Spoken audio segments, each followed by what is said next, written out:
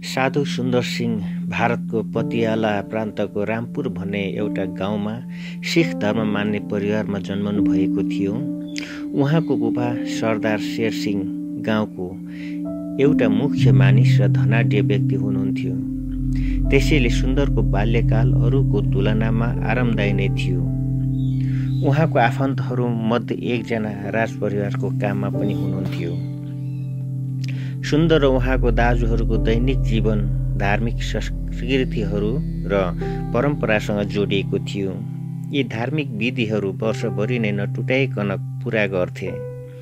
पन्जाबमा केन्द्रित भएको सिख धर्मले सबैलाई सम्मान ठान्न सिकाउँथ्यो र यो विश्वासलाई पछ्याउने सबै पुरुष र स्त्रीहरू एउटै परिवारको रूपमा मानिन्थे।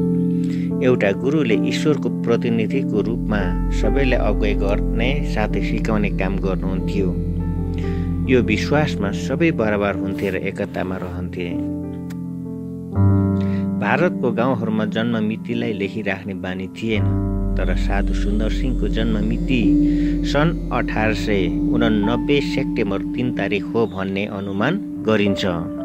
उहाँ नै परिवारको कान्छो छोरो हुनुहुन्थ्यो र उहाँको दुईजना दाजु र एउटा दिदी हुनुहुन्थ्यो। सुन्दर सिंहको आमा एउटा उल्लेखनीय स्त्री हुनुहुन्थ्यो। उहाँको मुख्य इच्छा नै भक्ति गर्नु र शुद्ध जीवन जिउनु थियो। परिवारमा भएका सदस्यहरूको बिचमा सबै धर्मलाई स्वीकार गर्ने खुल्ला मन उहाँमा थियो।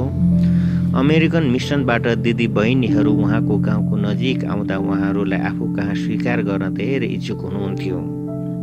सुन्दर सिंहले बताए अनुसार उहाँको दिदी पनि आमा जस्तै धेरै भक्त गर्ने नारी हुनुहुन्थ्यो। त्यसैले बाल्यकालमा सुन्दर सिंह र दिदी धेरै मिल्थे। उहाँले एकपल्ट यसरी बताउनु भयो मेरो दिदी हरेक दिन आफ्नो धार्मिक विधिहरू पुरा गर्न र भक्ति गर्न मिरमिरी उज्यालोमा उठ्नुहुन्थ्यो र उहाँ दुखित भएर आफ्नो दिदीसँग क्रिस्चियन परिवारहरूलाई तुलना गरेर यसरी भन्नुहुन्थ्यो। पाँच मिनट ईश्वरको उपस्थितिमा बिताउने बित्तिकै थकित हुनेहरू अनन्तकाल ईश्वरलाई प्रशंसा गर्दै जिउने आशा गर्छन्। सुन्दर सिंह आफ्नो आमाको प्यारो छोरो हुनुहुन्थ्यो।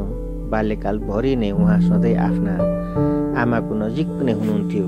धार्मिक विश्वासमा सुन्दर सिंहमाथि बढी प्रभाव पारेर उहाँको स्वभावलाई बनाउने काम अरूले भन्दा बढी उहाँको आमाले नै गरी गर्नुभयो। त्यसैले आफूलाई ईश्वरको बारेमा बढी सिकाएको व्यक्ति आमा नै हो भनी सधैँ भन्नुहुन्थ्यो। सुन्दरको आमा झिसमिसे उज्यालोमा नै उठेर आफ्नो धार्मिक विधि अनुसार नुहाएर फलहरू फुलहरू चढाउन मन्दिरमा जानुहुन्थ्यो। दैनिक गर्ने सबै कामहरू पनि ईश्वरलाई नै समर्पण गर्नुहुन्थ्यो।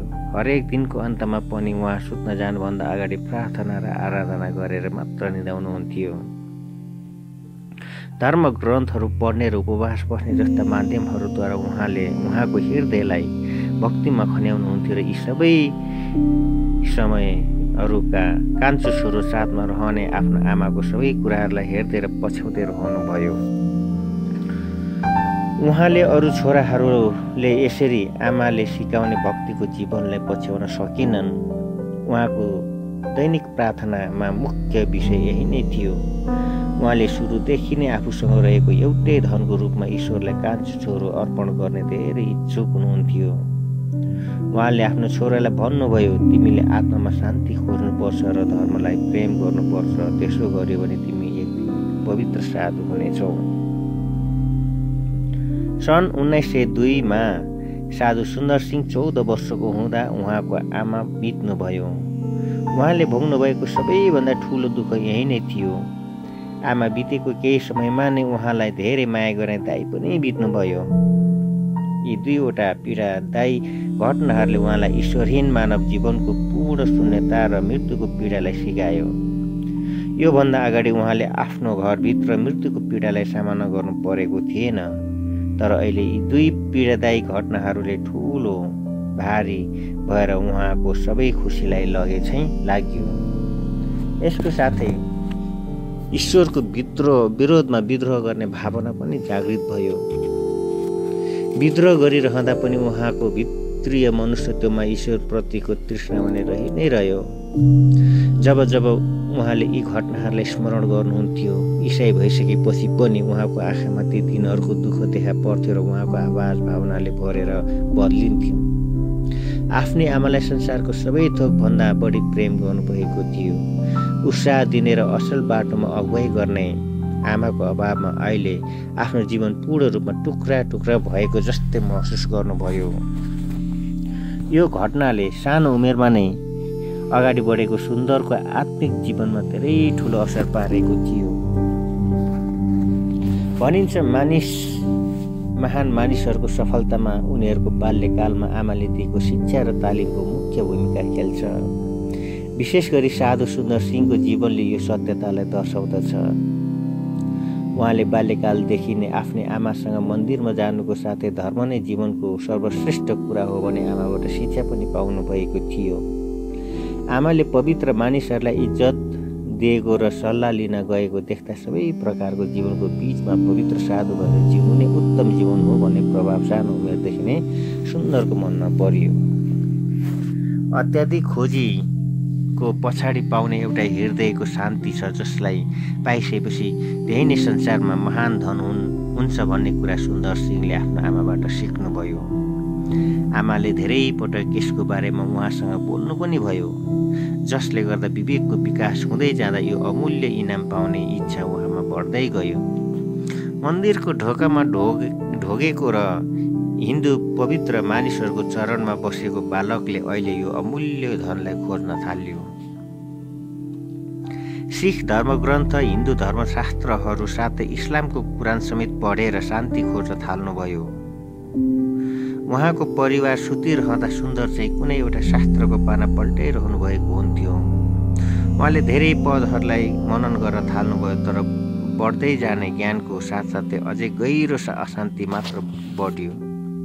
उहाँले बारम्बार भेट्नुहुने मन्दिरको पुजारी र भक्ति गर्ने आमाले उहाँको हृदयमा शान्ति ल्याउनको लागि धर्मशास्त्रको विभिन्न पदहरूलाई देखाए तापनि उहाँमा शान्ति भएन। यसरी आफ्नो परिवारको विश्वासमा बलियो भए तापनि असन्तुष्टि साथ क्रिस्टको कुनै ज्ञान नभएको अवस्थामा सुन्दरलाई पढ्नको लागि उहाँको गाउँमा अमेरिकन प्रेसबिटेरियनहरूद्वारा सञ्चालित मिसन विद्यालयमा पठाइयो। त्यहाँ दैनिक बाइबलको शिक्षा दिइन्थ्यो जसलाई सुन्नु पर्दा उहाँमा कठोर विरोध उत्पन्न भयो। सुरुको दिनमा नै बाइबल पढ्नु पर्दा उहाँको सिख रगत तातियो। मैले किन पढ्नु पर्ने हामी सिख हौँ। हाम्रो आफ्नै धर्मग्रन्थ छ। उहाँको उमेरको साथीले विद्यालयको नियमले पालना गर्न सम्झाएकोले उहाँले आफ्नो लागि एउटा नयाँ करारको बाइबल किन्नुभयो। उहाँले त्यसलाई पढ्न थाल्दा त्यसमा भएको सिद्धान्तहरू आफूले बाल्यकालदेखि सिकेको कुराहरूको ठिक विरोधमा भएको देखेर उहाँको रिस झनै बढ्यो। एउटा गहिरो जन्मजात आफ्नो धर्मप्रतिको भक्तिले उहाँलाई सहन नसक्ने गरी उचालियो चाँडै नै उहाँ विद्यालयमा इसाईत्वलाई विरोध गर्ने विद्यार्थीको नायक बन्न पुग्नुभयो। खुल्ला रूपमा उहाँले आफूले घृणा गर्ने नयाँ करारको पानाहरूलाई च्यातेर आगोमा जलाउनु भयो उहाँको बाबुले यो कुरा सुनेर बाइबल एउटा राम्रो किताब हो र त्यसलाई जलाउनुको सट्टामा फर्काएर मिसनरीलाई नै दिनु पर्थ्यो भनी सम्झाउनु भयो सुन्दरले घृणा साथ आफ्नो आमाले सिकाउनु भएको शान्तिलाई भेटाउने अटुट निर्णय गरेर अहिले पनि आफ्नो धर्म ग्रन्थहरूलाई पल्टाउन थाल्नुभयो। उहाँलाई मिसन विद्यालयबाट निकालेर आफ्नो घरभन्दा तिन माइल टाढा भएको सरकारी विद्यालयमा भर्ना गरियो।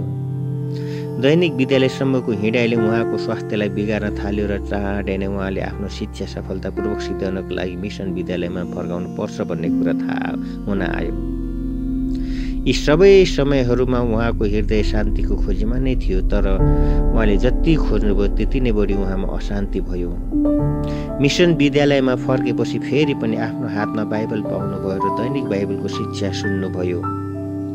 उहाँको इसाइत्वको प्रतिको घृणा र ख्रिस्टप्रतिको विरोधाभास फर्कियो। विरोध फर्कियो। उहाँमा विरोध भाव यति कठोर थियो कि एकपल्ट एउटा मिसनरीको छाया आफूमाथि परेको कारण आफूबाट त्यो प्रदूषण हटाउन घन्टौँ लगाएर आफूलाई धुनुभयो। सुन्दरले यो समयको बारेमा बताउँदा आफ्नो जीवनको एउटा सहन नसक्ने क्षण भनी बताउनुभयो किनभने उहाँले खोजेको शान्तिलाई नपाउँदा नै आफ्नो धर्मको अन्तमा आउनुभयो र इसाई धर्मप्रतिको घृणाले उहाँलाई यो बहुमूल्य मोतीलाई खोज्न इसाई धर्मशास्त्रलाई हेर्न दिएन। यहाँसम्म कि सुन्दरले ईश्वरले सुन्दरलाई नचिनेको बाटोमा डोर्याउनु भयो जसले आफूलाई अन्धकारमा पुर्याइरहेको जस्तो लाग्यो। सबै धर्मशास्त्रहरूलाई अध्ययन गरेर सबै धर्मगुरुहरूको शिक्षाहरू सुनेर पनि उहाँले सम्भव लागेको त्यो शान्तिको अनुभव अझै गर्न नसकिरहेको हुँदा यी सबै कुराहरूमा उहाँले खोजेको त्यो शान्ति पाउँदैन भने उहाँले थाहा थाहा पाउनको लागि ईश्वरले सुन्दरलाई डोर्याउँदै हुनुहुन्थ्यो। अन्तमा आफूले क्रोधित भएर नाश गरेको र व्यवस्था गरिरहेको त्यो किताबबाट केही सहायता पाइन्छ कि भन्ने विचारले उहाँको हृदयमा आयो। उहाँले फेरि पनि त्यो नयाँ करारको पुस्तकले पुस्तकलाई आफ्नो हातमा लिनुभयो। वेदनाले छ्या छ्या भएर निराशमा पुगेको अवस्थामा उहाँले पढ्नुभयो म कहाँ आऊ? म र म तिमीलाई विश्राम दिनेछु। यी शब्दहरूले उहाँलाई पक्रेर उहाँले क्रुसको कथालाई पढ्न थाल्नुभयो। अबदेखि उहाँ इसाई धर्मलाई विरोध गर्न आफ्नो साथीहरूसँग भेला हुन छाड्नुभयो। कोही कोही बेला त उहाँ शान्त वातावरण इसाई शिक्षकहरूसँग कुरा गरिरहेको पनि भेटियो। यी कुराहरू थाहा हुन आयो र उहाँको बाबुलाई खबर पुग्यो तर छोराले आमाद्वारा सिख धर्मको विश्वासमा स्थापित भएको छ भन्ने धारणाले बाबुले यो कुराहरूलाई वास्ता गर्नु भएन तर उहाँले किनभने परमेश्वरले संसारलाई यस्तो प्रेम गर्नुभयो कि उहाँले आफ्ना एकमात्र पुत्र दिनुभयो ताकि उहाँमाथि विश्वास गर्ने कोही पनि नाश नहोस्। तर त्यसले अनन्त जीवन पाओस् भन्ने शब्दहरूलाई पढ्दा उहाँको हृदयमा सुसमाचारको खमिर पसिसकेको थियो र उहाँले आफ्नो घाउ भएको मुटुमा एउटा सानो सान्त्वनाको अनुभव गर्नुभयो। तर उहाँमा भएको वेदनाले उहाँलाई विश्राम पाउन दिएको थिएन। अन्तमा उहाँले यो लडन्तलाई अन्त गर्ने निर्णय गर्नुभयो। उहाँले एक रात भोलि बिहानभित्र यो संसारमा शान्ति पाइएन भने यो संसार छोडेर अर्को संसारमा पाउँ अर्को संसारमा पाउँछु भन्ने निर्णय गर्नुभयो। हरेक दिन बिहान लुधियाना एक्सप्रेस रेल बिहान पाँच बजे आफ्नो बाबुको बगैँचाको छेउबाट जान्छ भने उहाँलाई थाहा थियो र त्यो रेलको अगाडि पारेर आफ्नो जीवनको त्यो पीडालाई अन्त गर्नु अथवा आत्महत्या गर्नु पाप हो भने जस्तै यो हिन्दू केटालाई लागेन। त्यो लामो रातलाई अध्ययन र प्रार्थनामा बिताउने कोठामा जानुभयो। उहाँ बिहान तिन बजेतिर उठेर हिन्दू परम्परा अनुसार नुहाउनुभयो र ईश्वर आफैले प्रकट गर्न प्रार्थना गर्न थाल्नुभयो। यस पछाडि भएको घटनालाई उहाँकै शब्दमा व्याख्या गर्नु उत्तम हुन्छ। शान्ति पाइन भने मेरो टाउकोलाई पाँच बजे जाने रेल अगाडि लिकमा राखेर आत्महत्या गर्नु नै मेरो विचार थियो। मैले यो जीवनमा शान्ति पाइनँ भने अर्को जीवनमा पाउँछु भन्ने आशा गरेँ। मैले प्रार्थना गरिरहँदा कुनै पनि उत्तर आएन र आधा घन्टा जति अझै बढी समय बिताएँ केवल शान्ति पाउने आशामा। बिहान चार तिस बजे मैले पहिले कहिले नदेखेको दृश्य देखेँ। मैले प्रार्थना गरिरहेको कोठामा एउटा ठुलो ज्योति देखेँ र मैले सम्झेँ त्यो ठाउँमा आगो लागियो। मैले वरिपरि हेरेँ तर केही देखिनँ। यो ईश्वरले मेरो लागि पठाएको उत्तर हुन सक्छ भन्ने मलाई लाग्न थाल्यो र प्रार्थना गरेर त्यो ज्योतिमा हेर्दा ख्रिस्ट यसुको स्वरूपलाई त्यो ज्योतिको बिचमा देखेँ। त्यो दृश्य पूर्ण रूपमा महिमा र प्रेमले भरिएको थियो। त्यो कुनै हिन्दू अवतार भएको भए तुरुन्तै घोप्ट परेर दण्डवट गर्थेँ तर त्यो त मैले कुनै दिन अगाडि बदनाम गरेको प्रभु यसु ख्रिस्ट हुनुहुन्थ्यो। मलाई लाग्यो कि यस्तो एउटा दर्शन मेरो आफ्नै विचारबाट आउन सक्दैन। मैले यसो भनेको एउटा आवाज सुने तिमी कहिलेसम्म मलाई सताउँछौ? म तिमीलाई उद्धार गर्न आएको हुँ। तिमीले ठिक बाटो थाहा पाउन प्रार्थना गरिरहेका छौ। तिमी यसलाई किन स्वीकार गर्दैनौ? मैले उहाँको पामा दण्डवट गरेँ तुरुन्तै यो अचम्मको शान्तिको अनुभव गरेँ जसलाई मैले अरू कुनै ठाउँबाट पाउन सकिरहेको थिइनँ। यही आनन्दलाई नै मैले खोजिरहेको थिएँ। त्यो स्वर्ग जस्तै थियो। म उठ्दा यो दर्शन हराइसकेको थियो तर शान्ति र आनन्द त्यो दिनदेखि सधैँको लागि रहिरह्यो। म त्यहाँबाट गएर बाबुलाई बुबालाई आफू इसाई भए भने बताएँ उहाँले भन्नुभयो जाउ गएर सुत हिजो मात्र तिमीले बाइबल जलायो र अहिले आएर भन्छौ म इसाई भएँ। किन? मैले जवाफ दिएँ। मैले अहिले थाहा पाएँ कि ख्रिस्ट यसो जिउँदो हुनुहुन्छ र मैले उहाँलाई पछ्याउने निर्णय गरेको छु। आजदेखि म उहाँको चेला हुँ र उहाँकै सेवा सेवा गर्न गइरहेछु। साधु सुन्दर सिंहले त्यो रातदेखि पीडाको तितोपनलाई पिउनु पर्ने बेलासम्म विभिन्न दुःखहरूलाई पार गर्नु पर्थ्यो किनभने यो समयहरूमा उहाँ बाबुको घरमा हुनुहुन्थ्यो। उहाँले क्रिस्ट यसुले आफ्नो मालिकको रूपमा स्वीकार गर्नुभयो भन्ने कुरा थाहा पाउँदा त्यसलाई स्वीकार गर्नु ठुलो दुष्टतालाई स्वीकार गर्नु जस्तै उहाँको परिवारको सदस्यहरूलाई लाग्यो। उहाँहरूको विचारअनुसार यति ठुलो इज्जतदार परिवारको एकजना सदस्यले तुच्छ मानिने इसाई धर्मलाई पछ्याउनु साँच्चै सोच्नै नसक्ने कुरा थियो। उहाँको बाबुले धेरै माया र नम्रता साथ आफ्नो छोरालाई बिन्ती गरेर त्यो बिगार्ने मूर्ख विचारलाई त्यागिदिन र आफू जन्मेको यो उच्च अवस्थालाई उहाँको अगाडि पर्खिरहेका सफलताहरूलाई हेर्न बिन्ती गर्नुभयो। उहाँले सुन्दरको आँखा अगाडि धन इज्जत र उच्च पदहरूको कुरा गर्नुभयो तर यी कुराहरूले उहाँलाई प्रभाव नपारेको देखेर सुन्दरले यो बाटो पछ्याइरह्यो भने आफ्नो परिवारमा आउन सक्ने बदनाम र बेजेतको कुराहरूको बारेमा बताउनु भयो सुन्दरको बुबालाई आफ्नो छोराको हृदयको बारेमा थाहा थियो। उहाँले अहिलेसम्म आफ्नै आमा र परिवारलाई प्रेम गर्नुहुन्छ भन्ने कुरा थाहा थियो। साधु सुन्दर सिंह बाहेक अरू कसैले त्यो परीक्षाको समयको बारेमा बताउन सक्दैन।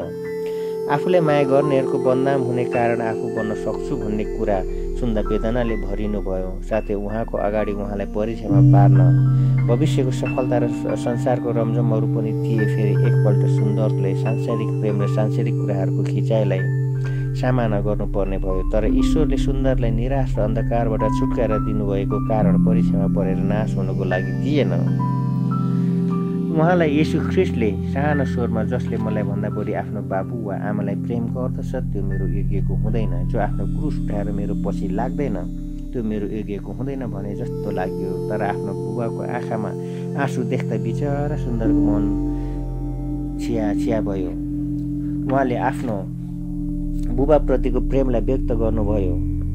साथै जसले आफूलाई बोलाउनु भयो र जसले जसको आज्ञालाई इन्कार गर्न सक्दैन उहाँको प्रेमको बारेमा बताउन पनि सुन्दरको सुन्दरले शक्ति पाउनु भएको थियो। यी घटनाहरूलाई कागजको पानामा ल्याउन गाह्रो छ। यी समयहरूमा सुन्दरले क्रिस्टलाई पछ्याउन पूर्ण रूपमा निर्णय गरिसक्यो भन्ने थाहा पाउँदा उहाँलाई फेरि पुरानो विश्वासमा फर्काएर ल्याउनको लागि अर्को एउटा प्रयास पनि भयो। सबैले इज्जत दिने उहाँको एउटा धनी मामाले आफ्नो ठुलो घरमा सुन्दरलाई बोलाउनु भयो र त्यो मुख्य भवनको जमिन मुनि भएको कोठामा उहाँलाई पुर्याउनु भयो। भित्र लगिसकेपछि मामाले ढोका थुन्नुभयो र सुन्दरले आफ्नो जीवनको अन्तिम घडी यहीँ नै हो कि भन्ने सोच्न थाल्नुभयो। तर मामाले एउटा चाबी लिएर बाक्सालाई खोल्नुभयो। बाक्साको ढोका खोल्दा सुन्दरको आँखा अगाडि उहाँले सपनामा पनि नदेखेको धन देख्नुभयो। पैसाको बिटाहरू बहुमूल्य गहनाहरू र अन्य बहुमूल्य कुराहरू देख्नुभयो। त्यस पश्चात उहाँको मामाले इसाई भएर परिवारमा बदनाम नल्याउनु। भनी बिन्ती गर्नुभयो र आफ्नो टाउको पगरी झिकेर सुन्दरको टाउकोमा राख्नुभयो र विनम्र साथ भन्नुभयो तिमी हामीसँग रह्यो भने यी सबै थोक तिम्रो हुनेछ। सुन्दरको निम्ति यो परीक्षा धेरै जटिल थियो। त्यो टल्किने धनले उहाँको आँखाको दृश्यलाई तिर्मिराएको मात्र नभएर परिवारमा सबभन्दा कान्छो भएकोले आफ्नो अगाडि मामा विनम्र भएको देख्दा त्यो कुराले उहाँको हृदयलाई गहिरो रूपले छोयो।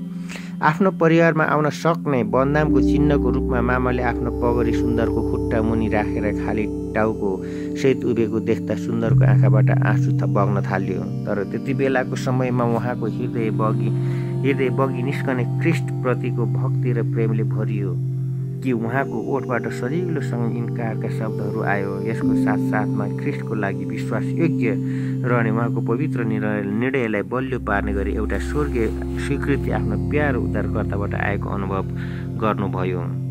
त्यस पश्चात उहाँको बुबाले स्पष्ट पार्नुभयो कि सुन्दर अबदेखि घरको छोरा होइन तर एउटा बहिष्कृत व्यक्ति हो।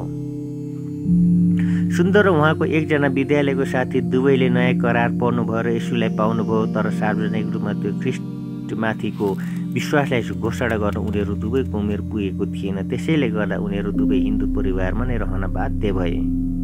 सुन्दरको आफन्तहरूले अमेरिकी मिसनरीहरूले जबरजस्ती यी कुरो यी दुवै भाइहरूलाई इसाई बनाए भने अदालतमा मुद्दा चलाए। अदालतमा न्यायाधीशको अगाडि उभिँदा सुन्दर एउटा बलियो गवाई भएर उभिनुभयो। आफ्नो विश्वासको बारेमा प्रश्न उठ्दा उहाँले एउटा नयाँ करारको पुस्तक आफ्नो गोजीबाट निकाल्नुभयो।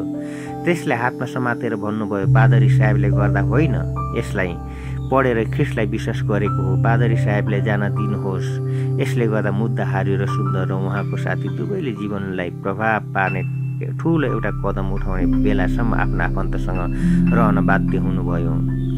सबै परीक्षाहरू र सम्झाउने बुझाउने र कामहरूद्वारा सुन्दरलाई आफ्नो निर्णयबाट फर्काउन नसकेको देख्दा कठोर शत्रुता उत्पन्न हुनु स्वाभाविकै नै थियो।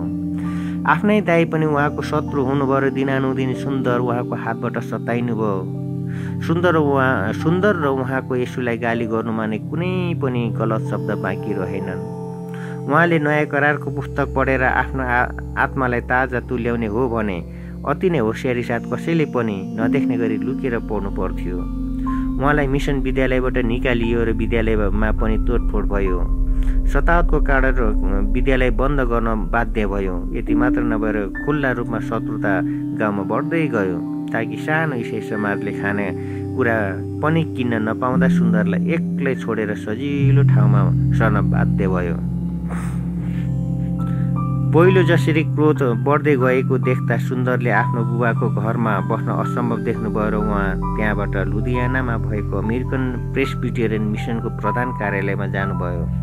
त्यहाँ मिसनरीहरूले उहाँलाई दयाको साथ स्वीकार स्वीकारेर वास्ता गरे उहाँको परिवारसँग झगडा नपर्नको लागि सुन्दरको लागि छुट्टै खानपिनको व्यवस्था गरियो र आफ्नो माध्यमिक शिक्षालाई पुरा गर्न सुन्दर विद्यालयमा भर्ना हुनुभयो।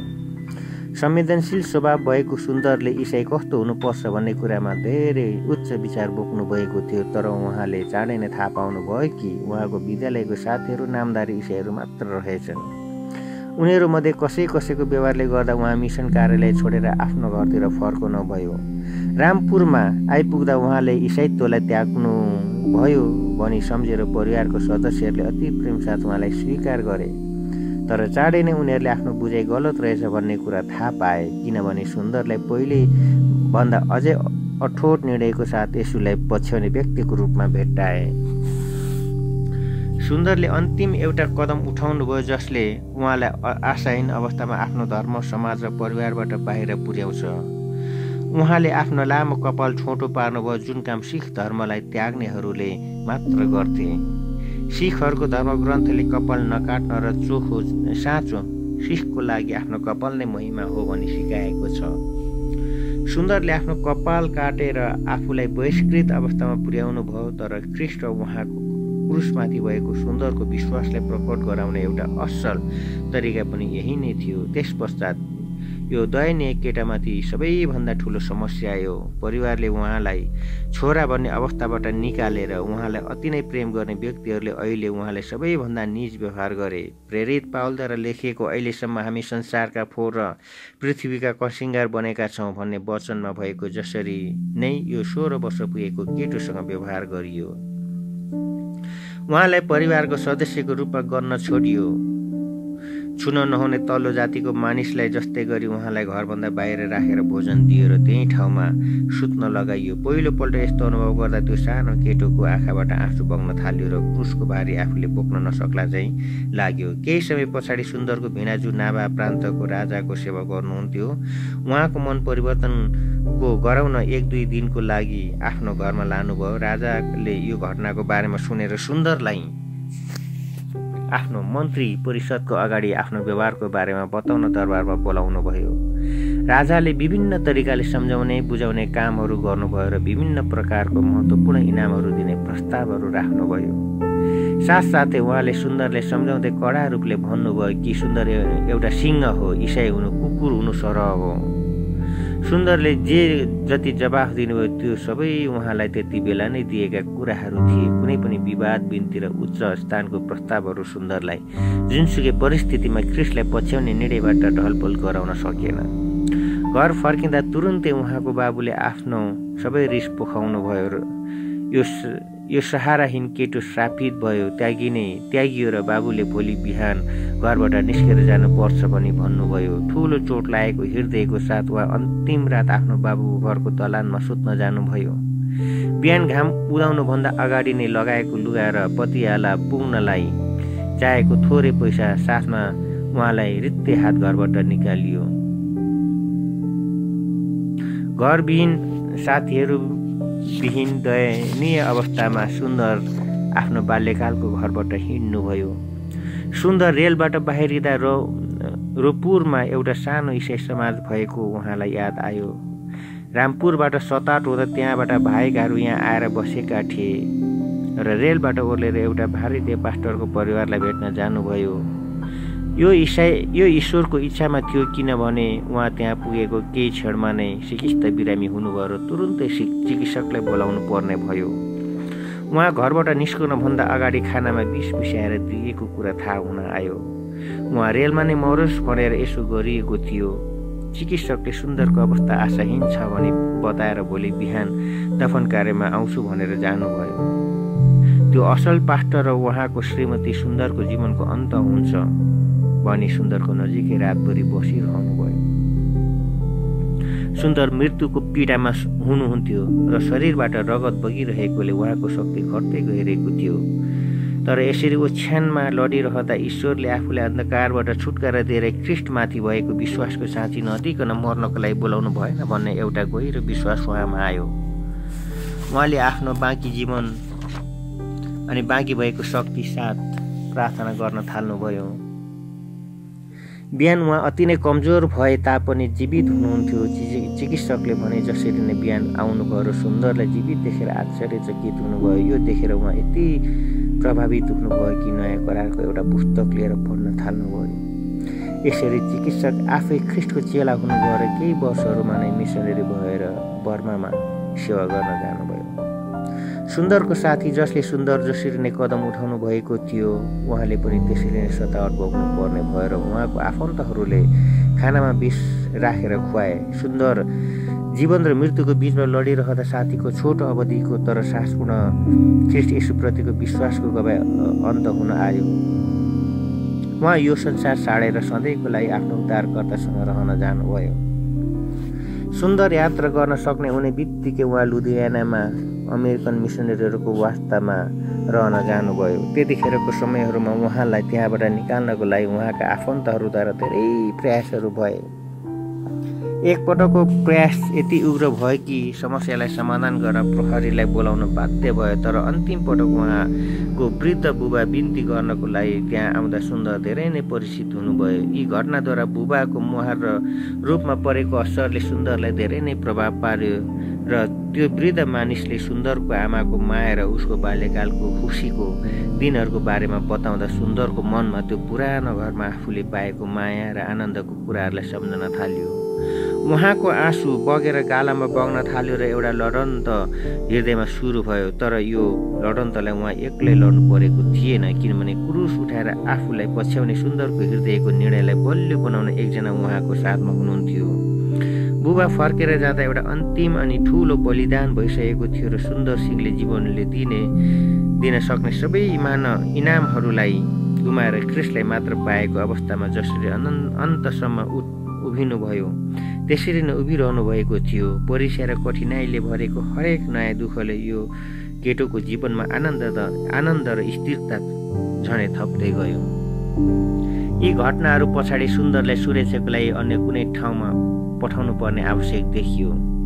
त्यसैले उहाँलाई हिमाचल प्रदेश प्रान्तको सदरमुकाम सिमलादेखि तेइस माइल टाढा भएको सुबाथु भन्ने ठाउँमा भएको मेडिकल मिसनमा पठाइयो जहाँ उहाँले सतावटबाट स्वतन्त्र भएर उहाँको प्रिय नयाँ करारको पुस्तकलाई अध्ययन गर्ने समय पाउनुभयो।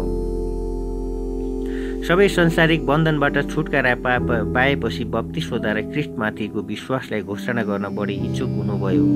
उहाँले बारम्बार बत्तिस पाउनको लागि बिन्ती गर्नुभयो। अन्तमा उन्नाइस सय पाँच सेप्टेम्बर तिन तारिकमा रेभरेन्ड रेडमेनले सिलाम सिमलामा भएको चर्च अफ इङ्ल्यान्डमा उहाँलाई बत्तिसमा दिनुभयो। भोलिपल्ट उहाँ सुबातुमा फर्किनुभयो र बत्तिसमा ख्रिस्ट सँगसँगै आफू गाडिएको विश्वासद्वारा उहाँ सँगसँगै बौरी उठेको कुरालाई थाहा पाउँदा उहाँको हृदय आनन्दले भरियो। आफ्नो प्रिय मालिक जसको लागि उहाँले पहिले नै धेरै दुःख भोगिसक्नु भएको थियो। उहाँको गवाई हुन पाउने यो नयाँ आनन्दको अगाडि विगत महिनाहरूको कठिन लडन्तहरूको प्रभाव धमिलो हुँदै गयो। केही बाँकी नराखिकन आफ्नो जीवन र त्यसको सबै थोक जसको लागि अर्पण गर्नुभयो त्यो उद्धारकर्ताको गवाई बाँड्ने इच्छाले उहाँको हृदय चल्यो र आफूले आफ्नो जीवन अर्पण गरिएको त्यो महान कामलाई सुरु गर्न उहाँ धेरै आनन्दसहित पर्खिरहनुभयो। आफ्नो जीवनलाई पूर्ण रूपमा यसु ख्रिस्टको लागि अर्पण गर्ने दिन पनि अब आइसकेको थियो। उहाँको जीवनमा धेरै अघिदेखि नै साधु जीवनप्रति एउटा आकर्षण थियो र त्यो जीवन जिउन कति मूल्य चुकाउनु पर्छ भन्ने कुरा पनि उहाँलाई थाहा थियो।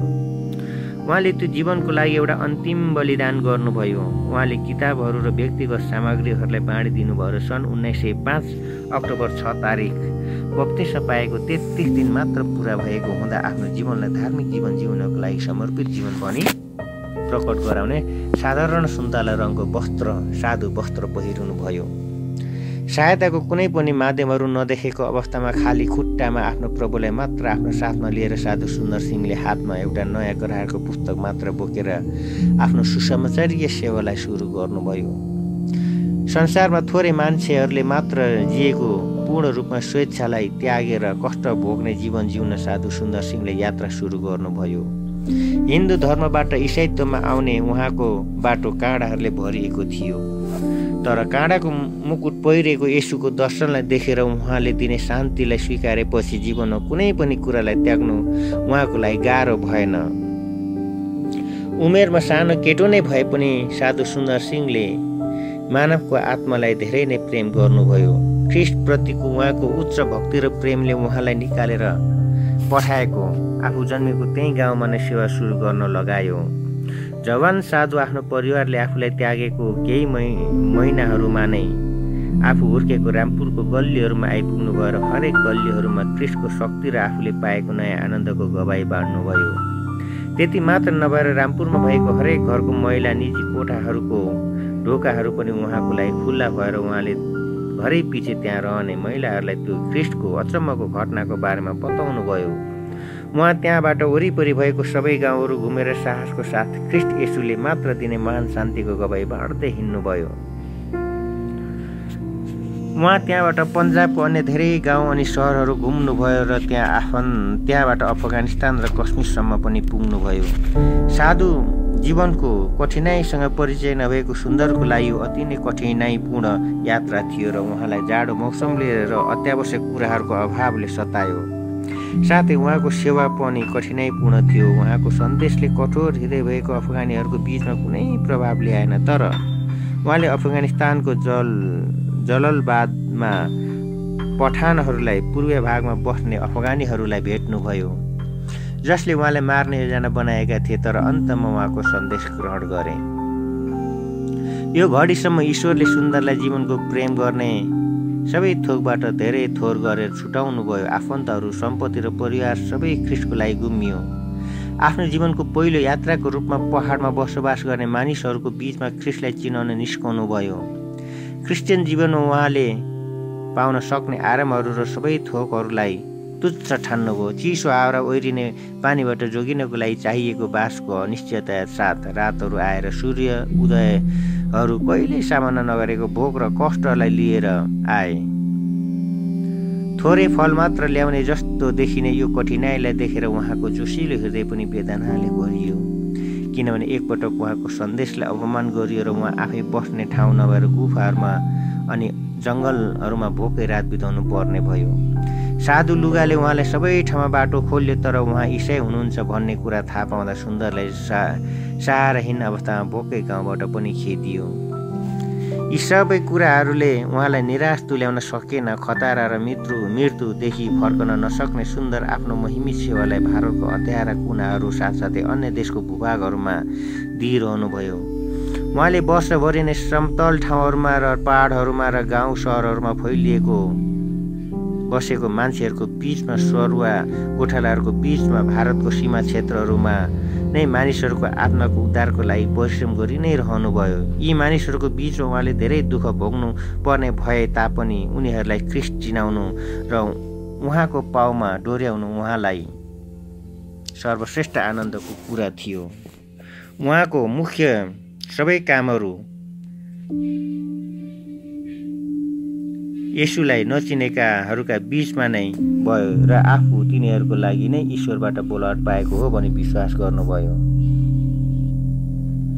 साधु सुन्दर सिंहले आफ्नो सुरुको सेवाकाईका यात्राहरू पन्जाब कश्मीर बचुलिस्तान पाकिस्तानको एक प्रान्त र अफगानिस्तान हुँदै गरेको कठिनाइपूर्ण यात्राहरू पछि उहाँ सिमालाको छेउमा भएको कोटगडामा विश्राम लिन आउनुहुन्थ्यो। यो ठाउँमा सुरुवातमा नै उहाँले सेवा गर्नुभएको थियो र हरेक ठाउँको सेवाको यात्रापछि विश्राम लिन यहाँ आउने उहाँको चलन थियो। साथै बन्द भएको तिब्बत र नेपालतिरको कठिनाइपूर्ण यात्राहरू सुरु गर्नुभन्दा अघि पनि यहाँ नै विश्राम लिन आइपुग्नुहुन्थ्यो। सन् उन्नाइस सय छ सालको गर्मीयाममा साधुले कोटगडाको नजिकै बस्ने श्रीमान स्टोक्सलाई भेट्नुभयो। यो धनी अमेरिकी मानिस आफ्नो जीवनलाई ईश्वरको सेवामा भारतीयहरूलाई दिन भारतमा आउनुभएको थियो। साधुलाई भेट्दा उहाँको हृदय ईश्वरप्रतिको जोसले भरियो र साधु सुन्दर सिंह जसरी नै कठिनाइपूर्ण जीवन जिउन आफ्नो जीवन र त्यसको सबै थोक अर्पण गर्ने निर्णय गर्नुभयो। धेरै प्रार्थना र सोचपछि श्रीमान स्टोक्सले यो कदम उठाउनुभयो र अब दुवै साधुहरूले कङ्ग्रा उपत्यकातिर आफ्नो यात्रालाई सुरु गर्नुभयो। उहाँहरूलाई भोजन र बास पाउन अति कठिन थियो र धेरै कष्ट भोग्नुभयो तर उहाँहरूको परिश्रम असल थियो र सङ्गत मिठो थियो। यो यात्राको बेलामा नै साधु सुन्दर सिंह अस्वस्थ हुनुभयो। दुवै साधुहरू झन्डै एक सय माइल यात्रा गरिसक्नु भएको थियो। यात्रामा कतिपल्ट फोहोर पार्टीहरूमा बस्न बाध्य भए र थोरै कडा भोजनले जिउनु पर्ने पनि भयो। यसरी दुवैले दुःखलाई बाँडचुट गरी यात्रा गरिरहनु भएको थियो। सुन्दर बिरामी हुँदा यिनीहरू दुवैजना एउटा अस्वस्थकर ठाउँ हुँदै यात्रा गरिरहेका थिए। सुन्दर ज्वरोले काप्न थाल्नुभयो र उहाँको शरीर धेरै दुख्न थालेको थियो। आगो जस्तो ज्वरोले पोलिरहेको हुँदा उहाँले सक्दो प्रयास गरेर यात्रालाई अगाडि बढाउँदै हुनुहुन्थ्यो तर अन्तमा उहाँ हिँड्न सक्नु भएन। उहाँ बाटोमा बेहोस होला जस्तै भएर लड्नुभयो। श्रीमान स्टोक्सले उहाँलाई अलि सजिलो ठाउँमा लानुभयो र कस्तो हुनुहुन्छ भनी सोध्नुभयो। आस्तै सानो स्वरमा साधुले भन्नुभयो मलाई धेरै खुसी लाग्छ। उहाँको लागि दुःख उठाउनु कति आनन्दको कुरो हो। जस्तोसुकै परिस्थितिमा पनि सुन्दर गनगन गर्नुहुन्न थियो र उहाँको जवाफ सुन्दा श्रीमान स्टोक चक्क पर्नु भएन। साधुलाई चिन्नेहरूलाई थाहा हुन्छ कि उहाँको जीवनको मुख्य सिद्धान्त यही नै हो। यो घटना घना जङ्गलको बिचमा घटेको थियो र श्रीमान स्टोक्सलाई धेरै गाह्रो भयो तर उहाँले साधुलाई कुनै माइल टाढा भएको एउटा युरोपियनको घरमा लान सफल हुनुभयो। त्यहाँ सुन्दर उपचार पाएर स्वस्थ हुनुभयो। त्यो दयालु युरोपियन त्यति बेला धर्मप्रतिको कुनै वास्ता नगर्ने हुनुहुन्थ्यो तर दिन प्रतिदिन उहाँले साधु सुन्दर सिंहको जीवनलाई देख्दा र उहाँको कुराहरू सुन्दा गहिरो रूपमा सोच्न थाल्नुभयो र अन्तमा उद्धार पाउनुभयो। यसरी नै त्यो रोग पनि क्रिस्टमा एउटा मानिसले मानिसको उद्धार हुनको लागि माध्यम भएर आशिषमय भयो। श्रीमान स्टोकसँग एउटा लालटिन थियो जसलाई लिएर सुन्दरले रामपुर र अन्य ठाउँहरूमा रातको समयमा प्रचार गरेर प्रयोग गर्नुभयो। यसरी नै नथाकिकन दिनरात दुईजना साधुहरू एक ठाउँदेखि अर्को ठाउँ हुँदै सेवा गर्नुभयो। श्रीमान स्टोक्सको टाउको खाली भएकाले दिनको सूर्यको किरणले थाम्न नसक्ने भएको कारण दुवैले प्राय यात्राहरू रातको समयहरूमा गर्नुहुन्थ्यो। यी समयहरूमा नै सुन्दरलाई सानो केटाको रूपमा मात्र हेरेको स्टोक्सले ख्रिस्टको सन्देशले भरिएको सुन्दर जहाँ गए पनि त्यहाँका मानिसहरूले उहाँको सन्देशलाई सुन्न मन लाग्ने एउटा प्रभावलाई अनुभव गरेको देखेर सुन्दरको कामको प्रशंसा गर्नुभयो। सन् उन्नाइस सय सातमा दुवै साधुहरू सुबाथुमा भएको कुष्ठ रोगीहरूको आश्रममा सेवा गर्न जानुभयो र त्यो वर्षको अन्ततिर महामारीले सताइएको लाहोरमा भएको बिरामीहरूको बिचमा सेवा गर्न जानुभयो। दुवै साधुहरूले विश्राम नलिकन रात दिन सेवा गर्नुभयो। उहाँहरूले थोरै समयको लागि विश्राम लिए पनि त्यो बिरामीहरू र मरिरहेकाहरूको बिचमा नै थियो।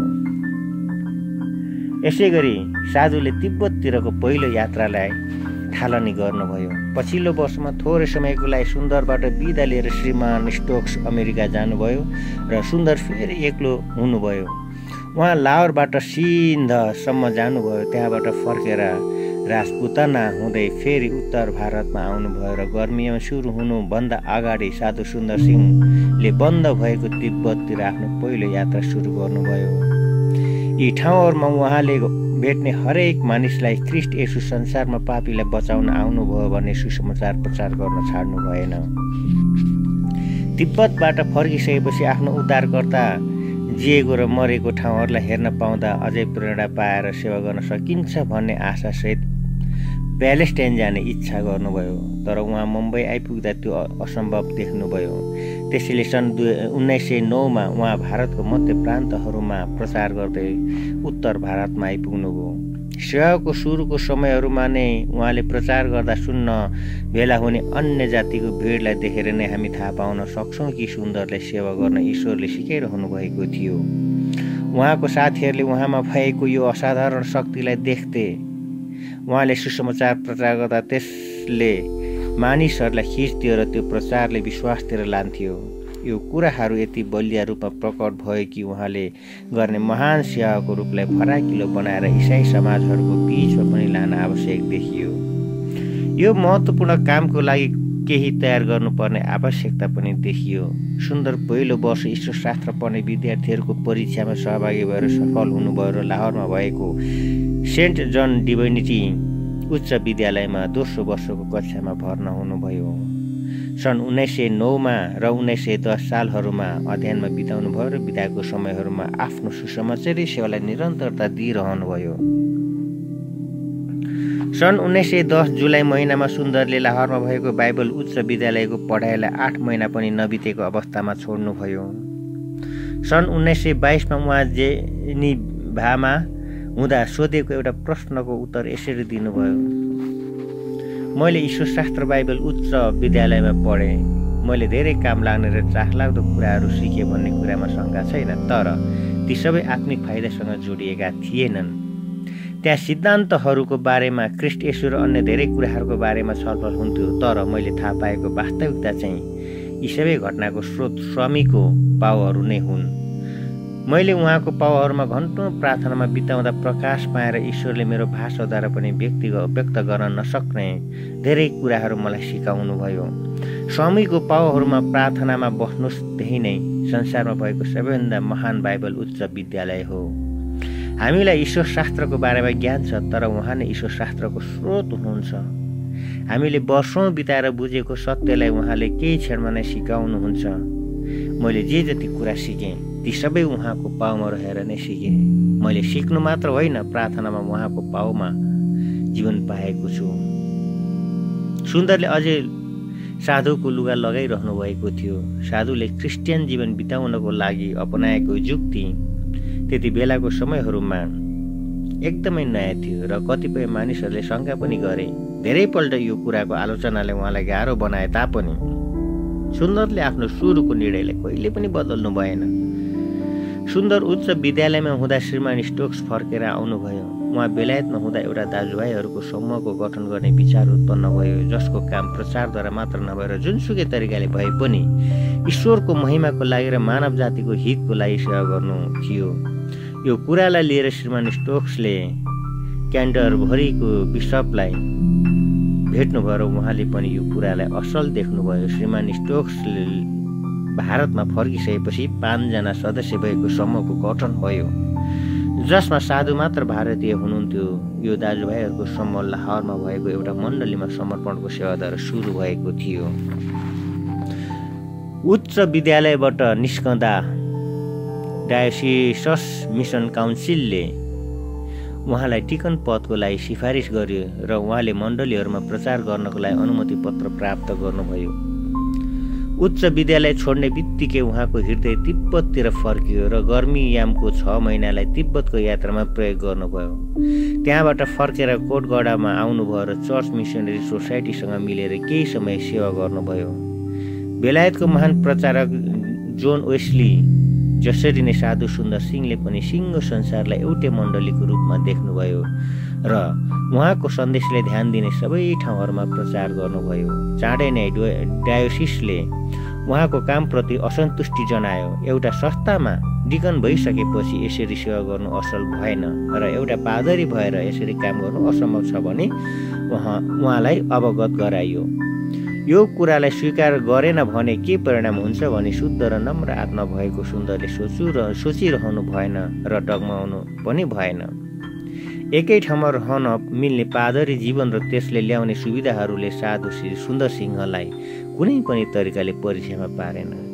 यो मुख्य प्रश्नको निर्णयले उहाँले आफ्नो आशा आफ्नो शान्त आत्मामा घुँडा टेकेर गर्नुभयो र आफूलाई सधैँको लागि सबै सम्प्रदायको बन्धनबाट स्वतन्त्र राख्ने कदम उठाउनुभयो।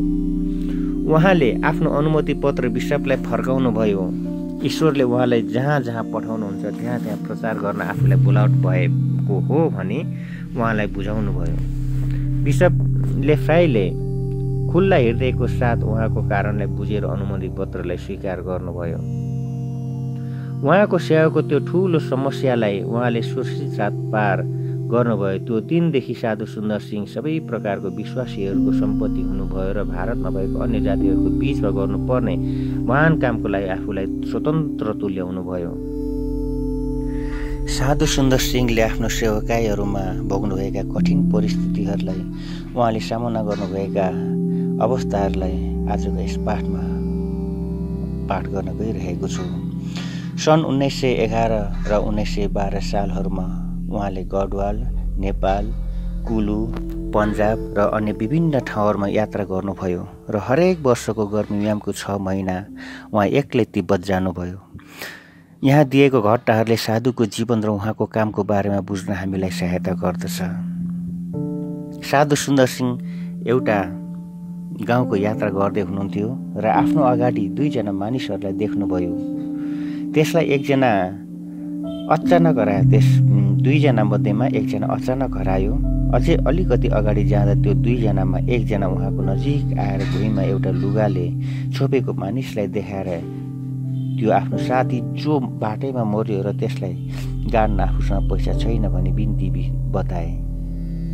साधु सुन्दर सिंहसँग एउटा पछ्यौरा र बाटोमा कर तिर्नको लागि दुई पैसा मात्र थियो। उहाँले त्यसलाई पनि त्यो मानिसको हातमा दिएर अगाडि बढ्नुभयो। उहाँ अलिकति मात्र अगाडि बढ्नुभएको थियो। त्यो मानिस उहाँको पछाडि दौडेर आए र रुँदै आफ्नो साथी साँच्ची नै मऱ्यो भनी बताए। दुईजना मिलेर यसरी बाटोमा मरेको जस्तै ना गरेर नाटक गरेर यात्रुहरूबाट पैसा लिने तिनीहरूको चलन छ भन्ने कुरा ऊ आफैले नबताउनुन्जेल साधु सुन्दर सिंहले बुझ्नु भएको थिएन। यिनीहरूले धेरै वर्ष अगाडिदेखि नै यो काम गर्दै आएका थिए र त्यो दिन आफ्नो साथीलाई उठाउँदा उसले जवाफ दिएन र उसले लुगालाई हटाउँदा आफ्नो साथी साँच्चै नै मरेको देखेर त्रसित भयो। एउटा महान साधुलाई उसँग भएको सबै थोकलाई लुटेको कारण ईश्वरको क्रोध आफूहरूमाथि परेको भने निश्चित गरेर साधु सुन्दर सिंहसँग क्षमा मागे। सुन्दरले आफ्ना ईश्वरको बारेमा उसलाई बताउनु भयो र पश्चातापी हृदय सहितले उसले उहाँको सन्देशलाई ग्रहण गरियो। साधुले उसलाई गढवालमा भएको मिसन कार्यस्थलमा पठाउनु भयो र समयमा नै त्यसले त्यहाँ बत्तिसमा पायो। उहाँ एउटा लामो पहाडको यात्रा गर्ने क्रममा एक दोबाटोमा आइपुग्नुभयो। ठिक बाटो कुन हो भने पत्ता लगाउन नसक्दा गलत बाटोलाई रोज्नुभयो। उहाँ एउटा गाउँमा आइपुग्दा आफू जानुपर्ने बाटो छोडेर एघारमा एघार माइल गलत बाटोमा यात्रा गरिरहेको थाहा पाउनुभयो। फर्केर यात्रा गर्दा बाटोमा उहाँले एकजनालाई भेट्नुभयो र उसलाई ख्रिस्ट यीशुको बारेमा बताउन थाल्नुभयो। त्यो मानिसले आफ्नो लुगाभित्रबाट नयाँ करारको पुस्तक निकालेर देखायो र साधु हिन्दू सन्यासी हुनुपर्छ भनी सोचेर त्यो कुरालाई आफूले लुकाएको कुरालाई बतायो। त्यो मानिसको मनमा क्रिस्चियन विश्वासप्रति धेरै प्रश्नहरू थियो जसको उत्तर त्यसले पाएको थिएन। तर साधु सुन्दर सिंहले त्यो मानिसलाई सबै कुरा बुझाउँदा उसले ख्रिस्टलाई पाए। यो घटनाको बारेमा सुन्दरले त्यो किताब लेखकलाई यसो भन्नुभयो। एउटा चिन्तित आत्मालाई सहायता गर्नको लागि क्रिस्टले मलाई पठाउनु भएको रहेछ। त्यही भएर मैले आफ्नो बाटो बिराएको रहेछु। सुन्दर माराङकडामा आइपुग्दा केही मानिसहरू खेतमा कटनी गरिरहेको देख्नुभयो। साधु त्यहाँ गएर ख्रिस्ट यसो र अनन्त जीवनको बारेमा बताउन थाल्नुभयो। सुरुमा तिनीहरूले सजिलोसँग सुन्न थाले र पछि कठोर विरोध गर्न थाले। उनीहरूलाई नयाँ धर्मको बारेमा सुन्न इच्छा नै थिएन। कसै कसैले उहाँलाई औधी सरापेर धम्की पनि दिन थाले। एकजनाले एउटा ढुङ्गा टिपेर साधुको टाउकोमा हान्यो एकछिनपछि त्यो मानिस जसले ढुङ्गाले हानेको थियो उसको टाउको साह्रै दुख्न थाल्यो र उसको काम छोड्न बाध्य भयो। साधुले उसको हँसिया बोक्नुभयो र अरूसँग मिलेर कटनी गर्न थाल्नुभयो। यो कुराले तिनीहरूको हृदयलाई नरम तुल्याएर दिनको अन्तमा तिनीहरूले उहाँलाई घरमा आउन निम्तो दिए बेलुकीको शान्त वातावरणमा तिनीहरूलाई ख्रिस्टको सन्देश सुनाउने मौका सुन्दरले पाउनुभयो। तिनीहरू विश्रामको समयपछि कटनीको हिसाब गर्न थाल्दा तिनीहरू छक्क पर्ने गरी पर्ने गरी गएको सालभन्दा यो साल कटनी चाहिँ अति नै धेरै भएको पाए। तिनीहरू डराएर आफूहरूको बिचमा एउटा पवित्र मानिस आएको रहेछ र यो अति धेरै कटनी त्यसको प्रमाण हो भनी विश्वास गरे। त्यसपछि तिनीहरूले साधुको सन्देशलाई अझै असल तरिकाले सुन्नको लागि धेरै प्रयास गरे खोजे तर उहाँलाई तिनीहरूले भेट्टाएनन्। तिनीहरूको बिचमा भएको एकजना मानिसले यो घटनालाई द नुर अप्सन भन्ने उत्तर भारतको पत्रिकामा प्रकाशित गरे र तिनीहरूले साधुको सन्देशलाई विश्वास गर्नको लागि साधुले आफ्नो गाउँमा फर्केर आउन त्यस पत्र मार्फत बिन्ती पनि गरे। अफगानिस्तानमा भएको पुरानो सहर जलालबादमा साधु कठोर र कपटी मानिसहरूको बिचमा पर्नुभयो। जसले उहाँ इसाई हो भनी थाहा पाएपछि मार्ने योजना बनाए। उहाँ विश्राम गर्न बसिरहँदा त्यो खबर अरूभन्दा अलिक अलिकति राम्रो स्वभाव भएको एकजना मानिसद्वारा उहाँ कहाँ आइपुग्यो। तर उसले कुनै प्रमाणहरू देखाउन नसक्दा उहाँलाई त्यो कुरा विश्वास गर्न गाह्रो भयो। तरै भए पनि साधुले त्यो चेतावनीलाई मानिलिने निर्णय गर्नुभयो र अलिकति सुरक्षित ठाउँ खोज्नुभयो। राति पानी परिरहेको थियो। सहन नसक्ने गरी जाडो बढिरहेको थियो। साधु सुन्दर सिंह पुरै भिजिसक्नु भएको थियो। त्यो लामखुट्टे र किराहरूले भरिएको पार्टी अझै पनि त्यहीँ थियो र उहाँ त्यहाँ जानुभयो। त्यो पार्टी चाहिँ एउटा कटेरो जस्तै थियो र साधु सुन्दर सिंहले ओढ्ने ओछ्याउने बिना मुस्किलले त्यो रात बिताउनु भयो। भोलिपल्ट बिहान उहाँले आगो बालेर लुगा सुकाइसकेको बेला कुनै अफगानीहरू त्यहाँ आए। साधुले आश्चर्य मान्ने गरी त्यो समूहमा अगाडि आउने मानिस सिधै उहाँ कहाँ आएर उहाँको पाउमा पर्यो? अफगानीहरूले सोचेको जसरी उहाँ जाडोमा कक्रेर मर्नु भएन। साथै कुनै क्षति पनि नभएको देखेर तिनीहरूले उहाँलाई मार्ने विचार बदलिएको कुरा बताए। साधु चाहिँ अल्लाहको सहायता गरेको व्यक्ति भनी तिनीहरूले विश्वास गर्न पुगेर आफ्नो घरमा आएर पाहुना सत्कार ग्रहण गरिदिन बिन्ती गरे। साधुले तिनीहरूसँग खुसीको साथ एक हप्ता बिताउनु भयो र तिनीहरूले उहाँको सन्देशलाई ध्यानपूर्वक सुने। साधु सुन्दर सिंहले आफ्नो मालिक मालिकको निम्ति भोग्नुभएको दुःख कति ठुलो थियो भन्ने कुरा उहाँलाई बाहेक अरू कसैलाई थाहा छैन। कतिपल्ट खानेकुरा नपाएर जङ्गलमा पाउने फलफुल खाएर जिउनु परेको र गाउँबाट खेती र जङ्गलको गुफाहरू र रुखमुनि सुतेको कुराहरूलाई साधु सुन्दर सिंहले स्वीकार गर्नुहुन्छ। साधुले कतिपल्ट सर्प र वनको जीवजन्तुहरूको बिचमा रात बिताउनु भएको थियो। थोरिया जिल्लाको एउटा गाउँको मानिसहरूले उहाँसँग यति नराम्रो व्यवहार गरे कि उहाँहरूको बिचमा सेवा गरुन्जेल साधुले हरेक रात जङ्गलमा नै बिताउनु पर्थ्यो। एक दिन निराश तुल्याउने कठोर परिश्रम गरेपछि उहाँ सुत्नको लागि एउटा गुफामा जानुभयो र आफ्नो पछ्यौरा ओछ्याएर सुत्नुभयो। भोलिपल्ट बिहान गुफाभित्र उज्यालो हुँदा उहाँलाई त्रसित तुल्याउने गरी एउटा चित्त आफ्नो नजिक सुतिरहेको देख्नुभयो। डरले उहाँको हातखुट्टा नै चलेन तर गुफाबाट बाहिर निस्किसकेपछि आफू सुतिरहेको समयमा ईश्वरले आफूलाई दिएको सुरक्षाको लागि धन्यवाद दिनुभयो। उहाँको आफ्नै शब्दहरू यस्तो छ आजको दिनसम्म कुनै पनि जङ्गली जनावरले मलाई कुनै पनि हानि गरेको छैन। अर्को एउटा घटनामा एउटा गाउँबाट उहाँलाई निकालेपछि अध्ययन गर्न चट्टानमा भएको एउटा गुफामा जानुभयो। उहाँ गहिरो रूपमा सोचिरहेको बेला अचानक एउटा कालो चितुवाले निहालेर आफूले हेरिरहेको देख्नुभयो। साधु सुन्दर सिंह डरले भरिनुभयो तर पनि आफ्नो भरोसा ईश्वरमाथि राखेर अगाडि केही पनि नभए जस्तै गरी बिस्तारै उठेर हिँड्नुभयो र गाउँमा सुरक्षित साथ पुग्नुभयो यसरी गाउँका धेरै मानिसहरूले मारेको त्यो कालो चितुवाबाट बस्नुभयो भन्ने कुरा थाहा पाउँदा गाउँका मानिसहरूले उहाँलाई एउटा पवित्र मानिस भन्ने विश्वास गरे। तिनीहरूले कुनै समय अघि तिरस्कार गरेको सन्देशलाई ग्रहण गर्न अहिले उहाँको वरिपरि भेला भए सुन्दरले ईश्वरलाई धन्यवाद दिनुभयो र अझै बलियो हुनुभयो। एक दिन बिहान ऋषिकेशको गङ्गामा नुहाउने बेला भएको धार्मिक साधुहरूको बिचमा साधु सुन्दर सिंह नयाँ करारको पुस्तक बोकेर प्रचार गर्दै हुनुहुन्थ्यो। कसै कसैले अलिअलि चासो दिए जस्तै गरी सुनिरहेका थिए तर अरूहरूले उहाँहरू उहाँको सन्देशलाई खिसी गरिरहेका थिए। अचानक एकजना मानिसले हातभरि बालुवा लिएर साधुको आँखामा हालिदिए। यो देखेर एउटा राम्रो व्यवहार भएको मानिसलाई रिस उठ्यो र उसले त्यो काम गर्ने मानिसलाई समातेर प्रहरी कहाँ बुझाए। यी सबै भइरहेको हुँदा साधु आफ्नो आँखामा भएको बाल नदीमा धुँदै हुनुहुन्थ्यो। उहाँ फर्केर आइसकेपछि त्यो मानिसलाई छोडिदिन बिन्ती गर्नुभयो र आफ्नो प्रचारलाई अगाडि बढाउनु भयो।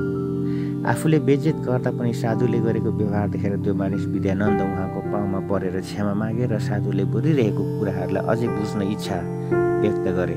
त्यो व्यक्ति सत्यलाई खोज्ने व्यक्ति बन्यो र पछिको समयहरूमा साधुको यात्रामा उहाँ सँगसँगै रहेर उद्धार दिने प्रेमको बारेमा नम्रतासहित सिक्दै गयो।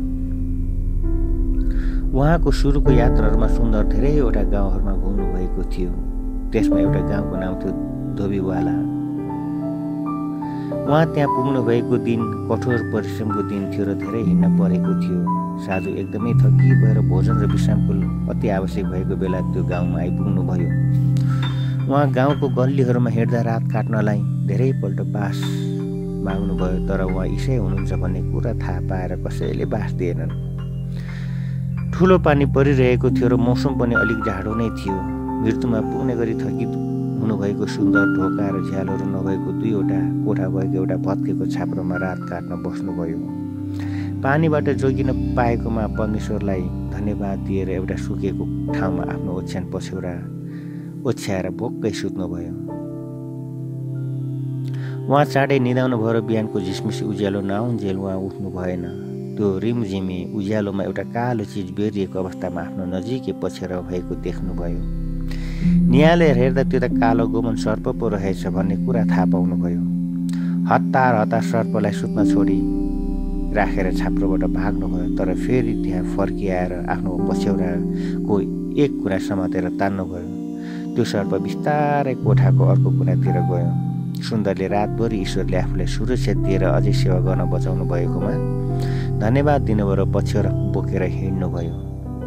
एक शिक्षित आर्य समाजको मानिसले आफू एउटा पहाडबाट ओर्लिआएको समयमा उकालोतिर गइरहेको जवान साधुलाई भेटेको घटनालाई यसरी बताउनु भएको थियो। साधुलाई देखेर उहाँसँग बोल्ने जिज्ञासा सुरुमा भए तापनि केही समयसम्म के हुन्छ भनी हेर्ने निर्णय गरियो।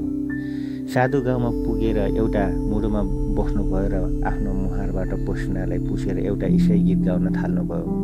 चाँडै नै एउटा भिड उहाँको वरिपरि जम्मा भयो तर उहाँको प्रचारको केन्द्र क्रिस्टको प्रेम रहेछ भन्ने कुरा थाहा पाउँदा तिनीहरू रिसाए। एकजना मानिसले आवेगमा आएर उहाँलाई लड्ने गरी जोड ल्याहान्यो साधु भुइँमा लड्नुभयो र उहाँको गाला र हातहरूमा नराम्रो चोट पर्यो।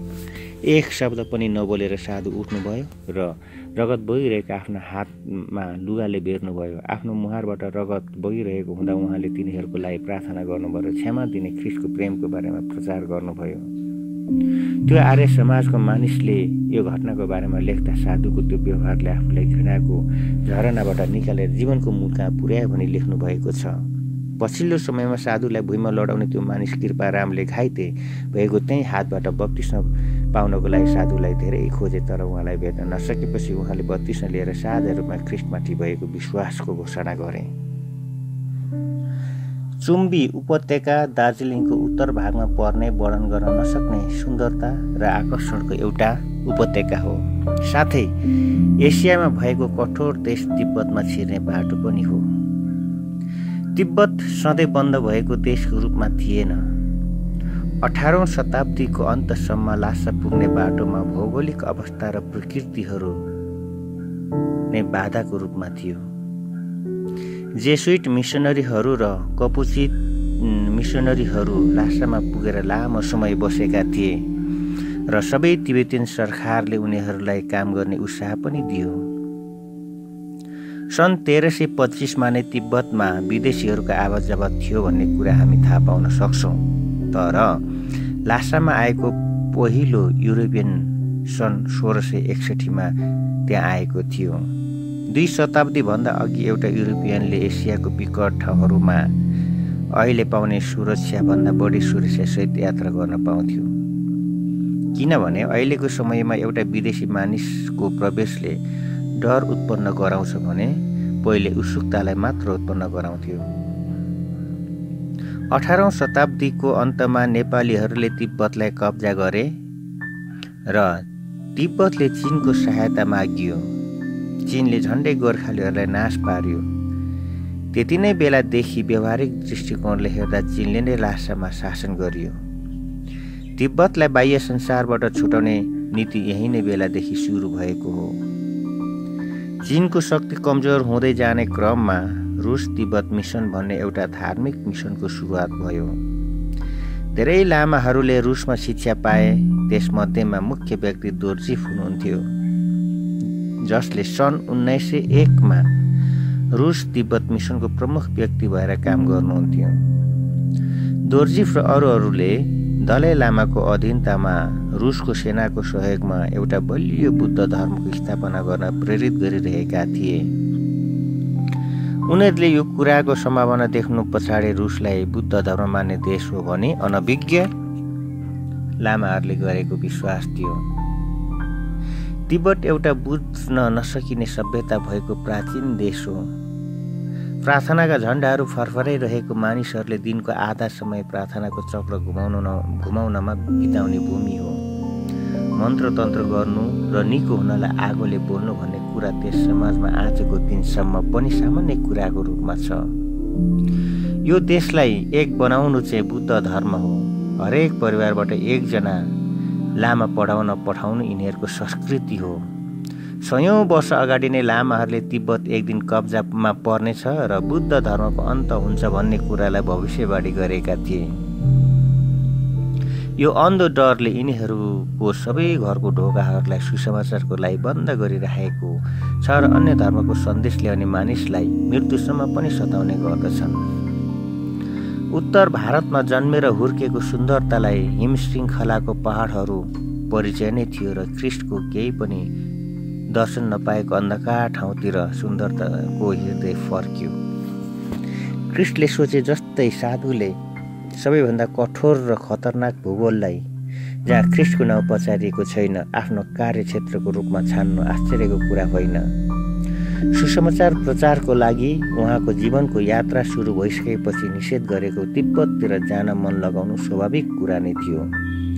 विशाल भूभाग भएको भारतले एक शताब्दीभन्दा बढी समयसम्म धेरै मिसनरीहरूलाई पायो र धेरै भारतीय छोराछोरीहरूले ख्रिस्टको बोलावटलाई स्वीकार गरे र त्यसमध्येमा एकजना आफ्नो देशको जनताको लागि शान्तिको सन्देशको दूत बने। साधु आफैले यसरी भन्नुभएको थियो भारतमा सत्यलाई घोषणा गर्नको लागि धेरैजना छन्। तर उहाँले तिब्बत र त्यसको छिमेकी देश नेपालतिर फर्केर हेर्दा क्रिस्टको सन्देशलाई सुन्ने कुनै मौका नपाएको मानिसहरूप्रति उहाँको मन बढी दयालु भयो। विदेशी मिसनरीहरूलाई त्यो देशमा जान निषेध थियो र भारतीयहरूलाई निषेध नभए तापनि कठिन थियो किनभने उसले कठोर मौसमलाई सामना गर्ने साथै सभ्यता नभएको एकहोरो मानिसहरूबाट आउने कट्टर विरोधको पनि सामना गर्नु परेको हुन्छ। तर आफ्नो मालिकको निम्ति सतत भोग्नु सादर सुन्दर सिंहको लागि आफ्नो जीव आफू जीवित रहेको चिन्ह थियो र आफूले सामना गर्नुपर्ने कुराहरूदेखि नडराइकन सहनशीलता नभएको अन्धकारले भरेको देशतिर पहिलो यात्रा सुरु गर्नुभयो। दुर्भाग्यवश साधुले आफ्नो यात्राहरूको विवरणलाई क्रम साथ लेखिराख्नु भएको छैन। उहाँले आफ्नो यात्रामा बटुल्नु भएको अनुभव दुःख र सफलताको बारेमा जे बताउनु भयो त्यही कुराहरू मात्र हामी यहाँ बताउन सक्छौँ। सन् उन्नाइस सय आठमा उन्नाइस वर्षमा पुगेको हुँदा त्यहाँको भाषाको बारेमा अनभिज्ञ हुँदा नै उहाँले तिब्बततिरको पहिलो यात्रा एक्लै सुरु गर्नुभएको थियो। सन् उन्नाइ उन्नाइस सय बाह्रमा फेरि साधुले तिब्बततिरको यात्रा सुरु गर्नुभयो। मार्च महिनाको नौ तारिकमा पु भन्ने तिब्बतीय गाउँमा पुग्नुभयो त्यहाँ काम गर्ने दुईजना मोराबी मिसनरीहरूको सहायता पाउँदा उहाँ धेरै नै खुसी हुनुभयो। उहाँले ती असल मिसनरीहरूसँग एक हप्ता बिताउनु भयो र त्यहाँबाट यात्रा गर्दा उहाँहरूले आफूसँग काम गर्ने एकजना व्यक्तिलाई भाषा र यात्रामा सुन्दरलाई सहायता गर्न कुनै ठाउँसम्म पठाउनु भयो। तिब्बतीहरू आफ्नो धर्मबाहेक अन्य धर्मलाई गर्ने विरोधको बारेमा बाहेक सुन्दर सिंह त्यो ठाउँ र मानिसहरूको बारेमा अनभिज्ञ नै हुनुहुन्थ्यो। तर उहाँ लामो समय अनभिज्ञ रहनु भएन। आफ्नो शिक्षा सुनेर मानिसहरू रिसाइरहेका छन् भन्ने कुरा चाँडै नै थाहा पाउनुभयो र उहाँ जहाँ जहाँ जानुभयो। ती सबै ठाउँहरूमा विशेष गरी लामाहरूबाट कट्टर विरोध र घृणालाई सामना गर्नुपर्ने थियो। यी लामाहरू खतरापूर्ण थिए र कतिपय अवस्थाहरूमा सुन्न आएको मानिसहरूको अगाडि उभिएर धम्की दिने स्वभाव प्रकट गर्थे। यी सबै कुरालाई सामना गर्दै उहाँ सुरक्षित तसिग तसिगङ भन्ने एउटा मुख्य सहरमा पुग्नुभयो र त्यहाँको मुख्य लामाले उहाँलाई असल तरिकाले स्वाद गरेको देख्दा छक्क पर्नुभयो। यो व्यक्ति धेरै मुख्य व्यक्ति थियो र यो व्यक्तिको अधीनमा सयौँ लामाहरू थिए। यी मुख्य लामाले साधुलाई असल तरिकाले स्वीकार गरेको मात्र नभएर खाना र बस्नको लागि व्यवस्था पनि गरिदिए। मौसम अत्यन्तै जाडो हुँदा यो स्वागत सुन्दरको लागि महत्त्वपूर्ण थियो। साथै यो लामाले आफ्नो चेलाहरू सबैलाई साधुको सन्देश सुन्न भेला गरे र सुन्दरले धन्यवादसहित सुसमाचार प्रचार गर्नुभयो। यो ठाउँबाट यात्रा सुरु गर्दा तसिङ्गको या लामाको साथी भएको अर्को एकजना लामाको शासनमा भएको सहरमा आइपुग्नु सुन्दरको लागि आशिषको कुरो थियो। यहाँ पनि उहाँलाई असल तरिकाले स्वागत भयो र उहाँको सन्देश सबैको बिचमा पुग्यो। उहाँ त्यहाँबाट अन्य धेरैवटा सहर र गाउँहरूमा पुग्नुभयो तर यी सबै ठाउँहरूमा सुरुको समयभन्दा अझ बढी विरोधको सामना गर्नु पर्थ्यो कुनै दुर्घटना हुनुभन्दा अघि देशबाट निस्किजानु भनी उहाँलाई त्यहाँको मानिसहरूले सधैँ धम्की र चेतावनी दिए।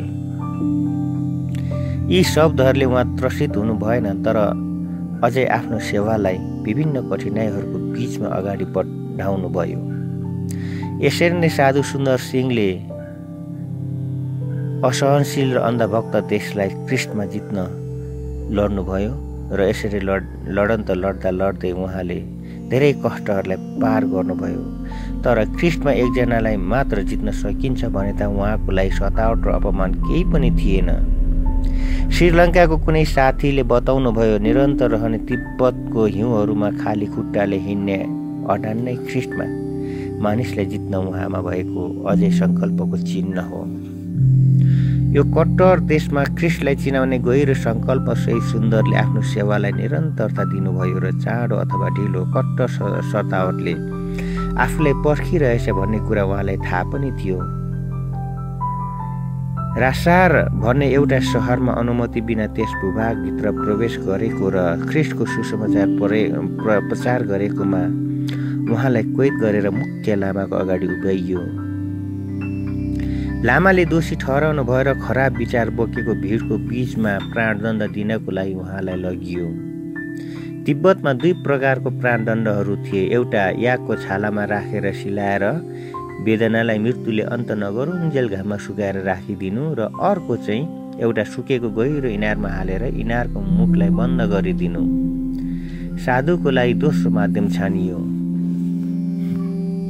त्यस ठाउँमा आइसकेपछि उहाँको वस्त्र फुकालियो र उहाँलाई अत्यास लाग्दो गहिरो अन्धकारमा फालियो जसले गर्दा उहाँको दाहिने हातमा ठुलो चोट पर्यो।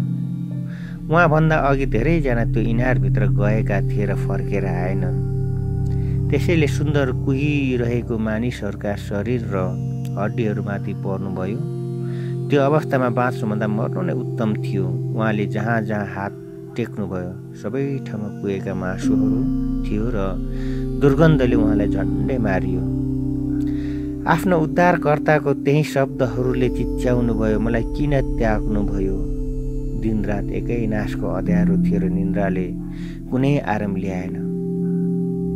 भोजन र पानी पनि नभएको अवस्थामा घन्टाहरू दिन झैँ हुन थालिए र सुन्दरले अब धेरै समय बाँच्न सकिँदैन भन्ने अनुभव गर्नुभयो। तेस्रो दिनको रात उहाँले ईश्वरसँग प्रार्थनामा पुकारिरहेको हुँदा एउटा चर्को आवाज आफ्नो माथितिरबाट सुन्नुभयो। कसैले त्यो घृणापुर झ्यालखानाको तालचाहरू खोल्दै थिए। उहाँले चाबी घुमेको आवाज सुन्नुभयो र त्यो फलामको ढोका तानेको आवाज सुन्नुभयो। त्यसपछि माथिबाट तल दिएको डोरीलाई समात्नु भन्ने एउटा आवाज यिनीहरूको माथिबाट सुन्नुभयो। त्यो डोरी उहाँ कहाँ आइपुग्दा आफूमा भएको थोरै बललाई पुरै प्रयोग गरेर समात्नुभयो डोरी बलियो रूपमा बिस्तारै माथि तानियो र उहाँ त्यो घिनलाग्दो ठाउँबाट ताजा हावा पाउन माथि खुलाउनु भयो। उहाँ माथि आइसकेपछि त्यो फलामको ढोका फेरि तानियो र तालचा लगाइयो। आफू उहाँले आफूलाई बचाएको मान्छेलाई वरिपरि हेर्दा कोही पनि थिएन। र उहाँको हातमा भएको दुखाइ हराइसकेको थियो र ताजा हावाले नयाँ जीवन दियो। साधुले ईश्वरको अचम्मको उद्धारको लागि उहाँलाई प्रशंसा चढाउन बाहेक अरू केही गर्न सक्नु भएन। बिहान हुँदा उहाँ मुस्किलले सहरमा पुग्नुभयो र प्रचार गर्न सक्ने हुनेसम्म पार्टीमा विश्राम लिनुभयो। फेरि सहरमा आएर उहाँले आफ्नो पुरानो काम सुरु गर्दा त्यहाँ ठुलो हलचल मचियो। आफूले मरिसक्यो भनी ठानेको मानिस स्वस्थ भएर फेरि प्रचार गर्दैछ भन्ने सन्देश चाँडै नै लामा कहाँ पुग्यो? साधुलाई फेरि कैद गरेर लामाको न्याय आसन अगाडि ल्याइयो र कसरी यो भयो भनी सोद्धा उहाँले आफ्नो आश्चर्यपूर्ण उद्धारको कामको बारेमा बताउनु भयो। कसैले चाबी लिएर गएर उहाँलाई बचाएको हुनुपर्छ भन्ठान्दै लामा क्रोधित हुनुभयो तर साँचोको खोजी गर्दा त्यो अन्तमा लामाको पेटीमा नै थियो। लामा आश्चर्य मान्दै डरले निशब्द हुनुभयो। सुन्दरको शक्तिशाली ईश्वरले आफू र आफ्नो जनतामाथि ठुलो विपत्ति ल्याउन सक्छ भन्ने डरले सुन्दरलाई तुरुन्तै सहरबाट निस्केर जति सक्छ त्यति टाढा जान लामाले आज्ञा दिनुभयो। ईश्वरले आफूलाई डरलाग्दो मृत्युबाट बचाउनु भएको लागि सुन्दरले ईश्वरलाई प्रशंसा चढाउनु भयो आफूलाई सताउनेहरूको लागि प्रार्थना गर्नु आशिष दिनु र त्यहाँ त्यागसँग उहाँहरूको भलाइ खोज्नु नै साधु सुन्दर सिंहको सेवाको तरिका थियो। तिब्बत र उहाँलाई सताउने अन्य ठाउँहरूमा यही स्वभाव सहित ख्रिस्टको सुसमाचार प्रचार गर्नुभयो। यसरी प्रचार गर्दा उहाँले कतिपल्ट आफ्नो जीवनको घटनाहरूलाई उदाहरणको रूपमा प्रयोग गर्नुभयो। जीवन गुमाउनेले जीवन पाउँछ भन्ने वचनबाट प्रचार गर्दा उहाँले यो अचम्मको घटना बताउनुभयो। उहाँ एक दिन पुरै हिउँ परिरहेको अवस्थामा तिब्बतको पहाडहरूमा यात्रा गर्दै हुनुहुन्थ्यो। उहाँ र उहाँको तिब्बतियन साथी जो उहाँसँग यात्रा गर्दै हुनुहुन्थ्यो दुवैजना जाडोले कक्रेर मृत्युको मुखमा पुगिसकेको अनुभव गर्दै हुनुहुन्थ्यो र जीवितै आफ्नो गन्तव्य पुग्ने आशालाई गुमाइसक्नु भएको थियो। उहाँहरूले एउटा भिरालो पाखामा आइपुग्दा तल एकजना मानिस मरेको जस्तै देख्ने अवस्थामा लडिरहेको थियो। सुन्दरले त्यो व्यक्तिलाई सुरक्षित ठाउँमा लानुपर्छ भनी भन्नुभयो तर उहाँको तिब्बतीन साथीले इन्कार गर्दै आफूहरू सुरक्षित ठाउँमा पुग्नुपर्छ भनी भन्नुभयो र अगाडि बढ्नुभयो। धेरै कष्टसँग सुन्दरले ती व्यक्तिलाई आफ्नो ढाडमा बोक्नुभयो र त्यो गरौँ भारीसँग सङ्घर्ष गर्दै अगाडि बढ्नुभयो। चाँडै त्यो कठोर प्रयासले साधुको शरीरको ताक्रमलाई बढाएर उहाँले बोकिरहेको असह्य मानिसको शरीर पनि सारियो।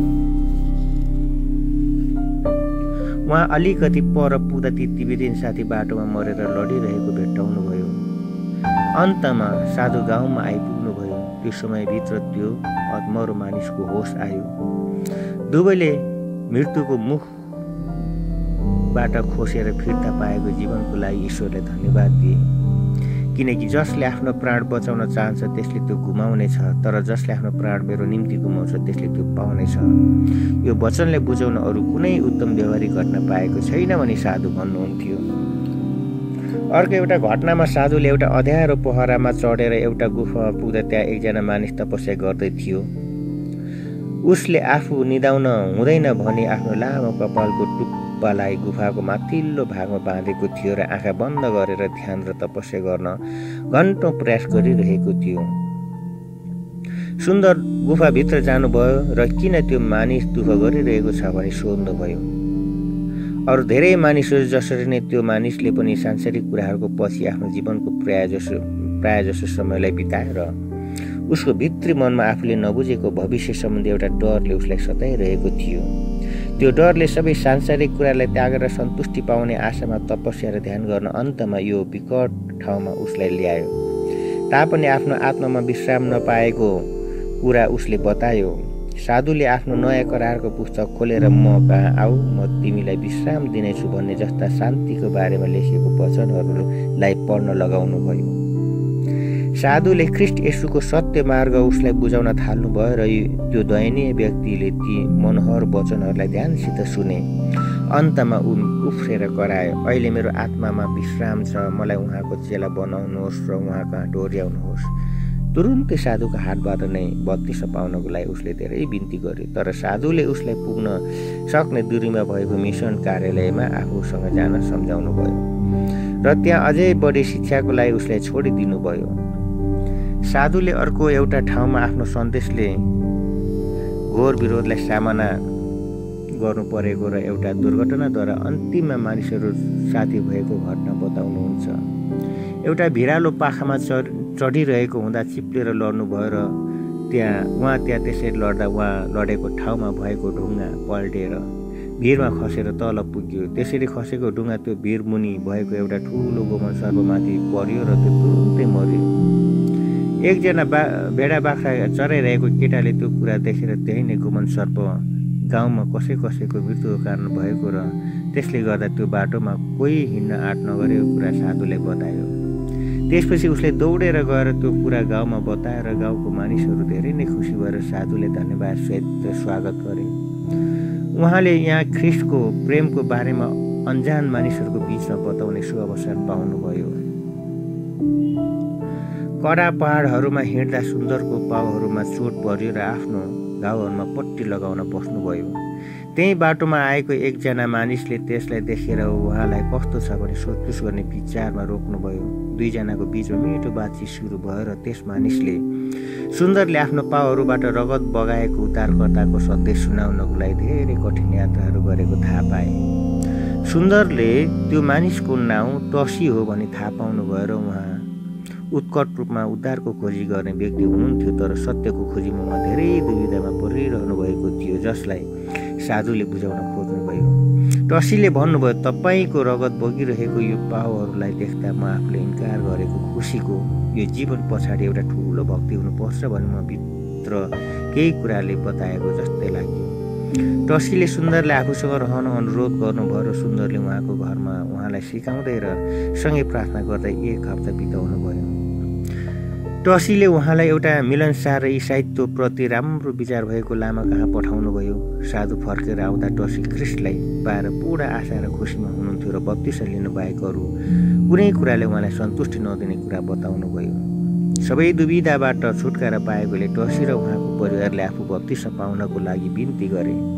सुन्दरले त्यहाँबाट जानुभन्दा अघि टसी र उहाँको परिवारसहित नौजनालाई बत्तिस दिने आनन्दलाई अनुभव गर्नुभयो। टसी त्यो जिल्ला शासक लामाको सचिव भएकोले आफ्नो विश्वासको खातिर दुःख भोग्नु परेन तर अरूलाई त्यो बाटोमा हिँडाउन कुनै प्रयास गर्नु हुँदैन।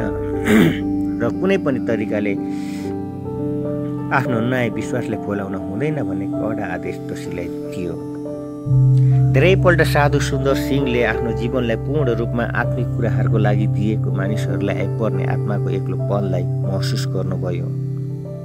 मानिसको आत्मालाई एक्लोपनमा डुब्दा भयानक मानसिक पीडाले नसाहरूको शक्तिलाई सिद्ध्याउँछ र जसको असर बाहिर देखा पर्न आइपुग्छ। साधारण मिसनरीहरू र सेवकहरूले आफ्नो कामलाई फेर्दा यसबाट विश्राम पाउन सक्छन् तर साधुलाई त्यस्तो थिएन। उहाँको ठाउँहरू बदलिए तर काम बदलेनन् दिनरात मण्डलीहरूमा सम्मेलनहरूमा र अन्य जातिहरूको बिचमा नथाकिकन आत्माको खोजी गरिरहनुभयो। तिरुबिता बितामपुरको एकजना मिसनरीले उहाँको बारेमा यसरी सही कुरा बताउनु भयो। उहाँले यति कष्ट सहनको लागि ईश्वरको धेरै नजिक जिरहेको हुनुपर्ने र उहाँ यसरी निरन्तर जिरहनुको पछाडि यथार्थ रहस्य यही नै थियो। उहाँलाई खोज्नेहरूलाई भेट्न र रात आफूलाई पर्ने काम गर्न उहाँ कहिल्यै थकित हुनुहुन्न थियो न अधैर्य हुनुहुन्थ्यो। उहाँ आफ्नो मालिकको एउटा जिउँदो प्रतिबिम्ब हुनुहुन्थ्यो। मालिकको आत्माको भागीदार भएको उहाँ मा मालिकको एक्लोपनमा पनि सहभागी हुनुभएको थियो। यी दिनहरूको बारेमा कुरा गर्दा उहाँ एउटा अचम्मको दिनको बारेमा बताउनुहुन्छ। एकदमै निराश भएको अवस्थामा भोक र सत थकाइले सताएको बेलामा खुट्टामा भएको घाउले गर्दा पीडासहित हिँडिरहेको हुँदा उहाँले एकजना मानिसलाई भेट्नुभयो। जसले उहाँसँग बातचित गर्न थाल्यो र त्यो असल साथीको मित्रताले आफ्ना सबै पीडाहरू बिर्सिसक्नु भएको थियो। दुवैजना एउटा गाउँको नजिक पुकुन्जेल सँगसँगै हिँडेर फेरि साधु दुखित हुने गरी आफूलाई एक्लो पाउनुभयो। साधुले यो कुरालाई बुझाउन सक्नु भएन। तर उहाँको आफ्नै शब्दहरू यस्तो छ। मलाई थाहा छ मलाई बलियो बनाउन र मेरो कमजोर अवस्थामा मलाई थाम्न ईश्वरले आफ्नो स्वरदूत पठाउनु भयो स्वर्गको भिरालो ओरा भिरालो आरोहण गरेर गएको असल मानिसहरूको बाटोलाई साधु सुन्दर सिंहले पछ्याउँदै हुनुहुन्थ्यो। उहाँ तिब्बतमा रहँदा ख्रिस्टको शुभ समाचार बोकेर यो अन्धकारको देशमा आएर शहीद भएका ईश्वरीय मानिसहरूको मृत्युको घटनाको बारेमा पक्का रूपमा धेरै जानकारी पाउने मौका पाउनु भएको थियो। यसमा पहिलो घटना उहाँ आफै जन्मेको पतियाला प्रान्तको एकजना शहीदको बारेमा थियो। करतार सिंह चाहिँ पतियाला प्रान्तको सिख धर्म मान्ने धनी जमिनदार सुन्दर हरमन सिंहको छोरा हुनुहुन्थ्यो। परिवारमा अरू छोराहरू नभएकोले परिवारको नामलाई कायम राख्ने जिम्मेवारी त्यही एक्लो छोरामाथि थियो र सबै आशा उहाँमाथि नै थियो। सुन्दर जसरी नै उहाँ पनि प्रशस्ततामा हुर्किनु भयो र भविष्यलाई उज्जवल बनाउनको लागि पाउन सक्ने शिक्षाहरू मध्येमा असल शिक्षा उहाँलाई दिएको थियो। बाबुको लक्ष्यलाई पुरा गर्न दिनुपर्ने सबै तालिमहरू केही नछुटाइकन छोराहरूलाई छोरालाई दिएको थियो तर यी मध्ये सबै धार्मिक शिक्षाको पूर्ण रूपमा व्यवस्था भए तापनि करतार सिंहको हृदयमा आत्मिक कुराहरूको चाहना बढ्यो। जुन चाहनालाई सांसारिक तालिमहरूले पुरा गर्न सकेन। उहाँले इसाइत्वको बारेमा सुन्नुभयो र धेर थोर गरेर त्यसका सबै सिद्धान्तहरू बुझ्नुभयो र अन्तमा यो सत्यतालाई उहाँले पक्राउनु भयो जति धेरै पढ्नुभयो त्यति धेरै त्यति नै धेरै आफ्नो आत्मामा सन्तुष्टि भएको अनुभव गर्नुभयो। अन्तमा आफ्नो अगाडि त्यो कठिन र साँगुरो बाटो मात्र देख्नुभयो।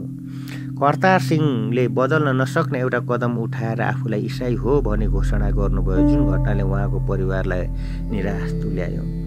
उहाँलाई यो निर्णयबाट फर्काउन धेरै विभिन्न प्रकारका प्रयासहरू भए तर यी सबै साधारण कुराहरूको प्रभाव नपरेको देखेर उहाँको बुबाले उहाँको श्रीमती हुनको लागि तोकिएकी राम्रो केटीलाई उहाँ कहाँ पठाउनु भयो त्यो दयालाग्दो केटी जीवनको सबै प्रतीक्षा प्रतिज्ञासहित नम्रतामा उहाँको अगाडि आइन् र आफ्नो जीवनलाई ठुलो घाटामा पुर्याउन सक्ने यो कदमबाट फर्किन आँसुसहित बिन्ती गरिन्। त्यस केटीको दयनीय अवस्थाले करतार सिंहको मनलाई छोयो तर यो अन्तिम परीक्षामा पनि ईश्वरले उहाँलाई बलियो बनाउनु भयो र उहाँले आफूलाई एक मात्र हृदय भएको र त्यसलाई पनि उद्धारकर्ता क्रिसलाई दिइसकेको कुरा यो केटीलाई बताउनु भयो। मुटु भाँचेको त्यो केटीले आफ्नो हुनेवाला ससुराको घरमा फर्किआएर करतार सिंहले आफ्नो सबै प्रेम अर्कोलाई दिइसकेकोले आफ्नो प्रयास व्यर्थ भएको कुरा बताइन्। केही समयभित्र नै करतार सिंहलाई घरबाट निकालेर पठाइयो।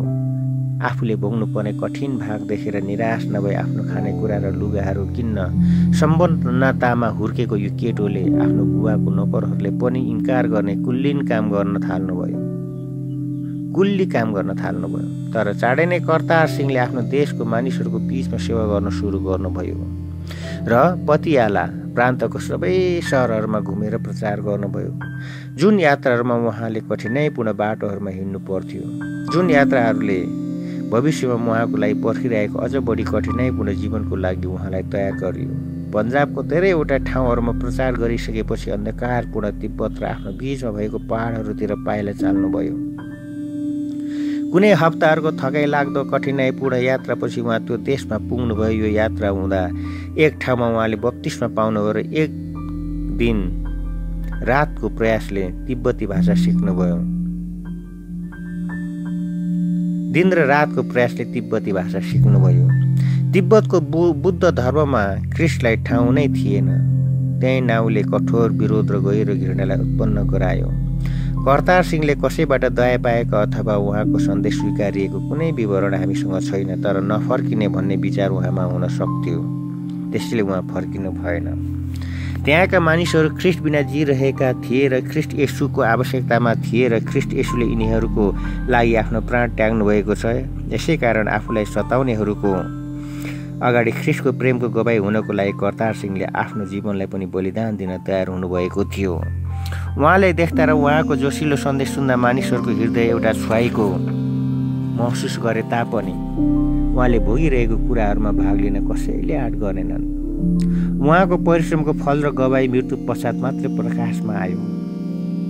यात्रामा विभिन्न ठाउँमा प्रचार गर्दै गर्दा उहाँ टसीसँग टसी गङ्गा भन्ने ठाउँमा आइपुग्नुभयो र त्यहाँ तिन महिना रहेर प्रचार गर्नुभयो। उहाँलाई त्यो जिल्लाबाट निकाल्नको लागि अनगिन्ती प्रयासहरू भए।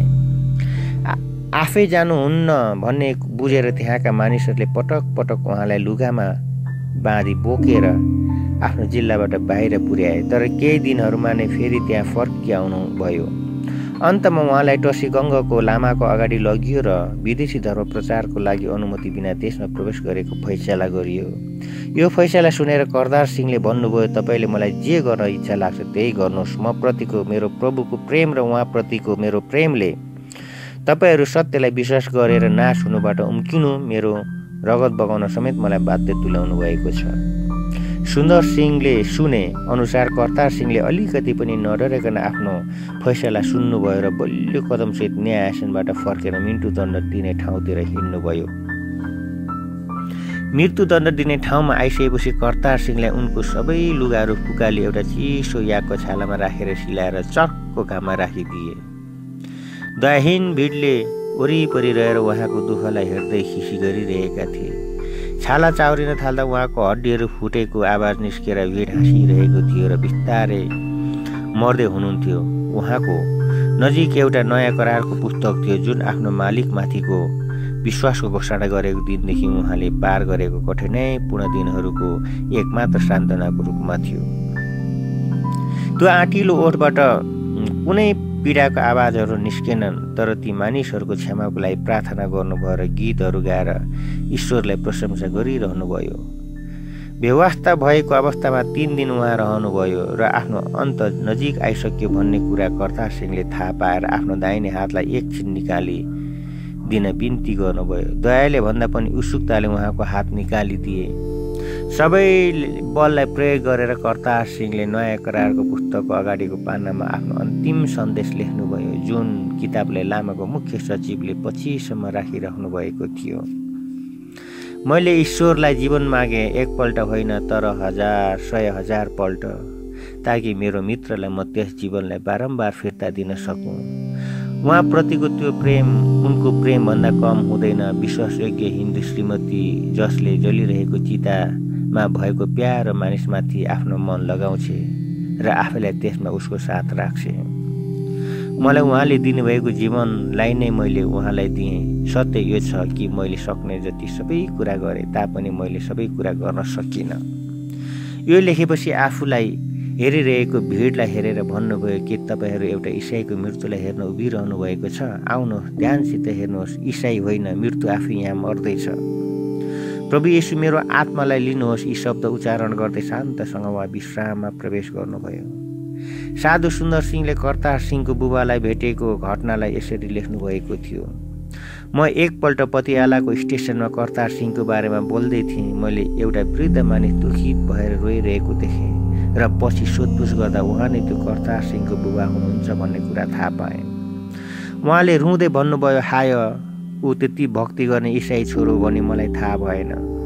होइन भने म उसित त्यस्तो नराम्रो तरिकाले व्यवहार गर्दिनँ थिएँ। उहाँ इसाई भएर ख्रिस्टको लागि रक्तसाक्षी हुनुभएकोले उहाँको बुबा अहिले रहस्य इसाई हुनुहुन्छ र उहाँ जसको बिचमा मारिनुभयो तिनीहरूको बिचमा पनि धेरै इसाई भएका छन्। कतार सिंह मर्दा हेरिरहेका भिडहरूमध्ये टसीगङ्गको लामाको मुख्य सचिव पनि हुनुहुन्थ्यो। उहाँले कर्तार सिंहले आफ्नो अन्तिम सन्देश लेखेको किताबलाई देखेर त्यसलाई घरमा लगेर पढ्न थाल्नुभयो। यो साहसपूर्ण कर्तार सिंहको जीवन र शब्दहरू मनमा ताजा हुँदा उहाँको हृदय किताबको सन्देश स्वीकार गर्न तयार थियो र त्यसलाई पढ्दा एउटा नयाँ ज्योति र खुसी उहाँमा आयो। उहाँ कुनै समयमा आफूले भर्खरै विश्वास गरेको आश्चर्यपूर्ण कुराहरूलाई मनमा ध्यानमा ध्यान गर्नुहुन्थ्यो र त्यो सत्यताको सत्यताले उहाँको हृदयलाई आत्मालाई भर्दै जाँदा त्यो रहस्यलाई लुकाइराख्न सक्नु भएन एक दिन उहाँले लामालाई आफूले ख्रिस्टलाई आफ्नो हृदयमा स्वीकार गरेको कुरालाई बताउनु गयो। लामाले उहाँलाई पनि मर्नुपर्छ भन्ने घोषणा गर्नुभयो। दया माया बिना उहाँलाई पनि त्यही फैसला भएर कर्तासिंहले भएको त्यही मृत्युदण्ड उहाँको लागि पनि तोकियो। चिसो यागको छालामा राखेर घाममा छोड्नु घाममा छोड्नु। यो अपनाउँदा यस्तै प्रकारको दण्ड पाउँछ भन्ने पाठ अरूलाई सिकाउन चाहे। जतिको कठोर र दण्डहीन दण्ड नभएकोले त्यसको साथसाथै वेदनालाई बढाउन तातो पारेर रातो भएको सुरहरू उहाँको शरीरमा घुसारियो। मृत्युको पर्खाइमा थाकेको जस्तै मानिसहरूले उहाँलाई फेरि पनि छालाबाट निकालेर उहाँको शरीरमा डोरी बाँधेर सानो तिखो सिन्कोहरूलाई उहाँको खुट्टाको हातको औलाहरूको नङमुनि छिराएर छिराएको अवस्थामा उहाँलाई सहरको गल्ली गल्लीहरूमा घिसार्दै लगियो। अन्तमा उहाँको शरीरलाई सहरको बाहिरपट्टि फोहोरहरू फ्याँक्ने ठाउँमा फालियो। बदला लिने आफ्नो इच्छालाई पुरा गरिसकेपछि उहाँलाई सताउनेहरूले उहाँ बेहोस भएको अवस्थामा छाडेर गए। धेरै समयपछि त्यो दयनीय मानिसको जीवन बिस्तारै फर्केर आयो। थोरै थोरै गरी उहाँको बल फर्किआउँदा झिस्रँदै त्यहाँबाट जानुभयो। उहाँको अनगिन्ती घाउहरू निको भएर उहाँ फर्केर सहरमा आउँदा आफूहरूले मरोस् भनेर छाडेको मानिस जिउँदो र स्वस्थ भएको अवस्थामा आफ्नो बिचमा आएको देखेर तिनीहरू अति नै डराए। त्यस पश्चात उहाँको कामहरूलाई हस्तक्षेप गर्ने आँट कसैलाई भएन। उहाँमा अप्राकृतिक शक्ति छ भने मान्ने उनीहरूको अन्धविश्वासको डरले उहाँलाई फेरि मार्ने प्रयास गर्न दिएन। साधु सुन्दर सिंह त्यो व्यक्तिको आफ्नै मुखबाट कर्तार सिंहको जीवनको बारेमा सुन्ने मौका पाउनुभयो। साथै यो निडर मानिसलाई तिब्बतीहरूको बिचमा ख्रिस्टको सुसमाचार प्रचार गर्न ईश्वरले अचम्म तरिकाले प्रयोग गर्न गर्दै आउनुभएको कुरा पनि सुन्ने मौका पाउनुभयो। सुसमाचारले थोरै मात्र प्रवेश पाएको अन्धकारले ढाकेको तिब्बत र अन्य भागहरूमा साधु सुन्दर सिंहले मिसन यात्रा गर्दा यस्ता घटनाहरूको इतिहास आफै कलङ्क सङ्कलन गर्नुभयो।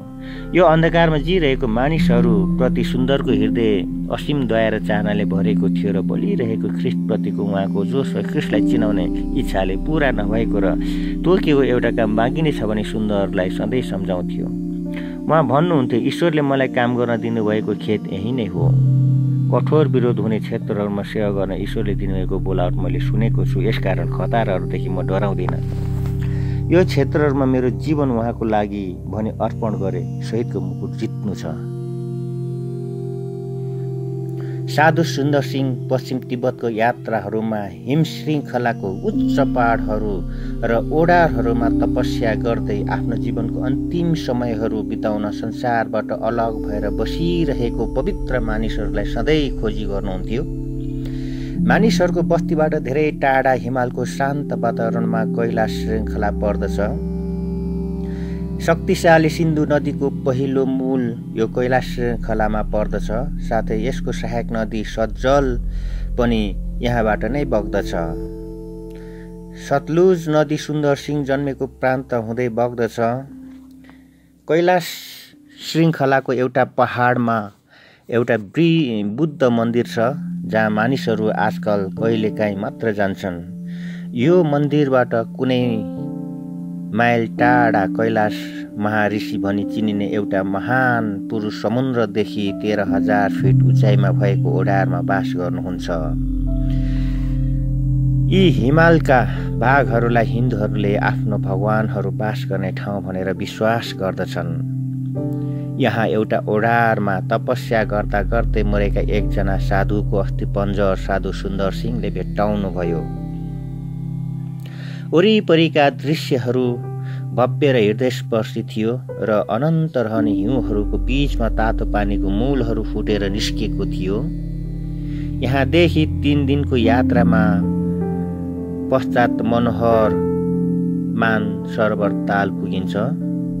साधु सुन्दर सिंह आफूले देखेको ठाउँहरूमध्ये सबैभन्दा सुन्दर ठाउँ हो भनी यसलाई व्याख्या गर्नुहुन्छ। तर उहाँ सधैँ भन्नुहुन्छ यो ठाउँमा दयाहीन सरुवा गोठालाहरू जातिको बसोबास पनि छ।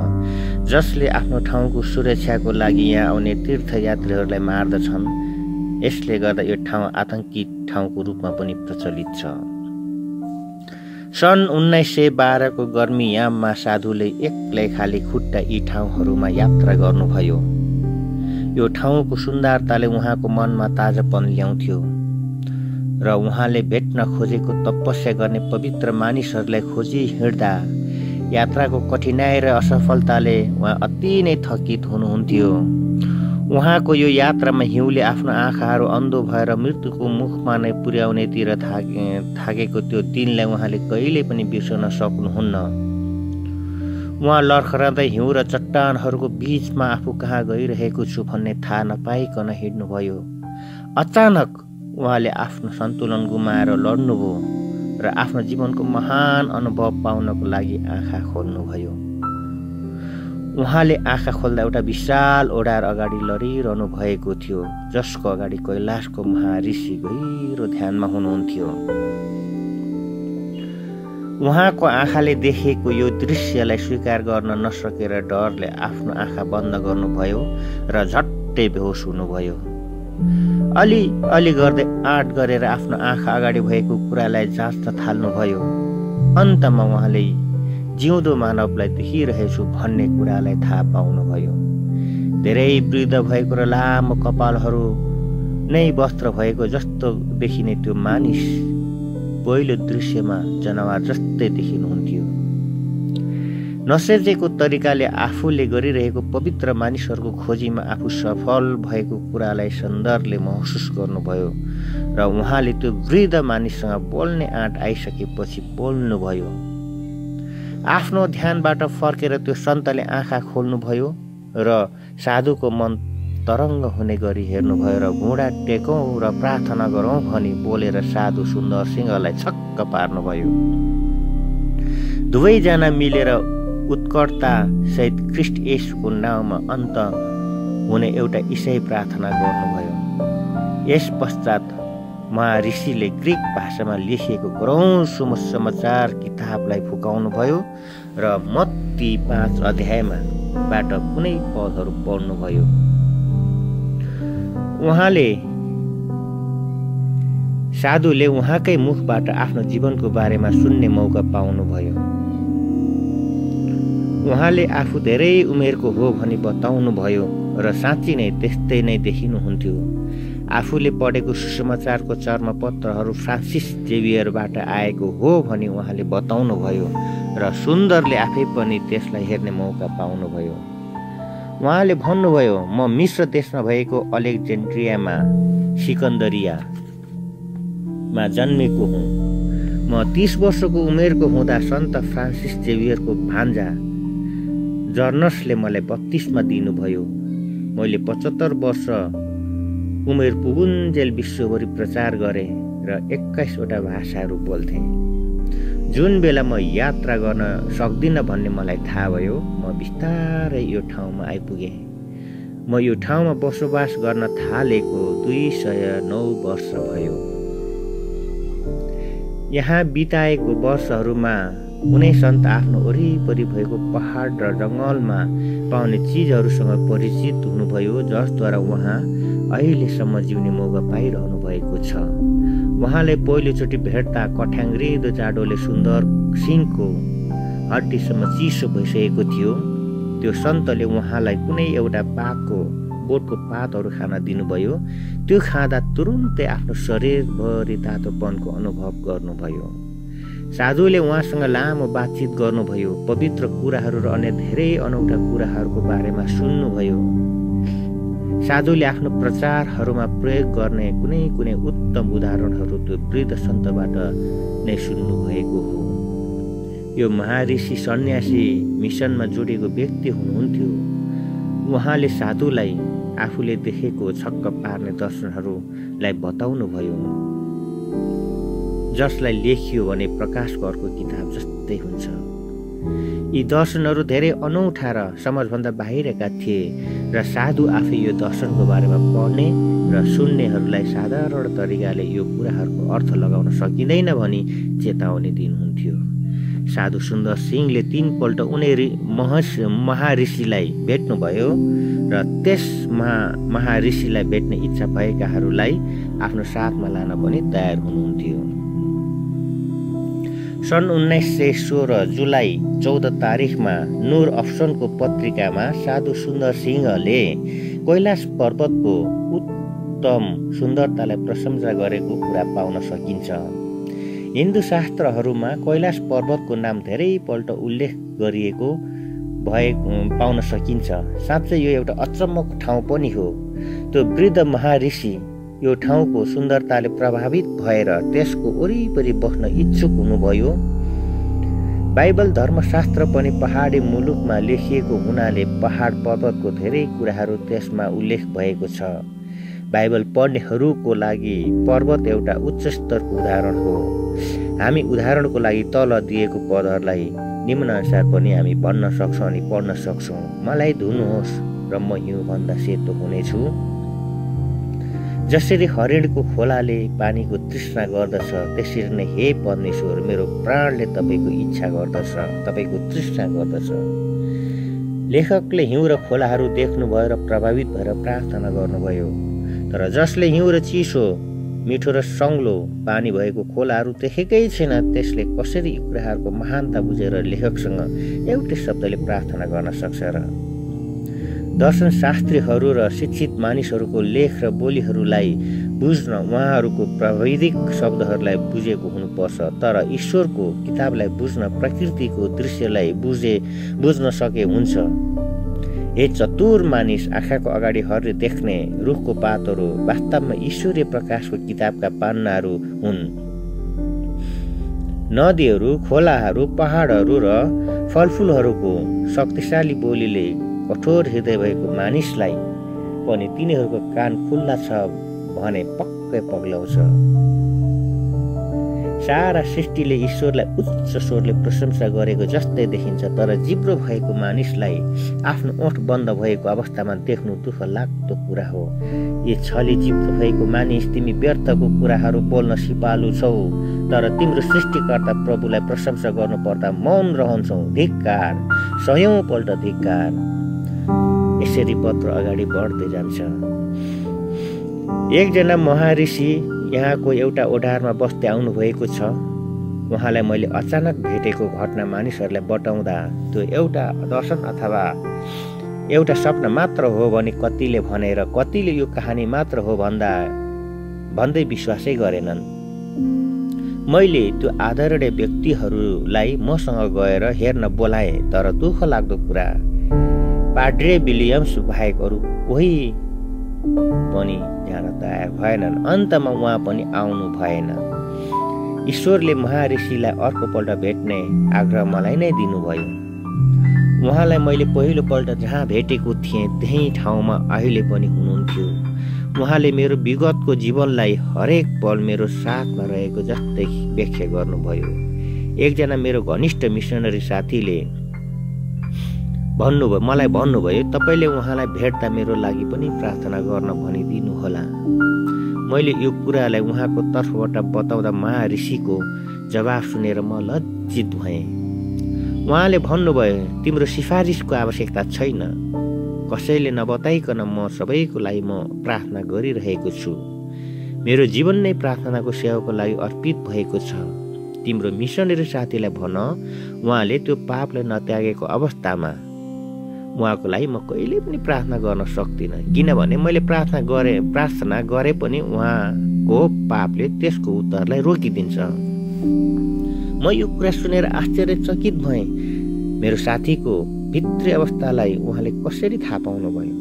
म त्यहाँबाट फर्केपछि ऋषिले बताएको कुरालाई साथीलाई पत्र मार्फत जनाएँ। उहाँ धेरै चिन्तित हुनुभयो। ईश्वर आफू बाहेकहरू कसैलाई थाहा छैन भने उहाँले सम्झिरहेको त्यो पापको लागि आँसुसहित पश्चाताप गर्नुभयो। ऋषिले भन्नुभयो कसैले गुप्तमा पाप गर्दा अरूले देखेन भने उसले सम्झिन्छ।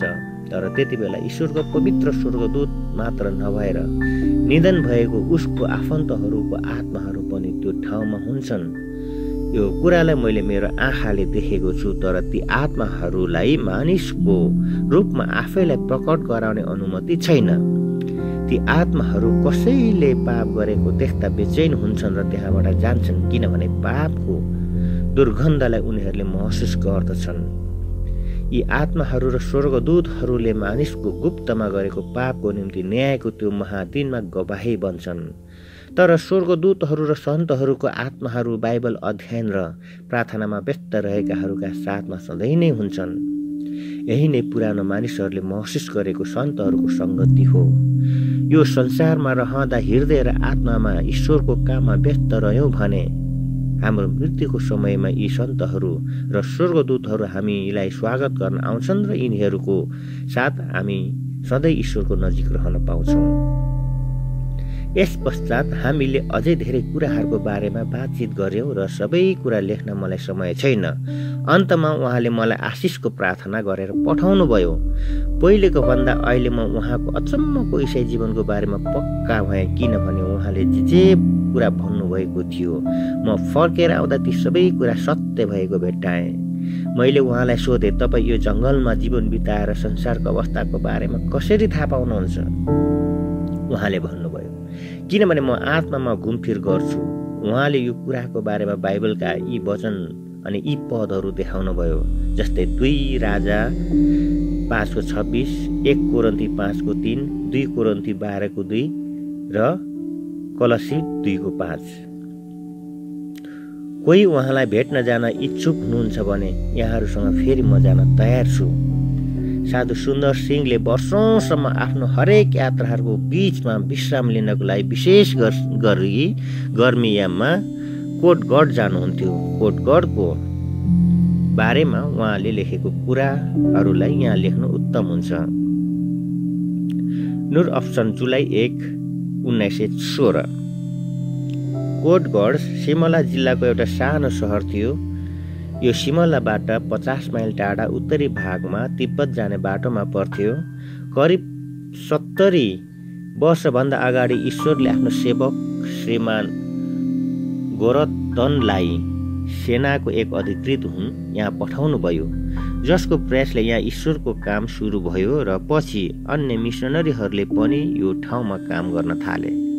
अहिले यहाँको मण्डलीमा करिब एक सयजना सदस्य छन्। यहाँ ईश्वरलाई आराधना गर्नको लागि एउटा सुन्दर मण्डली भवन पनि बनाइएको छ।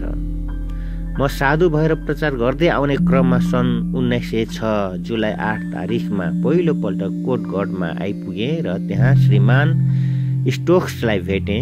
उहाँले भन्नुभयो यहाँ सेवा गर्ने इसाई साधुहरूको लागि एउटा राम्रो छाप्रो भए कति मनोहर हुन्थ्यो। अहिले ईश्वरले तपाईँलाई यहाँ पठाउनु भएको छ। यसैले हामी मिलेर काम गर्नु उत्तम हुन्छ।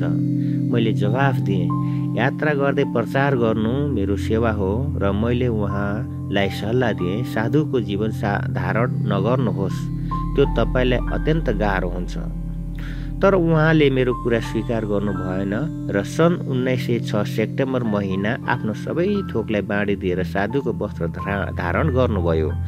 बस्नको लागि गाउँमा र माथि पहाडमा दुईवटा छाप्रो बनाउनु भयो। त्यस पश्चात मसँग सेवाको यात्राहरूमा सहभागी हुनुभयो। श्रीमान ब्रान्च श्रीमान म्याक्लिमल्स श्रीमान ज्याकप र दिल्लीको पादरी एफजे वेस्टर्न उहाँहरू सबैले नै आफ्नो सम्पत्तिलाई बाँडिदिएर साधुको जीवन धारण गरेर यहाँ सेवा गर्न थाल्नुभयो। यस पश्चात बयालिस वर्ष ब्राह्मण सन्यासी जीवन बिताएर पनि शान्ति नपाइसकेपछि ख्रिस्ट येसुलाई स्वीकार गर्नुभएको शिक्षित साधु स्वामी श्रीधार तीर्थ पनि सन् उन्नाइस सय नौ मे एकतिस तारिकमा यहाँ आउनुभयो र बत्तिसमा पाउनुभयो। पहिले शङ्कर आनन्द भनी चिनिएको शिक्षित साधु स्वामी ईशानन्दले पनि ख्रिस्टलाई विश्वास गर्नुभयो यसरी इसाई साधुहरूको समूह सुरु भयो। तर मैले पहिले नै युरोपियनहरूलाई साधुको जीवन जिउन गाह्रो हुन्छ त्यसैले त्यो धारण नगर्नु भनी श्रीमान स्टोक्सलाई भनेको थिएँ। अन्तमा त्यस्तै नै हुन आइपुग्यो। उहाँहरू हरेकजना एकपछि अर्को गरेर आफू जहाँबाट आए त्यही नै फर्केर गए। तर जो जति भारतीयहरू त्यो समूहमा आबद्ध भए उहाँहरू अहिलेसम्म ईश्वरको अनुग्रहले सफलतापूर्वक त्यही अवस्थामा रहेर सेवा गरिरहेका छन्। साधु भएर जिउन चाहने धेरैजना मानिसहरूबाट मैले पत्रहरू पाएँ। मसँग सल्लाह गर्नु पूर्व पूर्ण रूपमा बेफाइदा हो। ती मानिस ती सबै मानिसहरूको लागि मेरो उत्तर चाहिँ उहाँहरू सबै साधु भएर सेवा गर्नुपर्छ भन्ने छैन। सेवामा विभिन्न तरिकाहरू छन् र सबै असल छन्। हरेकले आफ्नो जीवनमा ईश्वरको बोलावट के हो भन्ने जानेर सोही बमोजिम सेवा गर्नुपर्छ। जुलाई चौध तारिकमा साधु सुन्दर सिंहले नूर अप्सन पत्रिकामा महर्षिसँग भएको आफ्नो दोस्रो भेटको बारेमा यसरी लेख्नु भएको थियो। तर उहाँको व्यस्तताले सबै विवरण लेख्न सक्नु भएको थिएन। तर दुई महिनापछि उहाँले त्यो भेटको सबै विवरण पठाउनु भएको थियो। जुन कुरा अक्टोबर महिनामा नूर अप्सन पत्रिकामा तीन भाग भएर प्रकाशित भयो। नूर अप्सन अक्टोबर छ उन्नाइस सय सोह्र। मैले दोस्रो पल्ट कैलाश पर्वतको इसाई साधुलाई भेट्दा उहाँले कुनै पनि समयले अथवा व्याकरण व्याख्यानकारले पत्ता लगाउन नसकेको धेरै उपयुक्त र रहस्यको कुरा मलाई बताउनु भयो मैले त्यो महान मानिसको विचारहरू र मेरो प्रश्नको उहाँले दिनुभएको उत्तरहरूलाई मात्र यहाँ दिन्छु। जुन कुरा उपयुक्त छैन भने कमसेकम रुचि नल्याउने खालको चाहिँ हुँदैन। यो कुराहरूबाट केही निष्कर्ष निकाल्ने अधिकार मैले तपाईँहरूलाई नै छोडिदिएको छु। महर्षि मैले सबै कुराको बारेमा महान आत्माहरू र विभिन्न समयमा जिएको महान पुरुषहरूबाट थाहा पाउन आएको हो। हरेक इमान्दार इसाईसँग स्वर्गदूतहरू बाहेक पवित्र मानिसहरूको आत्माहरू पनि हुन्छन्। ईश्वरसँगको घनिष्ठ सम्बन्ध र प्रार्थनाको जीवनद्वारा हाम्रो आत्मिक आँखाहरू खोलियो भने विगतको महान पुरुषहरू जसरी नै हामीले पनि उहाँहरूलाई देख्न सक्छौँ। हामीले उहाँहरूलाई पहिले कहिल्यै नदेखे तापनि उहाँहरूलाई तुरुन्तै चिन्न सक्छौँ। पत्रुस याकुब र युहन्नाले कहिल्यै पनि मोसा र एलियालाई देखेका थिएनन्। तर ती दुवैजना पर्वतमा यसुसँग कुरा गरिरहेको देख्ने बित्तिकै कहिल्यै नबताइकन नै उहाँहरू को हो भनी चिने मत्ती सत्रको दिन। त्यसरी नै ख्रिस्टमा मरेको हाम्रो आफन्तहरू र पुर्खाहरू धेरै पटक हाम्रो नजिक आउँछन् तर हाम्रो आत्मिक अन्धोपनले गर्दा हामी उहाँहरूलाई देख्न सक्दैनौँ। यो संसारमा जीवनको सबै अस्त अवस्थाको अनुभवहरूलाई ख्रिस्ट यसो आफैले हाम्रो स्थानमा रहेर भोग्नु भएको जस्तै उनीहरूले पनि भोग्नु भएको कारण उहाँहरूले हामी प्रति स्वर्गदूतहरूभन्दा अझै उत्तम तरिकाले सहानुभूति देखाएर सहायता गर्न सक्ने भएकाले ईश्वरले कुनै पनि बेला हामीलाई सहायता गर्न स्वर्गदूतको सट्टामा उहाँहरूलाई पनि पठाउन सक्नुहुन्छ।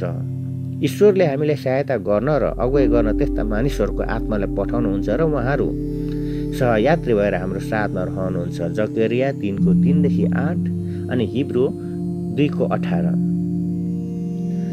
नोर अप्सन अक्टोबर तेह्र उन्नाइस सय सोह्र। सुन्दर सिंह। मानिसको आत्मा ईश्वरको जस्तै अनन्त कालको हो कि अथवा तिनीहरू जन्मे?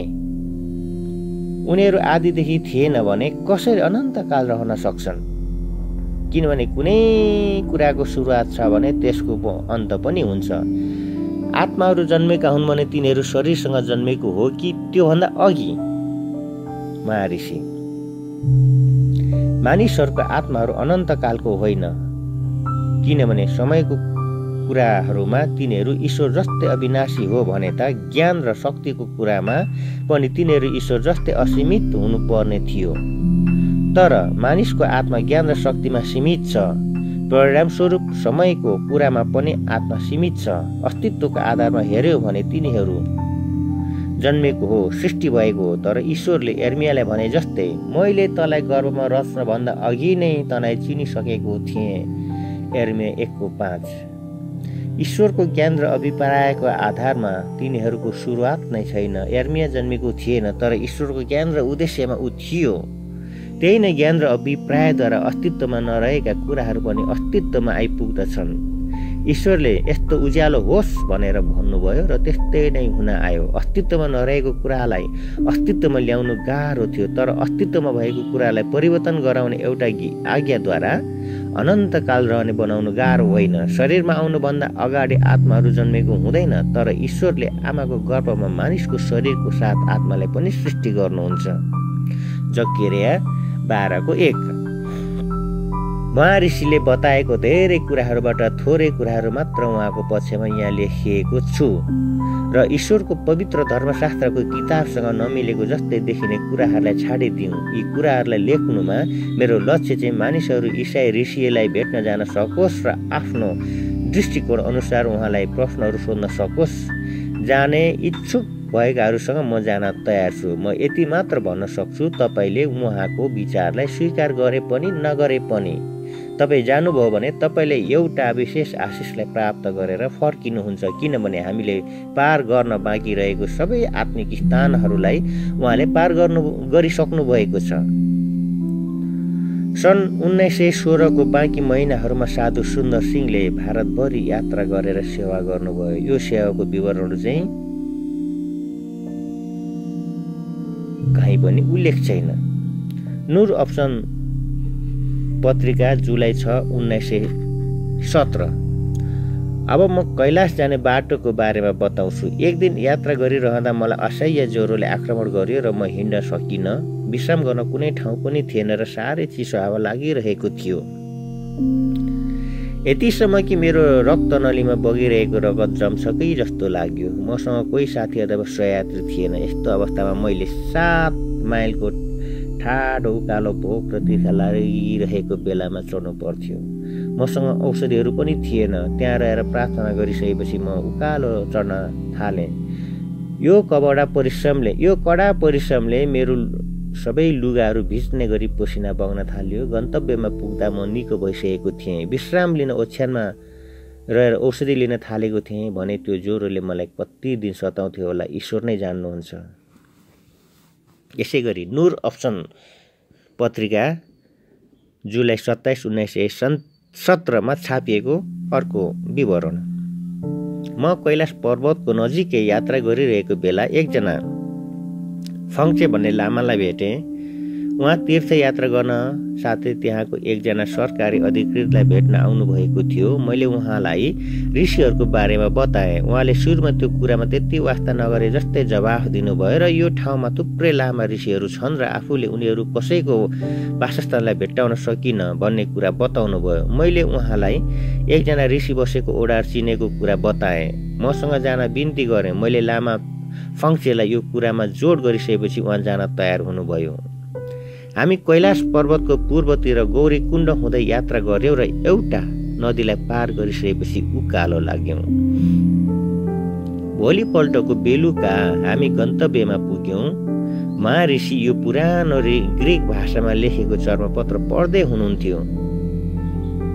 फङ्सी उहाँलाई देखेर आश्चर्यचकित हुनुभयो तर ऋष महाऋषिले उहाँलाई प्रेमसहित हेर्नुभयो र बस्ने इसारा गर्नुभयो। हामी दुवैले उहाँलाई इज्जत साथ अभिवादन गऱ्यौँ बातचित सुरु भयो। हाम्रो प्रश्नहरूको लागि महाऋषिले दिनुभएको उत्तरहरूलाई एक शब्द पनि नछोडिकन म यहाँ लेख्न चाहन्छु। उहाँले युवनाको सुसमाचारबाट तिन अध्यायहरू पढिसकेपछि प्रार्थना गर्नुभयो र भन्नुभयो अब म सुन् अब भन सुन्दर तिमी कसरी यहाँ आइपुग्यौ? जर्सन क्लिनफोर्ड लखनऊको कुदर त मसिह भेलासाको मोहनलाल जो यहाँ आए उनीहरू फर्की गए केही फरक भएन। म शरीरमा धेरै टाढा छु तर हाम्रो प्रिय प्रभु सधैँ हाम्रो नजिक हुनुहुन्छ। उहाँलाई प्रार्थना गरेर उहाँको अनुग्रह पाउन। उहाँहरूको लागि उत्तम हुन्छ। उहाँहरूको बिन उहाँहरूको प्रार्थनासँग मेरो प्रार्थना पनि थपिदिन्छु र उनीहरूको सेवा फलदायी हुने बिन्ती गर्दछु। उनीहरूलाई अझ बढी तलब लिने इच्छालाई त्यागिदिउन् र ईश्वरको सेवामा लागिरहन् भन।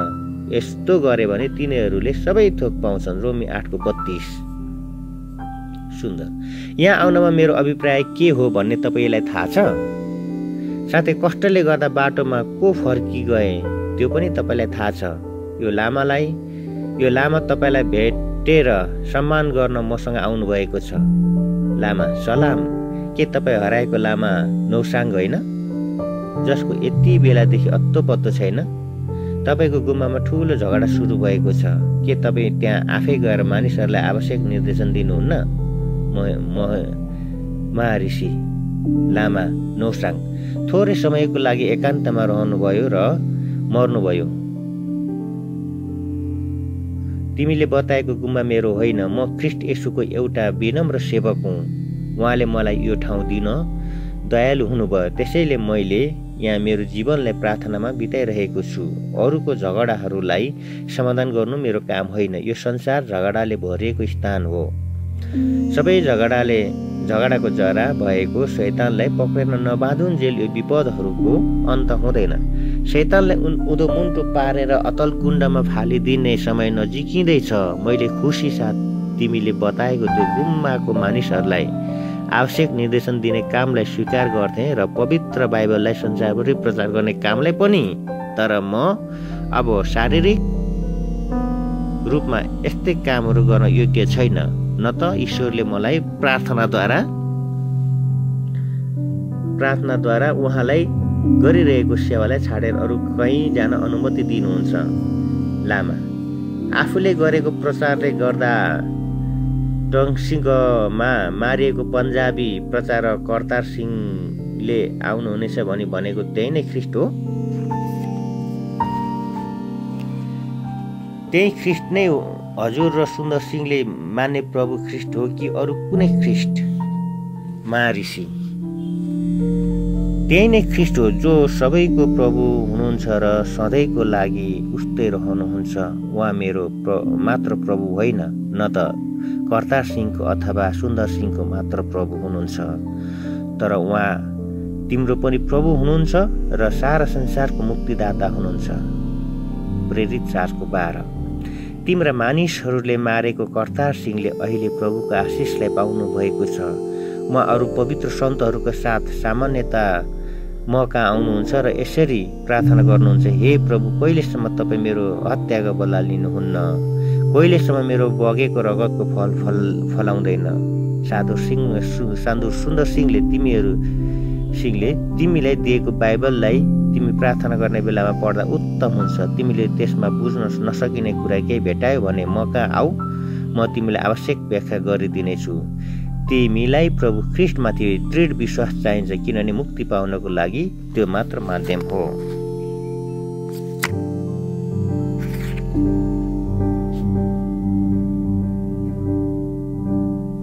साधु सुन्दर सिंहलाई एउटा इसाई साधु हुन ईश्वरले बोलाउनु भएको एउटा सुन्दर प्रबन्ध हो।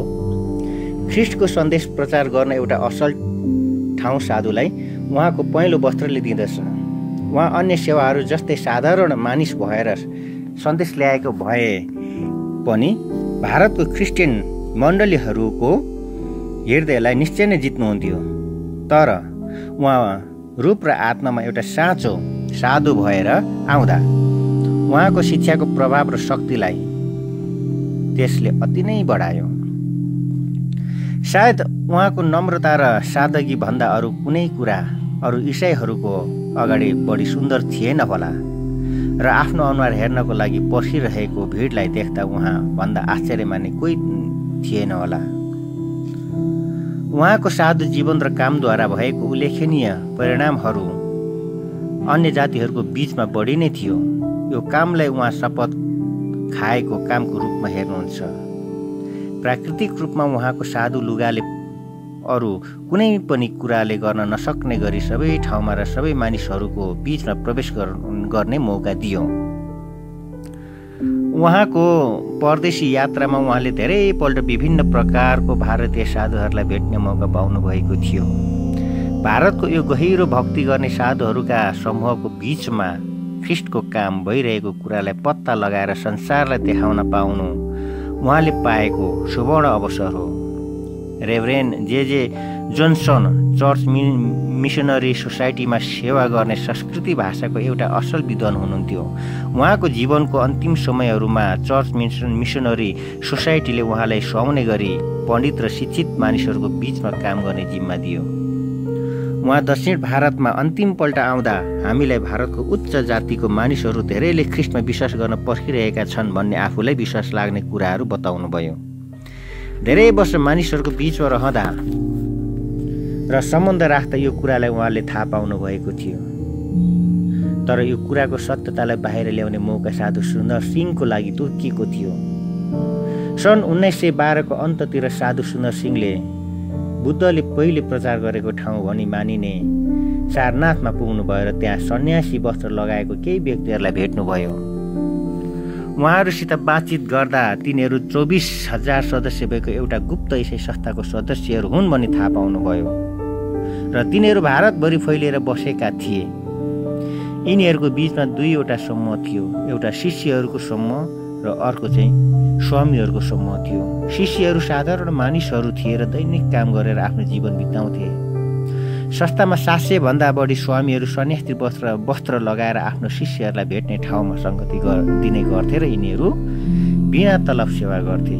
यिनीहरू बत्तिसमा लिनु र प्रभुभोजको विधिहरूलाई पालन गर्थे। यी गुप्त विश्वासीहरूको समूहलाई भारतभरि विकट र नसोचेको ठाउँमा पनि भेट्न सकिन्थ्यो। सुन्दरले पहिलोपल्ट एकपल्ट नेपालमा झ्यालखाना र सताडपछि यही मानिसहरूद्वारा नै सहायता पाउनुभएको थियो। यो विश्वासीहरू एउटा निश्चित ठाउँमा बिहानको समयमा प्रार्थनाको घर भन्ने ठाउँमा भेला हुन्थे। जुन घर हेर्दा बाहिरबाट हिन्दू मन्दिर जस्तै देखिन्थ्यो तर भित्र कुनै पनि मूर्ति अथवा चित्रहरू हुँदैन थिए। त्यहाँ बाइबल धर्मशास्त्र पढ पढेर व्याख्या गरिन्थ्यो। साथै इसाई पर्चा बाँडिन्थ्यो र प्रार्थना गर्ने बेलामा पूर्ण रूपमा दण्डोट गर्नु जस्तै पूर्वीय देशहरूको तरिकाहरू लगनशीलता साथ पछ्याइन्थ्यो। मानिसहरूले सिद्ध विश्वाससहित प्रार्थना गरेमा निरन्तर रूपमा ख्रिस्टलाई दर्शन गर्न सकिन्छ भन्ने तिनीहरू विश्वास गर्दथे। विभिन्न साधुहरू र नाउ कलिएकाहरूको सन्यासीहरू र धेरै सङ्ख्यामा शिक्षित र उच्च जातिको धनी मानिसहरू जसले यो संस्थाको खर्चको लागि उदारसितले दिन्थे। यी सबै मानिसहरू गुप्त इसाई संस्थाका सदस्यहरू थिए।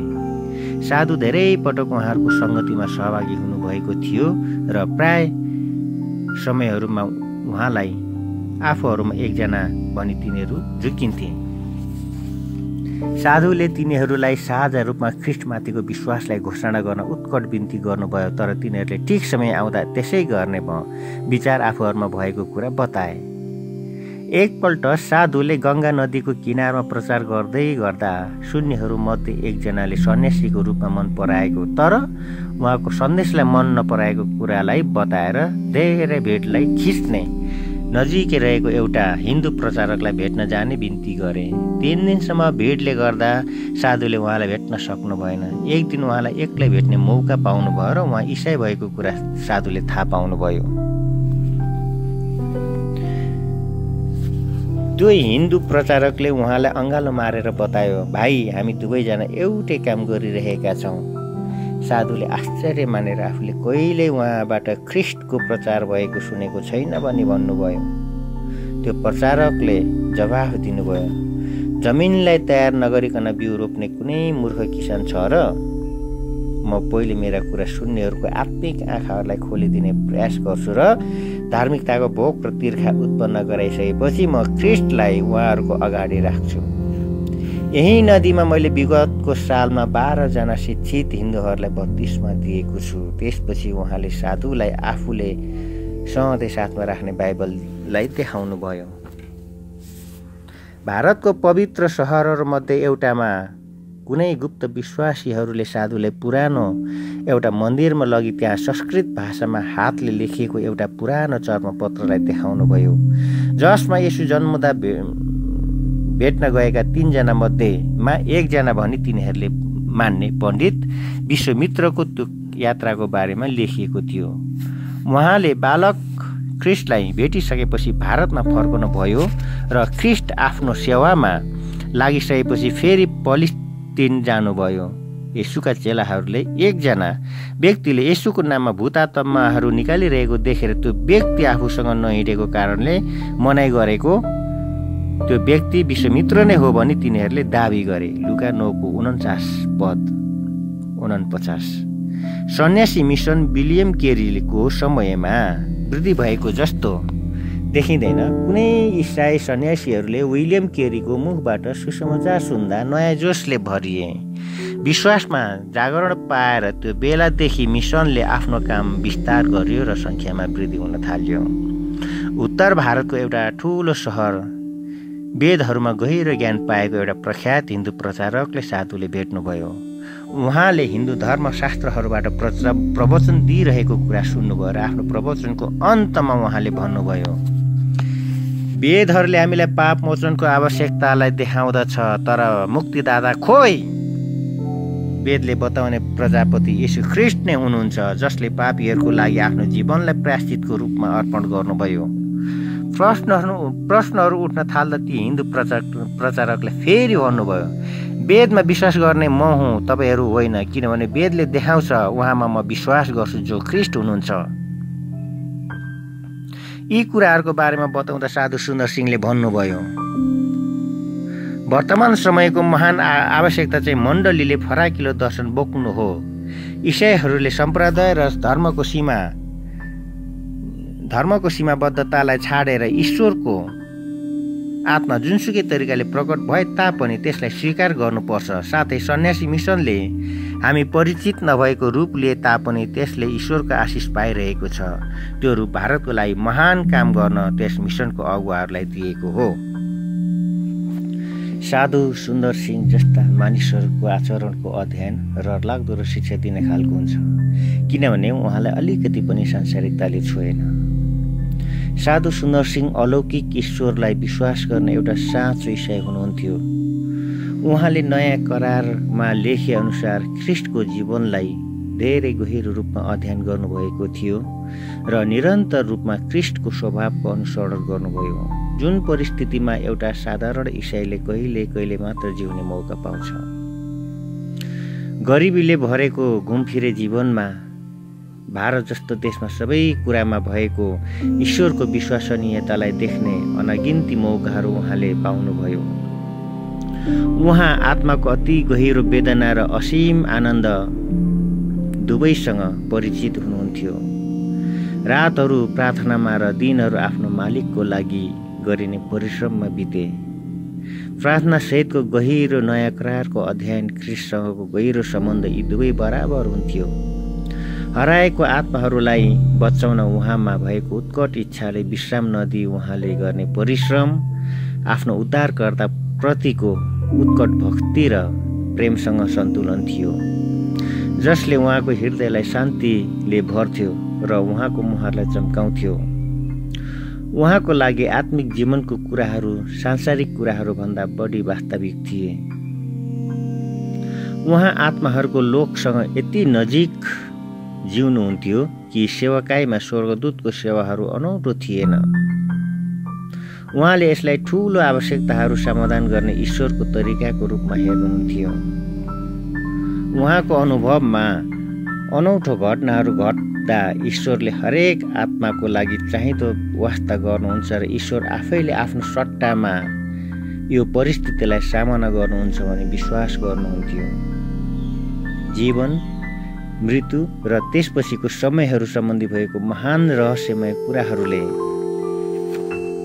उहाँको मनमा कुनै वेदना अथवा शङ्का ल्याएन र उहाँले यस्तै कुराहरू बताएर शून्यहरूको मनलाई अलमलमा पार्न दिनु भएन तर उहाँको मनको गहिरो भागहरूमा ती कुराहरूको ठा आफ्नै ठाउँ थियो र ती कुनै कुराहरू उहाँको असीम सन्तुष्टिको स्रोत थिए। साधुको आश्चर्यपूर्ण अनुभवहरू आफू पुग्ने ठाउँहरूमा उहाँ जानुभन्दा अघि पुगिसकेको हुन्थ्यो।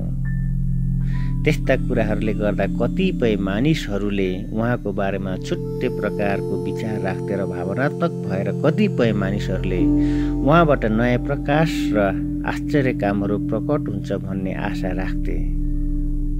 तर उहाँलाई देख्दा र उहाँको कुरा सुन्दा उहाँको असल स्वास्थ्य शिक्षा र एकदमै सन्तुलन भएको विचार देखेर आश्चर्यचकित हुन्थे। उहाँको आफ्नै शब्दहरूले आफ्नो जीवनमा भएको घटनाहरूलाई साधारण रूपमा बताउँदा त्यो प्रेरितहरूको काम किताबको दोस्रो भाग जस्तै देखिन्छ। यो घटनाहरूलाई बताएर भन्नुहुन्छ बचाउनेहरू कुनै माध्यम नहुँदा हरेकपल्ट ईश्वरले आफ्नै हात पसारेर मलाई बचाउनु भयो साधु सुन्दर सिंहले यति लामो समय धेरै कठिनाई र खतराको बिचमा बन्द गरिएको तिब्बत र नेपालमा कसरी काम गर्नुभयो भन्ने कुराको व्याख्या यही नै हो।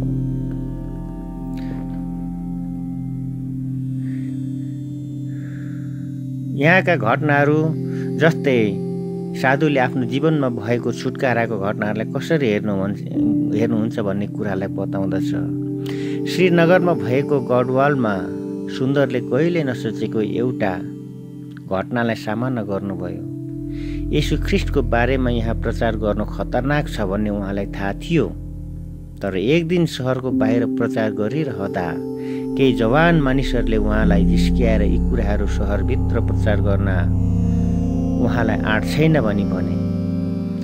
उहाँले यो चुनौतीलाई स्वीकार गर्न तयार हुनुपर्छ भनी महसुस गर्नुभयो र सहरभित्र बजार क्षेत्रमा गएर प्रचार गर्न सुरु गर्नुभयो। यो कुरालाई देखेर त्यहाँ भएको कसैले हतार हतार गरेर त्यहाँको पण्डितलाई बोलाएर ल्याए। पण्डितले प्रचारलाई झुटो स्थापित गरेर उहाँलाई अपमानित गराउनुहुन्छ भने उनीहरूले आश गरेका थिए। पण्डित आएर सिधै सुन्दर कहाँ जानुभयो र सबैको अगाडि आफ्नो दुईवटा औँला सुन्दरको मुखमाथि राखेर भन्नुभयो हामी दुईजना दाजुभाइहरू हौँ र तिमीले सोचे जस्तो शत्रु होइनौ भनी प्रमाणित गराउन मैले यो काम गरेँ किनकि हामी दुवैजना क्रिस्ट यसु उद्धारकर्तालाई विश्वास गर्छौँ। ती मानिसहरूलाई विद्युतको झड्का लागे जस्तै भयो। थोरै समयभित्र नै उहाँको सबै शत्रुहरू त्यो ठाउँबाट हराए। अरूलाई ज्योतिमा ल्याउनको लागि नै पण्डित अझै अँध्यारो ठाउँमा हुनुहुन्छ भन्ने कुरा थाहा पाउँदा साधु खुसी हुनुभयो र त्यो असल काम मानिससँग बातचित गर्दै बिताएको त्यो दिन सुन्दरको जीवनमा एउटा अति नै खुसीको दिन थियो। ईश्वरको अनुग्रहले त्यो पण्डितले सोह्रजनालाई उद्धारमा डोराइसक्नु भएको थियो र ईश्वरले इच्छा गरुन्जेल यसरी नै रहेर यो कामलाई अगाडि बढाउँदै जाने उहाँको विचार थियो। एकपल्ट उहाँ नेपालमा खान्जी भन्ने एउटा गाउँमा प्रचार गर्दै जानु गर्दै हुनुहुन्थ्यो र मानिसहरू अलिअलि विरोध गर्दै थिए। तिनीहरूले उहाँलाई समाते र एउटा बोराभित्र बेरेर माथिबाट भिरालो पाखामा लगेर पल्टाइ पठाए। तर त्यो बाटोमा हिँड्ने एकजनाले उहाँलाई खोलामा छाडिदियो खोलेर छाडिदियो। भोलिपल्ट फेरि पनि उहाँ त्यही ठाउँमा प्रचार गर्दै हुनुहुन्थ्यो। क्रोधित भएको गाउँको मानिसहरूले उहाँको हात खुट्टालाई रुखमा बाँधेर झुन्ड्याइदिए। दिन बितिसकेको थियो। उहाँ भोकले छटपटिरहनु भएको थियो र भेट्टाउन नसक्ने दूरीमा आफ्नो अगाडि रहेको फललाई हेरिरहनु भएको थियो। त्यो गाह्रो अवस्थामा हुँदा त्यत्तिकै थाकेर निदाउनु भयो उहाँ बिहान बिउजिँदा छक्क पर्ने गरी उहाँको हात खुट्टाहरू खोलेको अवस्थामा त्यो रुख मुनि हुनुहुन्थ्यो र उहाँको छेउमा कुनै फलहरू पनि थिए। आफूले ख्रिस्ट यसुको निम्ति दुःख भोग्नु परेकोमा ईश्वरलाई प्रशंसा गर्नुभयो। साथै धन्यवादसहित त्यो फलफुल खानुभयो र ताजा साहससहित ख्रिस्टको सन्देश नसुनेका मानिसहरूको बिचमा प्रचार गर्न जानुभयो। अर्को एउटा घटनामा उहाँ टेरी भन्ने ठाउँमा हुनुहुन्थ्यो। त्यहाँको कुनै मानिसहरूले छेउमा भएको अर्को एउटा गाउँमा मानिसहरू सुसमाचार सुन्न इच्छासहित पर्खिरहेका छन् भनी बताएर त्यहाँ पुग्ने बाटो पनि बताए। तिनीहरूले बताएको दिशामा उहाँ लामो समय जङ्गलभित्र हिँड्नुभयो तर कुनै बस्ती भएको केही चिन्हहरू देख्नु भएन। झाडी बाक्लो हुँदै गएर उहाँले तुरुन्तै आफू जङ्गलमा हराएको थाहा पाउनुभयो र निस्कने बाटो भएको जस्तो उहाँलाई लागेन। उहाँ एउटा जङ्गली नदीको छेउमा आउनुभयो त्यसलाई पार गर्न सक्ने सक्यो भने आफूले बाटो पत्ता लगाउन सक्छु भन्ने लाग्यो तर उहाँले पानीमा खुट्टा टेक्दा नदीको गति अति तीव्र भएको र आफूले यो प्रयासमा जीवन गुमाउन सक्ने सम्भावना देख्नुभयो। बेलुकी हुन थालेको थियो निराश भएको अवस्थामा। अब के गर्ने भनी? सोच्दै नदीको छेउमा बस्नुभयो। जङ्गलको विभिन्न आवाजहरू सुन्दा र जङ्गल अँध्यारो हुँदै गएको देख्दा अब के हुन्छ होला भनी डराउन थाल्नुभयो।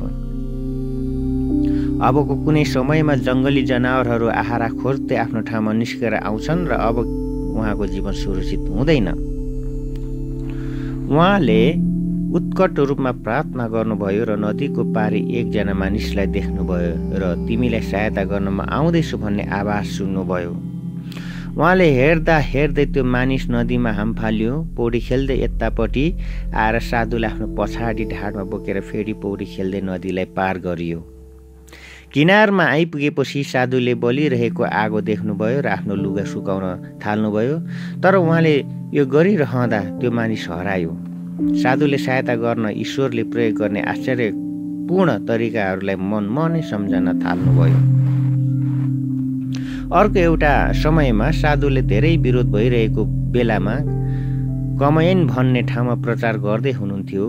दिनभरि उहाँले केही खानेकुरा पाउनु भएको थिएन। भोक र थकाइले गाह्रो भइसकेको बेलामा रात पर थालियो।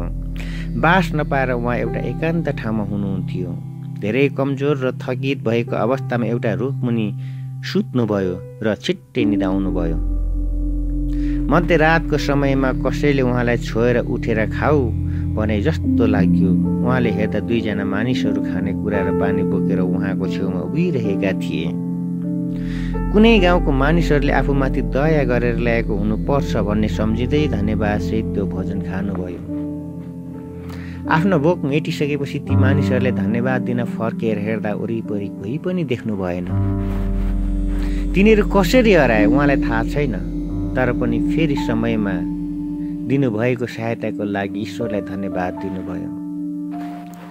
एउटा अर्को घटना उहाँ भुलेर आएको घनघोर जङ्गल हुँदै जाँदा घटेको थियो। यो जङ्गल चोरहरूको मुख्य वासस्थान थियो। अचानक चारजना मानिसहरूले उहाँलाई रोके र एकजना छोरी उठाउँदै उहाँको नजिक आए। आफूलाई बचाउन नसकेर अन्तिम घडी आइसक्यो भन्ने ठानेर उहाँले त्यो प्रहारलाई स्वीकार गर्न टाउको घोप्टो पार्नुभयो। नसोचेको यो व्यवहारले गर्दा उसले प्रहार गर्न सङ्कोच मान्यो र त्यसको सट्टामा भएको सबै कुरालाई दिनु भनी साधुलाई मागे। पैसाको लागि उहाँलाई पुरै छामछुम गरी केही नपाउँदा उहाँसँग भएको पछ्यौरीलाई खोसेर जान दिए। उम्कन पाएकोमा धन्यवाद दिँदै सुन्दर अगाडि बढ्नुभयो तर धेरै टाढा पुग्नुभन्दा अगाडि नै उहाँलाई फर्केर आउनलाई बोलाए। अब मृत्यु निश्चित भयो भने सोचेर उहाँ फर्किनुभयो।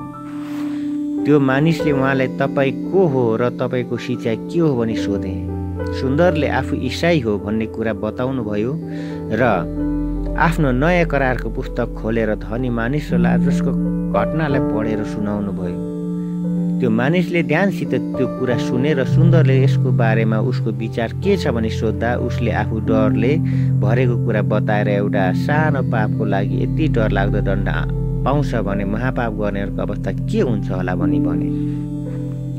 साधुले यो मौकालाई प्रयोग गरी त्यो मानिसलाई ईश्वरले राख्नुभएको अनुग्रहको धनलाई खोलेर देखाउनु भयो। यो कुरा सुन्दा त्यो मानिसको हृदयलाई छोयो उसले रुँदै आँसु बगाउँदै आफ्नो अपराध र पापको कहानीलाई बतायो। उसले सुन्दरले आफ्नो गुफामा लगेर भोजन पकाएर दिए र खाइदिन बिन्ती गरे। केही बातचित र छोटो प्रार्थनापछि दुईजना विश्राम लिए। भोलिपल्ट बिहान सुन्दरलाई उठाएर उहाँलाई अर्को एउटा गुफामा लगेर डरलाग्दो मानिसहरूको हड्डीको थुप्रो देखाए। ठुलो आवाजले रुँदै विलाप गर्दै उसले त्यो हड्डीहरूलाई देखाउँदै भने यिनै मेरा पापहरू हुन् भन्नुहोस् मेरो लागि केही आशा छ? पापको महसुसले उसमा भएको पीडा र डरलाई देख्दा साधुको हृदय छोयो र उहाँले क्रुसमा क्षमा पाएको चोरको बारेमा उसलाई बताउनु भयो दुवैजनाले घुँडा टेके त्यो दया लाग्दो पापीले विलापद्वारा ईश्वरको अगाडि आफ्नो पापको पश्चाताप गरे। दुवैजना त्यहाँबाट लप्चामा गएर साधुले मिसनरीको हातमा उसलाई जिम्मा दिनुभयो र अन्तमा उसले बत्तिसमा पायो। बाँकी रहेको तिनजना पनि आफ्नो खराब जीवनलाई त्यागेर इमान्दारी काम गर्न थाले। यसरी साधु चारजना महापापीहरूलाई सहायता गर्न प्रयोग हुनुभयो। सातजना यस्तै घटनाहरू अझै धेरै घटेको हुनुपर्दछ।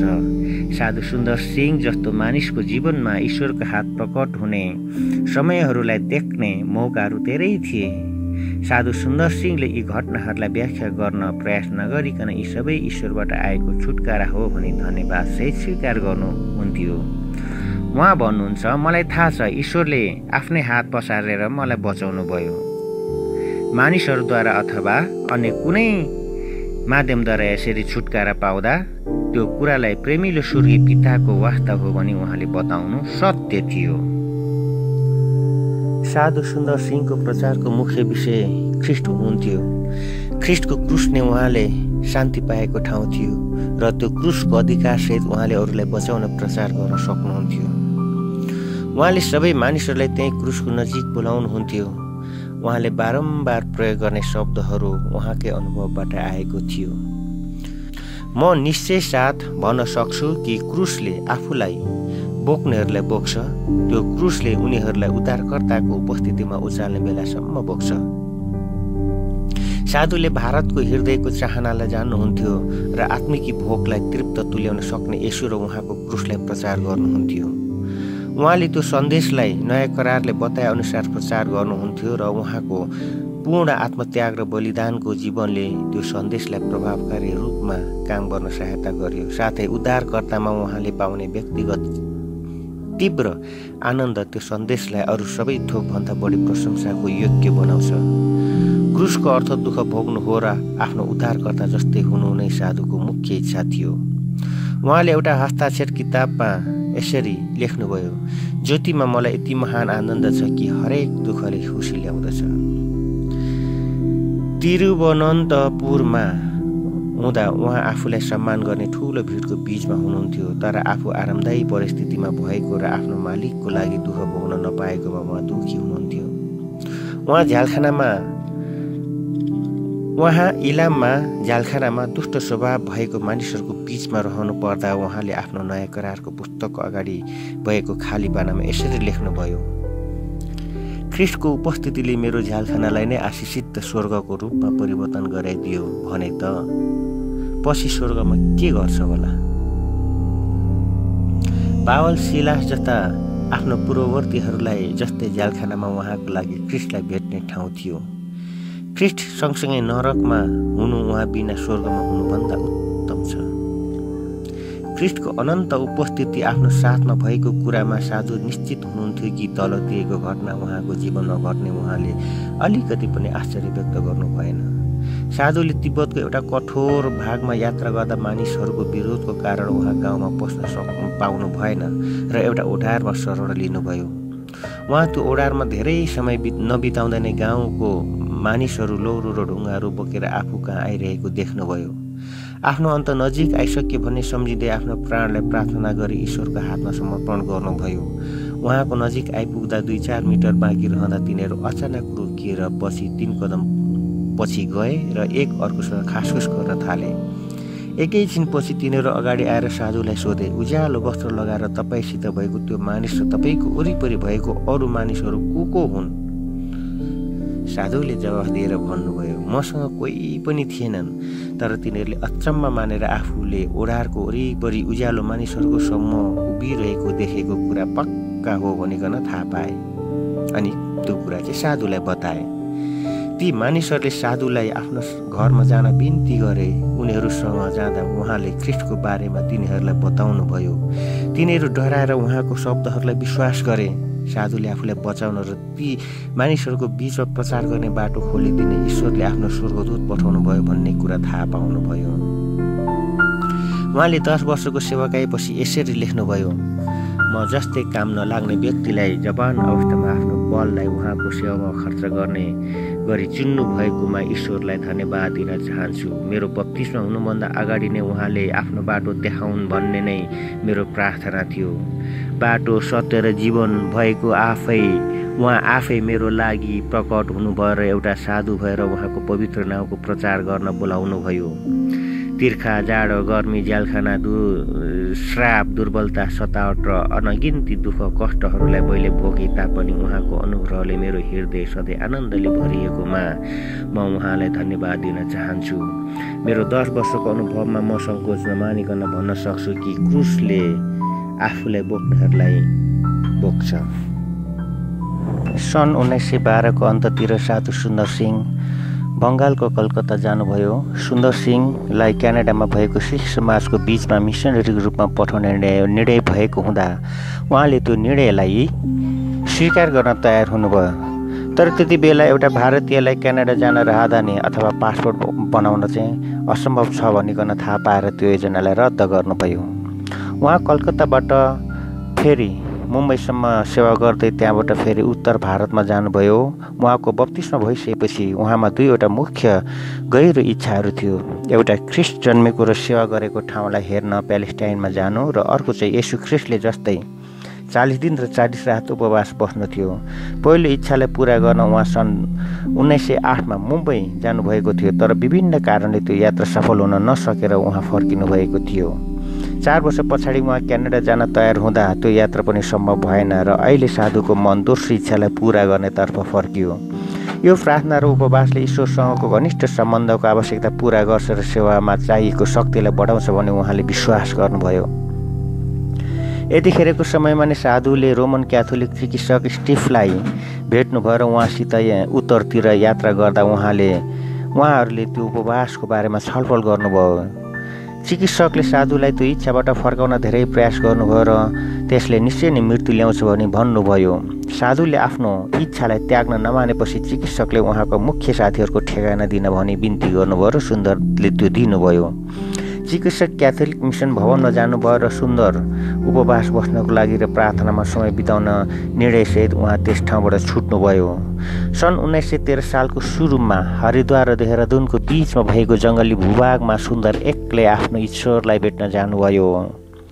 दिनहरू बिते हप्ताहरू बिते अनि उहाँको बारेमा कुनै खबर बाहिरी संसारमा पुगेन। दोस्रो हप्ता बितिसकेपछि क्याथोलिक चिकित्सकले पक्कै सुन्दर जङ्गलमा मर्नुभयो भनी सम्झाउनु भयो र सुन्दरको साथीहरूलाई उहाँले मृत्युको खबर पठाउनु भयो हप्ताहरू बित्दै जाँदा यो हुन सक्छ भन्ने कुरा चाहिँ सबैले मानिले। उहाँको मृत्यु भएको खबर सबै ठाउँमा स्वीकार गरियो। विभिन्न पत्र पत्रिकाहरूमा उहाँको हार्दिक श्रद्धाञ्जली छापियो र उहाँको सम्झनामा एउटा साङ्गीतिक सङ्गति पनि राखियो। साथै उहाँको लागि एउटा सम्झनाको पार्टी राख्न सि सिमलाको मण्डलीमा पैसा समेत सङ्कलन भयो। त्यतिखेर सा यतिखेर साधु जङ्गलमा भोजन बिना दिनानुदिन कमजोर हुँदै गइरहनु भएको थियो। साधुले पहिला नै केही हुन सक्छ भन्ने चेतावनी पाएको कारणले दिनहरू गन्नको लागि चालिसवटा ढुङ्गाहरू खोजिराख्नु भएको थियो र हरेक दिनमा एउटा ढुङ्गा फाल्नुहुन्थ्यो तर अन्तमा उहाँले त्यो पनि गर्न सक्नु भएन। उहाँमा देख्ने र सुन्ने क्षमता पनि हट्यो। अचेत अवस्थामा आफ्नो वरिपरि हुने कुराहरूलाई थाहा पाउन सके तापनि जीवन भएको कुनै चिन्ह देखाउन नसक्ने भएर लडिरहनु भएको थियो। उपवासको सुरुको समयहरूमा खानेकुराको अभावले तीव्र रूपले पेट पोलेको अनुभव गर्नुभयो तर त्यो चाँडै नै हटेर गयो। उपवा उपवासको समयहरूमा उहाँले क्रिस्टलाई देख्नुभयो तर त्यो शारीरिक आँखाले होइन। जुन आँखाहरू त्यति बेला कमजोर भएको थियो आत्मिक दर्शनमा उहाँले देख्नुभयो छोडेको हातहरू छेडेको हातहरू रगत बगिरहेका पाउहरू र प्रकाशमय अनुहार सहित यसु देखा पर्नुभयो। त्यो अवधिभरि नै उल्लेखनीय रूपमा शान्ति र आनन्दको पूर्णताको अनुभव गर्नुभयो। वास्तवमा त्यो अनुभव यति ठुलो थियो कि उपवासलाई त्यागिदिने कुनै पनि परीक्षा उहाँमा आएन। यो अवस्थामा हुँदा जङ्गलमा बाँस काट्न आएकाहरूले उहाँलाई देखे साधुको वस्त्र पहिरिएको देखेर उहाँलाई आफ्नो पछ्याउरामा हालेर ऋषिकेश पुर्याए त्यहाँबाट देहरादुन पुर्याए। त्यहाँबाट रथमा राखेर एनफिल्ड पुर्याए। उहाँले त्यो उहाँले पार गरेर आएको घटनाले गर्दा उहाँको पूर्ण रूपमा फेरिएको उहाँको रूप पूर्ण रूपमा फेरिएको थियो। उहाँको इसाई साथीहरूले चिन्न सकेनन्। उहाँको नयाँ करारको पुस्तकमा भएको नामद्वारा मात्र उहाँ को हो भनिकन चिनियो। यी साथीहरूले उहाँलाई चिने चाहेको उपवा उपचार र वास्ता पुर्याएर फेरि पूर्ण जीवित पारे र मार्च महिनातिर फेरि यात्रा गर्न सक्ने गरी पूर्ण रूपमा स्वस्थ हुनुभयो। उहाँ सिमलामा जाँदा त्यहाँ आफ्नो मृत्युको बारेमा फैलिएको कुराहरू सबै आफ्नै कानले सुन्नुभयो। उपवासले आफ्नो आफ्नो आत्मिक जीवनमा एउटा स्थायी प्रभाव छाडेर गयो भने साधुले पक्का रूपमा भन्नुहुन्छ। उहाँको जीवन भएको केही शङ्कापूर्ण घटनाहरू हटेर गयो।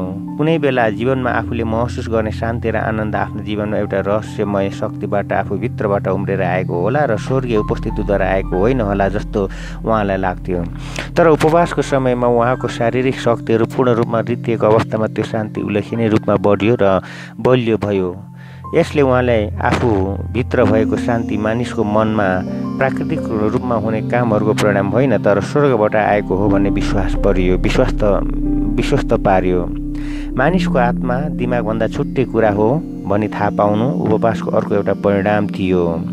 आफ्नो शरीर कुहेर गइसकेपछि आफ्नो आत्मालाई के हुन्छ भन्ने कुरामा उहाँ अचम्म मान्नुहुन्थ्यो। तर उहाँले उपवासको समयहरूमा आफ्नो शरीर कमजोर हुँदै गएको कुरालाई थाहा पाउनुभयो। त्यसै बेला आत्मा चाहिँ बढी सक्रिय र सजग भएको देख्नुभयो। यसबाट आत्मा पूर्ण रूपमा दिमागभन्दा छुट्टै छ भन्ने कुराको निष्कर्षमा आउनुभयो।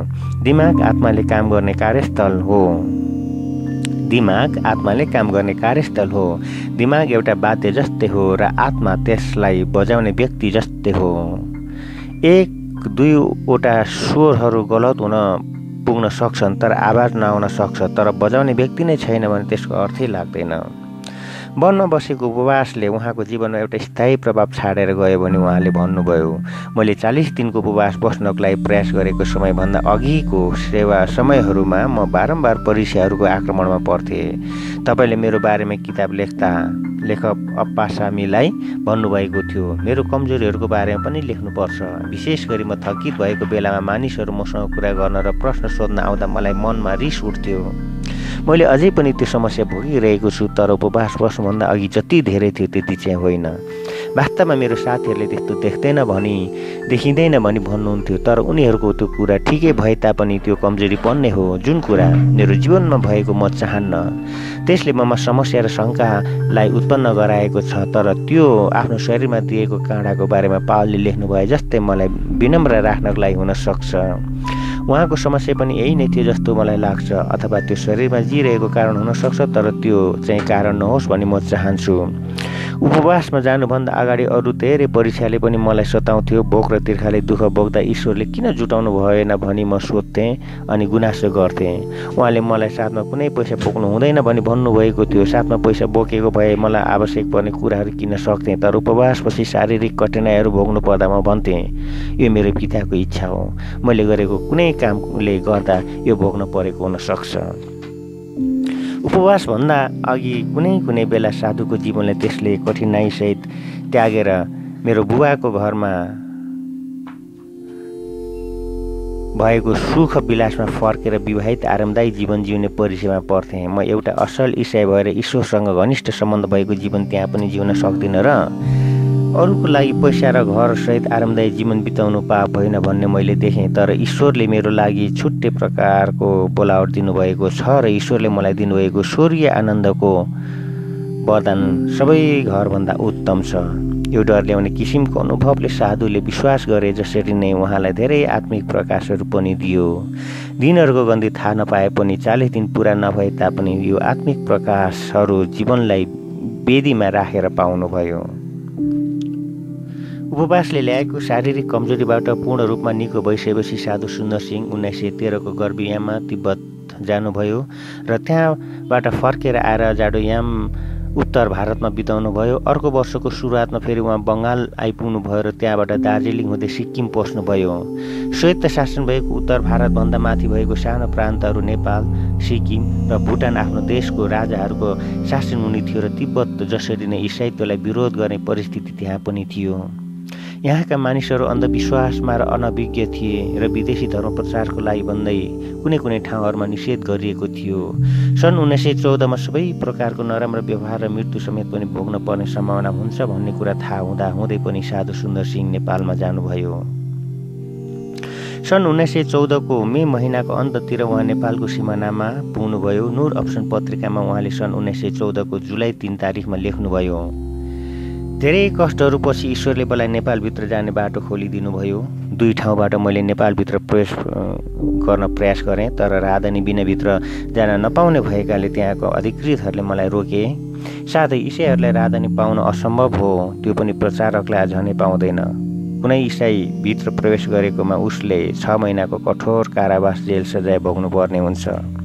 यात्रामा मैले धेरै ठाउँहरू गाउँहरू पार गर्दै गएँ। ती ठाउँहरूबाट ती ठाउँहरूका मानिसहरूले पूर्ण हृदयले ईश्वरले ईश्वरको वचन सुने। यो भूभागमा सडकहरू डरलाग्दा छन्। यो बाटोमा यात्रा गर्ने मानिस उकालो ओह्रालो हिँडेर नदीहरूलाई पार गरेर थकित हुन्छ जुन महिनाको सात तारिक सधैँ मेरो सम्झना रहने दिन भयो। म यात्रामा थकित भएर धेरै भोक र तिर्खा लागिरहेको अवस्थामा ठुलो पानी परेको बेला सात माइलको उकालो बाटो उक्लदै थिएँ। एउटा डरलाग्दो हावाको झोक्काले मलाई एउटा ओढारभित्र फ्याँकियो। ईश्वरलाई प्रशंसा होस् म यति अग्लो ठाउँबाट लडे तापनि मलाई केही हानि भएको थिएन। त्यो हावाको बेगको बेग प्रेमको चालको रूपमा परिणत भयो र पानीको वर्षा अनुग्रहको वर्षा हुन पुग्यो।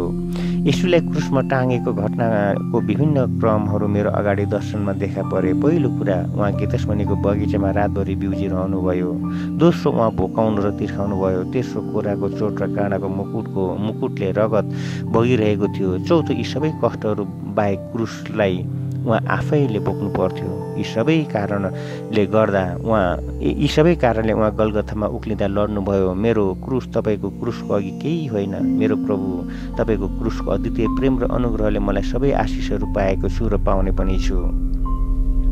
म भोलिपल्ट बिहान नेपालको ठुलो एउटा सहर इलाममा पुगेको थिएँ। त्यो एउटा विशेष दिन भएकोले हाट लागे जस्तै बजारमा मानिसहरूको भिड थियो। मैले हुला कार्यालय अगाडि उभिएर प्रचार गर्न सुरु गरेँ। नेपाली भाषामा भएको सुसमाचारको प्रचार पर्चाहरू वितरण गरेँ। त्यतिखेर एकजना अधिकृतले यो खबर पाए। उहाँ धेरै रिसाउनु गएर नेपालमा प्रचार गर्न कसले अनुमति दियो भने मलाई सोध्नुभयो। मैले भने कसैको आदेश अथवा स्वेच्छामा आएको होइन तर सबै अधिकृतहरूको अधिकृत र राजाहरूको राजा र तपाईँ र मलाई सृष्टि गर्नुहुने उहाँले उहाँले नै मलाई पठाउनु भयो अधिकृत।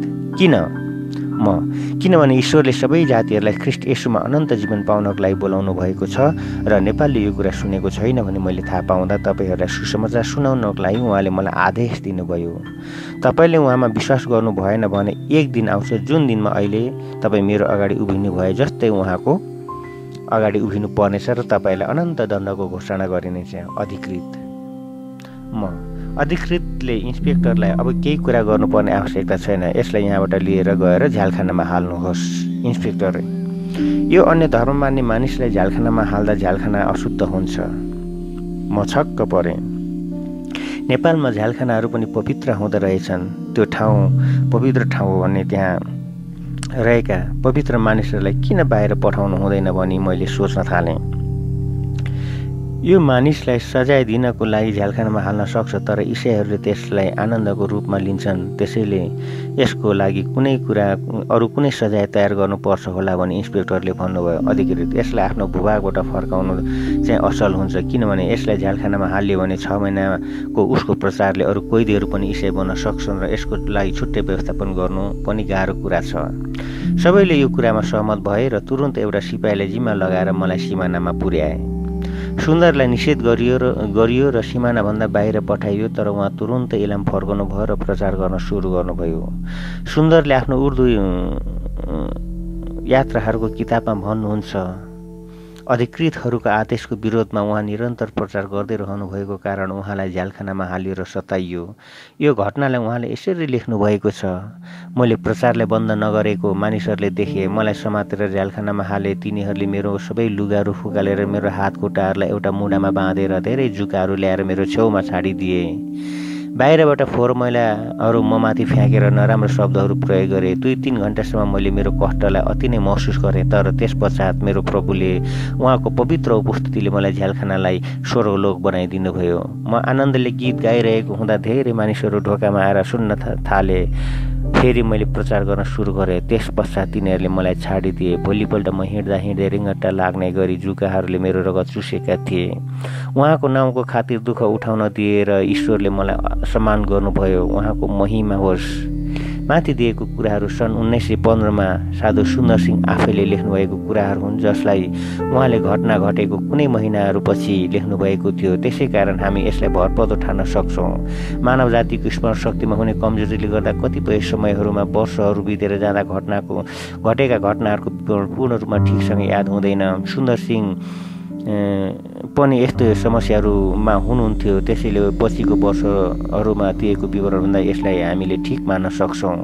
रगत कम हुँदै गएकाले यो लामो रातको समयभरि पीडा बोक्दै कमजोर हुँदै जानुभयो तर बिहान हुँदा उहाँ जीवित नै हुनुहुन्थ्यो। उहाँलाई सताएकाहरूले उहाँको शान्तिपूर्ण मुहार देख्दा एउटा अन्धविश्वासको डरले तिनीहरूलाई समात दियो आफूहरूले नबुझ्ने एउटा अनौठो शक्ति उहाँमा छ भन्न ठान्थे बाँधेको काठबाट उहाँलाई छुट्याइदिएर डरलाग्दो अनुभवले साधु धेरै कमजोर हुनुभयो। यो डरलाग्दो अनुभवले साधु धेरै कमजोर हुनुभयो। धेरै प्रयास समयको प्रयासपछि उहाँ त्यो ठाउँबाट बिस्तारै सकिन सकि जानुभयो। त्यसको ठाउँमा सन्यासी मिसनमा भएको कुनै रहस्य विश्वासीहरू थिए। पछिको र ती दयालु मानिसहरूले आफ्नो घाइते भएको भाइलाई स्वीकार गरेर बलियो हुन्जेलसम्म उहाँको वास्ता गरे केही दिन पश्चात उहाँको तिब्बतीय इसाई सहयात्री दार्जिलिङले उहाँलाई दार्जिलिङमा भेट्टाउनु भयो उहाँले बताएअनुसार साधुको शरीरभरि घाउहरू थिएर शरीर सुन्निएको थियो विशेष गरी आँखाहरू बढी सुन्निएको थियो। यसको बारेमा साधुले बताउँदा उहाँले भन्नुभयो भन्नुभयो यो अनौठो कुरा हो ख्रिस्टले दिने कष्ट चाहिँ आनन्द होइन तर उहाँले कष्टलाई नै आनन्दको रूपमा परिवर्तन गर्नुहुन्छ। साधु सुन्दर सिंह सिख हुँदा क्रुसमा टाँगिएको ख्रिस्टको दर्शन देख्नुभयो जसले उहाँको जीवनलाई नै परिवर्तन गर्यो र त्यो दर्शन देखेको केही वर्ष नबित्दै उहाँले आत्मिक संसारको अरू दर्शनहरू देख्नुभयो र आत्मिक लोकमा भएकाहरूसँग कुरा गर्नुभयो। सन् उन्नाइस सय तेह्रमा उहाँ कोलकाता रहँदा एक दिन पहाडमा धुपघिहरूको बिचमा बसेर मिसन विद्यालयमा पढ्ने विद्यार्थीहरूको निम्ति प्रार्थना गर्न लागिरहनु भएको थियो। अचानक उहाँको आत्मिक आँखाहरू खोलिएर आत्मिक संसारको महिमालाई देख्न थाल्नुभयो। त्यो अनुभव यति शक्तिशाली थियो कि आफू मर्छु भनेर उहाँ डराउनु भयो बिस्तारै मात्र उहाँले त्यो एउटा दर्शन रहेछ भने थाहा पाउनुभयो। त्यस पश्चात उहाँले बेला बेलामा दर्शनहरू देख्नुभयो। ती दर्शनहरूमा स्वरको आनन्द र ज्योतिलाई देख्नुभयो। उहाँले मानिसहरू आफूलाई देखेर हाँसिरहेको पनि देख्नुभयो तर तिनीहरूसँग कुरा गर्नु भएन। दर्शनहरूले उहाँलाई सधैँ नै व्यक्त गर्न नसकिने आनन्द ल्यायो। केही समयपछि महिनामा दस अथवा बाह्रपल्टसम्म उहाँले दर्शनहरू देख्नुभयो र आत्मिक लोकमा भएकाहरूसँग बातचित पनि गर्नुभयो। पछिको समयहरूमा उहाँको प्रचार र किताबहरूमा प्रयोग गरेको उदाहरणहरू शिक्षक शिक्षाहरू र वचनको अर्थहरू यी सबै कुराहरूको मुख्य अंश यो स्वर्गीय दर्शन र बातचितबाट उहाँले प्राप्त गर्नुभएको थियो। उहाँलाई दर्शनहरू विभिन्न समयहरूमा विभिन्न ठाउँहरूमा आउँदथ्यो। कुनै बेला कुर्सीमा बसेर प्रार्थना गर्दै अध्ययन गरिरहेको समयमा दर्शनहरू आउँथ्यो र उहाँलाई आत्मिक लोकमा उठाइ लगिन्थ्यो। कोही बेला रुखको मुनि बसिरहेको हुँदा र कोही बेला भिडमा भएको रेलमा यात्रा गरिरहेको हुँदा उहाँ दर्शन देख्नुहुन्थ्यो। यसरी उहाँले दर्शन देख्दा वरिपरि भइरहेका कुराहरूको बारेमा धमिलो रूपमा मात्र थाहा पाउनुहुन्थ्यो र वरिपरि भएकाहरूले उहाँ आत्मिक लोकमा गएको र फर्किआएको केही थाहा पाउँदैन थिए यसरी दर्शन देखेपछि उहाँले कुनै थकेको अनुभव गर्नुहुन्न थियो तर व्यक्त गर्न नसक्ने आनन्दले भरिनुहुन्थ्यो। चाहेको बेलामा दर्शन देख्न सक्नुहुन्न थियो तर त्यो ईश्वरको इच्छा अनुसार आउँथ्यो। उहाँ स्वर्गीय आत्माहरूको बिचमा पुग्दा उहाँहरूले सुन्दर सिंहसँग कुनै पनि भाषामा बातचित गर्दैनथे तर बताउनु पर्ने कुराहरूलाई आत्मिक प्रकाशहरूद्वारा उहाँको मनमा हालिदिन्थे। यसरी पाएको प्रकाशहरूलाई आफ्नो मातृभाषा उर्दूमा पनि व्याख्या गर्न उहाँलाई शब्दहरू हुँदैन थियो। उहाँसँग रहेर उहाँको किताबलाई अनुवाद गर्ने टिआई राइडर्स भन्नुहुन्छ। मलाई उहाँले पहिलोपल्ट आफ्नो दर्शनको बारेमा बताएको त्यो रात अझै याद छ। मैले धेरै वर्ष अघिदेखि नै उहाँलाई घनिष्ठ रूपमा चिन्थेँ। तर उहाँले यो कुरालाई कहिल्यै बताउनु भएको थिएन। उहाँको एउटा किताबलाई मैले अनुवाद गरिरहेको समय उहाँ मसँग खरार भन्ने ठाउँमा हुनुहुन्थ्यो। गर्मी मौसममा राति हामी हाम्रो बङ्गाला अगाडि को बाटोतिर भएर हिँडिरहेको बेला उहाँले आफ्नो दर्शनको बारेमा मलाई बताउनु थाल्नु भएको थियो। यो अचम्मको घटनालाई बताउँदा हामी झन्डै डेढ घन्टा जति अँध्यारोमा हिँडिरह्यो र उहाँ उत्साहित हुँदै बताउँदै जानुभयो र उहाँको स्वर झन् झन् ठुलो हुँदै गएर वरिपरि काम गरिरहेका नोकरहरू पनि आफ्नो बातचितलाई रोकेर उहाँको कुरालाई आश्चर्य मानेर सुन्न थाल्थे। हाम्रो गहिरो भावनाहरूलाई शब्दहरूमा व्यक्त गर्न कतिपय समयहरूमा भाषाहरूले साथ दिन सक्दैन। साधुले आफूले देखेको कुराहरूलाई शब्दहरूले व्याख्या गर्न सकेन भनी सधैँ भन्नुहुन्थ्यो र उहाँले देखेको कुराहरूमा सबैभन्दा साधारण कुराहरू मात्र शब्दहरूमा व्याख्या गर्न सक्नुभयो। ईश्वरको दासले स्वरोदूतहरूको साथमा आफूलाई तोकिएको घरको अगाडि आइपुग्दा उहाँको अगाडि टल्किने अक्षरले स्वागत भन्ने शब्द लेखेको देख्नुभयो र त्यो शब्दहरू आफैमा स्वागत स्वागत भन्ने आवाज बारम्बार दोहोऱ्याएर आइरहेको थियो।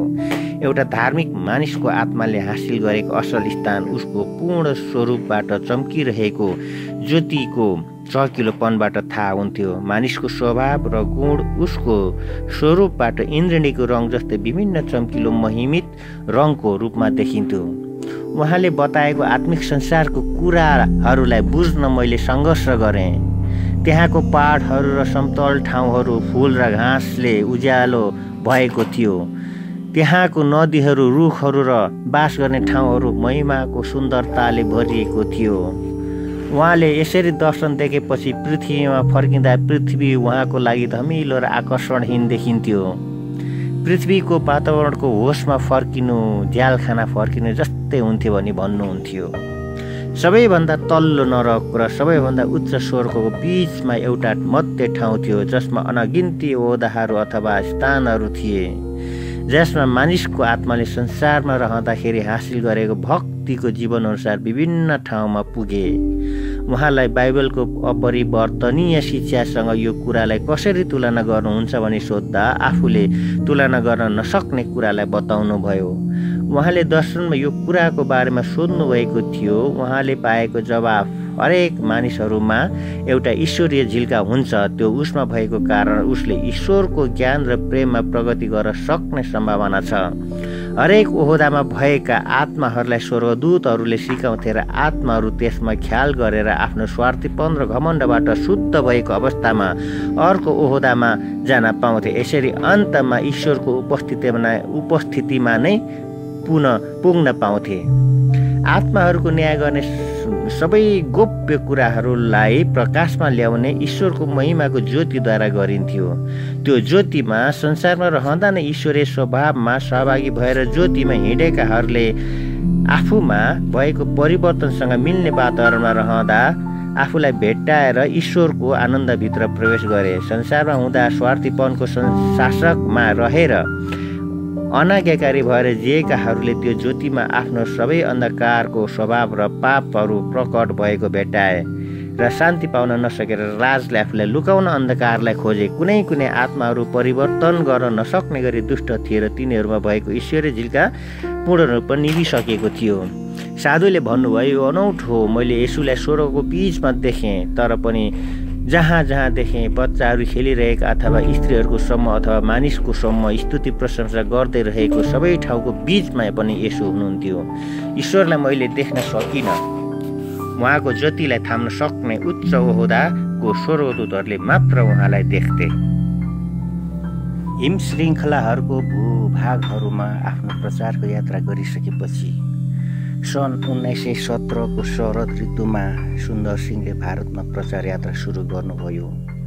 जुन यात्राको क्रममा उहाँ फेरि एकपल्ट तिब्बत पुग्नुभयो। यो प्रचारको यात्रामा उहाँले डिसेम्बर महिना पश्चात भारतमा बिताउनुभयो।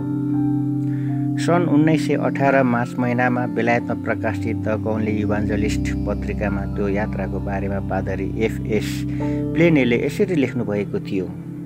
साधु सुन्दर सिंहको पुणे भ्रमण एउटा महत्त्वपूर्ण घटना भयो। उहाँले बङ्गलाबार त्यहाँ बिताउनु भयो र दुईपल्ट मिसन घरमा आउनुभयो र बेलुकी मण्डलीको कम्पाउन्डभित्रको आँगनमा ठुलो भिडको बिचमा हिन्दुस्तानी भाषामा प्रचार गर्नुभयो र पिन्सेन्ट डेभिडले मन छुने गरी त्यसलाई अनुवाद गर्नुभयो। त्यही पत्रिकामा सिस्टर अमी सिबिल्लाले साधु सुन्दर सिंहको बारेमा यसरी लेख्नुभयो। उहाँले सिख उहाँले भिख माग्नुहुन्न तर दानमा भर पर्नुहुन्छ। उहाँलाई भोजन दियो भने त्यसलाई खुसी साथ स्वीकार गर्नुहुन्छ दिएन भने भोकै जानुहुन्छ। त्यसैले धेरै दिनहरू भोकै बिताउन परेको थियो र त्यो दुःख भोग्न उहाँको लागि आनन्द हो। उहाँले आफ्नो देशको मानिसहरूको लागि अन्तर्विन्ती गर्दै दिउँसो र मध्यरातमा घन्टौँ प्रार्थनामा बिताउनुहुन्थ्यो। भारतीयहरू उहाँको शान्तिपूर्ण प्रार्थनाको जीवन र सन्यासी जीवनद्वारा प्रभावित भएका छन् र उहाँको अचम्मको व्यक्तित्व प्रभावशाली थियो। अग्लो र असल शरीर मर्यादित स्वभाव र सज्जन व्यवहार भएको उहाँ मैले देखेको मानिसहरूमध्ये सबैभन्दा सुन्दर हुनुहुन्थ्यो। त्यो एउटा नम्रता कोमलता भद्रता र उच्च भक्तिको अचम्मको संयोग हो र हरेक गुणमा पवित्रताको ज्योति र उच्च शान्ति प्रकट हुन्थ्यो। मानिसहरूले उहाँलाई पूजनीय ठानेको जस्तै देखिन्छ तर मानिसहरूलाई खिच्नु उहाँको व्यक्तिगत आकर्षण होइन तर उहाँको जीवनको इमान्दारिता र सरलता हो। उहाँ ख्रिस्ट जस्तै हुनुहुन्छ भन्ने शब्दहरू मानिसहरूले भनिरहेको बारम्बार सुन्न सकिन्छ। सन् उन्नाइस सय सत्र डिसेम्बर महिनामा पुणे र त्यसको वरिपरिको ठाउँहरूमा भएको साधु सुन्दर सिंहको सभाहरूको बारेमा विन्सेन्स डेभिडले यसरी भन्नुभयो कोल्हापुरमा एउटा ठुलो सभा भयो। छात्रावासका केटीहरूले तिन दिनको सभामा हरेक दिन राति गीत गाएका थिए र सुन्दर सिंहले त्यस सभामा सहभागी हुन र गीत सुन्न निमन्त्रणा पाउनुभएको थियो। सुन्दर सिंह सदा झै आफ्नो साधु वस्त्र लगाएर आउनुभएको आउनुभएको थियो। जाडो बढी भएकोले सुन्दर सिंह आफ्नो वस्त्रमाथि लगाउने गलबन्दी ओढेर बस्नुभएको थियो। यसलाई देखेका छात्राहरूले छात्राहरूको केटीहरूले पैसा उठाएर त्यहाँ महँगो न्यानो पछ्यौरा किनेर दोस्रो रातमा उहाँलाई उपहार दिए। उहाँले धन्यवाद सहित त्यो उपहारलाई स्वीकार गर्नुभयो तर र त्यो रात र भोलिपल्टको रात पनि त्यसलाई प्रयोग गर्नुभयो। तेस्रो रात हामी घर फर्किरहेको हुँदा हामीले च्यातेको लुगा लगाएर आफ्नो जिउ तताउनको लागि रुखमुनि आगो ताप्दै बसेको एकजना वृद्ध मानिसलाई देखियो देखियौँ। साधुले आफ्नो पछ्यौरा निकालेर त्यो वृद्ध मानिसलाई ओढाइदिएर हिँड्नुभयो। हामी कोल्हापुरबाट रत्नगिरी गयौँ। दुबईको लागि एकान्त ठाउँमा एउटा कोठा र अलिकति आँगन भएको घरमा बस्ने व्यवस्थापन भयो। स्थानीय साथीहरूले त्यो ठाउँमा सर्पहरू बढी भएकोले रातको समयमा बढी ध्यान दिन सल्लाह दिएका थिए। हामी दुवैको लागि दुईवटा खाटहरू पनि त्यो कोठामा हालेको थियो। सुत्न जानुभन्दा अघि साधुले मलाई भन्नुभयो मलाई खाटमा एउटा खाटलाई आँगनमा लान मलाई सहायता गर्न सक्छौ? मैले भने किन? उहाँले भन्नुभयो म एक्लै रहन चाहन्छु। मैले जवाफ दिएँ म आँगनमा सुत्छु। तपाईँ यहाँभित्र कोठामा सुत्नुहोस्। उहाँले स्वीकार्नुभयो। रातको समयमा मैले केही चलेको सानो आवाज सुने। टर्चलाइट बालेर हेर्दा एउटा सर्प गइरहेको देखेँ। सर्प आँगनलाई छोडेर बगैँचातिर गयो। साधुको कोठामा केही सर्पहरू पस्यो कि भने मैले हेर्न कोठाभित्र टर्चलाइट बालेँ। तर ओछ्यानमा कोही पनि थिएन। चकित भएर कोठाको सबैतिर टर्चलाइट बालेर हेर्दा साधुजी कुनामा बसिरहेको देखेँ। उहाँ पलेटी कसेर हातहरू जोडेर मग्न भएर प्रार्थना गर्दै हुनुहुन्थ्यो। उहाँको मुहार खुसीले चम्किरहेको थियो। यो घटना बिहानको साढे तिन बजीतिर घटेको हुनु पर्दछ। मैले उहाँलाई भोलिपल्ट बिहान त्यति बेला किन प्रार्थना गर्नुभयो भनी सोधेँ। साधुले जवाफ दिनुभयो मैले प्रचारको यात्राहरूमा हुँदा दिनमा प्रार्थना गर्न चाहिँदो समय पाउँदिनँ। धेरै ठाउँमा बोल्नुपर्ने हुन्छ। त्यति लामो प्रार्थनाको समयहरू किन आवश्यक भयो? भनी मैले उहाँलाई सोधेँ। उहाँले भन्नुभयो मलाई ध्यान केन्द्रित गर्नको लागि पन्ध्रदेखि बिस मिनट लाग्छ। त्यसपछि म प्रार्थना गर्नलाई सुरु गर्छु तर शब्दहरूलाई प्रयोग गर्दिनँ। मेरो प्रिय यसुलाई यति नजिक भएको महसुस गर्छु कि मेरो हातहरूलाई उहाँको हातमा राख्छु। बिहान पकाउँदा मैले प्रार्थनालाई अन्त गर्नुपर्छ। त्यो मेरो प्रियबाट छुट्ने समय हो। हामी बे बे बेगुर लामा हुँदा कारणवश त्यहाँ हुनुभएको एउटा ब्राह्मण न्यायाधीशले साधु सुन्दर सिंहसँग भेटेर बातचित गर्ने अवसर खोज्नु भएको थियो। साधु सुन्दर सिंहले खुसी साथ उहाँलाई त्यो मौका दिनुभयो त्यो न्यायाधीश अज्ञेवादी नास्तिक बराबर हुनुहुन्थ्यो। न्यायाधीशले भन्नुभयो साधु तपाईँको महत्त्वपूर्ण समय छ र म धेरै समय लिन चाहदिनँ। मैले सबै धर्मको बारेमा अध्ययन गरिसकेँ। एउटा समस्या छ जसमा तपाईँले अलिकति प्रकाश दिएको म चाहन्छु। हरेक दिन हजारौँ मानिसहरू जन्मन्छन् र हजारौँ मानिसहरू मर्छन्। यी सबैबाट ईश्वरलाई के फाइदा भयो? यी सबैमा केही अर्थ छैन तर विभिन्न तत्त्वहरू एक हुन आउँछन् र पछि विघटन भएर जान्छन्। यी सबै प्रा प्राकृतिक क्रिया प्रक्रिया मात्र हुन् भनी विश्वास गर्नेतिर म ढल्केको छु। साधुले जवाफ दिनुभयो साहेब तपाईँ शिक्षित मानिस हो म त होइन। मैले तपाईँलाई चित्त बुझाउन सक्दिनँ होला तर ईश्वरले मलाई दिनुभएको थोरै अनुभवले म तपाईँलाई उत्तर दिने प्रयास गर्दछु। मैले एकपल्ट एउटा पहाडमा अध्ययनको लागि केही महिलाहरू महिनाहरू बिताएको थिएँ। तल उपत्यकामा दिनानुदिन व्यस्त भएर किसानहरूले काम गरिरहेको मैले देखेँ। तिनीहरूले जोते मल हालेर पानी परिसकेपछि बिउ छरे। बिउहरू उम्रेर त्यहाँबाट बोटहरू बढे फुल बढेर बाला लागेर दाना पसाएको देख्दा अचम्म लाग्थ्यो। दा दाना पाक्ने बेलामा किसानहरूले कुनै चराचुरुङ्गी जनावर अथवा मानिसहरूबाट त्यसलाई हानि हुनबाट रोक्न रात खेतको रक्षा गर्थे। महिना यसरी वास्ता पुर्याएर त्यहीँ किसानहरू दाना पाकेपछि आफ्नो हँसिया लिएर आएर बोटले काटेर धानको कटनी गरे। बोटहरूले बोटहरूले सोधेको हुनसक्छ यी सबैबाट के लाभ भयो त? अन्तमा यसरी हामीले काट्नको लागि किसानहरूले किन यति दुःख उठाए? बोटहरूलाई थाहा भएन तर किसानहरूलाई थाहा थियो। त्यसरी नै हामी जम् जन्म्यौँ र किन मर्छौँ हामी भने हामीले थाहा छैन होला तर ईश्वरलाई थाहा छ। साधु सुन्दर सिंहले मुख्य प्राथमिकता उद्धार नपाएकाहरूलाई दिए तापनि इसाईहरूलाई व्यवस्था गर्नु भएन। दक्षिण भारतमा भएको विशाल क्रिस्चियन समाज उहाँको लागि एउटा महत्त्वपूर्ण कार्यक्षेत्र बन्न पुग्यो। सन् उन्नाइस सय सत्रमा साधु गुजरातको बडोदराबाट भोलिपल्ट बिहान पाँच बजे छुट्ने रेलमा सुबाथु फर्किन तयार हुनुभएको थियो। तर राति नै नौ बजे उहाँ कोठामा हुँदा एउटा दर्शन आयो। दर्शनको अन्य कुराहरूमध्ये ईश्वरले उहाँलाई दक्षिण भारत जाने आदेश दिनुभयो। राति एघार बजे उहाँले आफू बसेको घरको मानिसलाई आफू भोलिपल्ट बिहान पाँच बजे जाने निर्णय बदलेको कुरालाई बताउनुभयो। भोलिपल्ट बिहान नौ बजे उहाँले दक्षिण भारतमा आउनु भन्ने निम्तो पाएको पत्र प्राप्त गर्नुभयो। सन् साधु सुन्दर सिंह सन् उन्नाइस सय अठार सालको जनवरी एक तारिक तमिलनाडुको चेन्नाईमा पुग्नुभयो र त्यहाँ दुई हप्ता सेवामा बिताउनुभयो सम्प्रदाय र सिद्धान्तलाई प्रभाव नगरी मानिसहरूको भिड उहाँको प्रचार सुन्न साझा सभाहरूमा भेला हुन्थे। साधुको काम कहिले फरक भएको थियो र कठिनाइपूर्ण पनि थियो। उहाँले बिहानदेखि राति ढिलो समयसम्म नै सेवा गर्नु पर्थ्यो। विश्राम र भोजनको लागि उहाँ मुस्किलले समय पाउनुहुन्थ्यो र बाइबल अध्ययन पनि गाह्रो सह गर्नु पर्थ्यो। सेवा दिएको ठाउँहरूमा उहाँ गइसकेपछि मानिसहरूले आत्मामा ठुलो विश्रामको अनुभव गरे तापनि वास्तवमा उहाँको विश्रामको बारेमा कसैले सोचेका थिएनन्।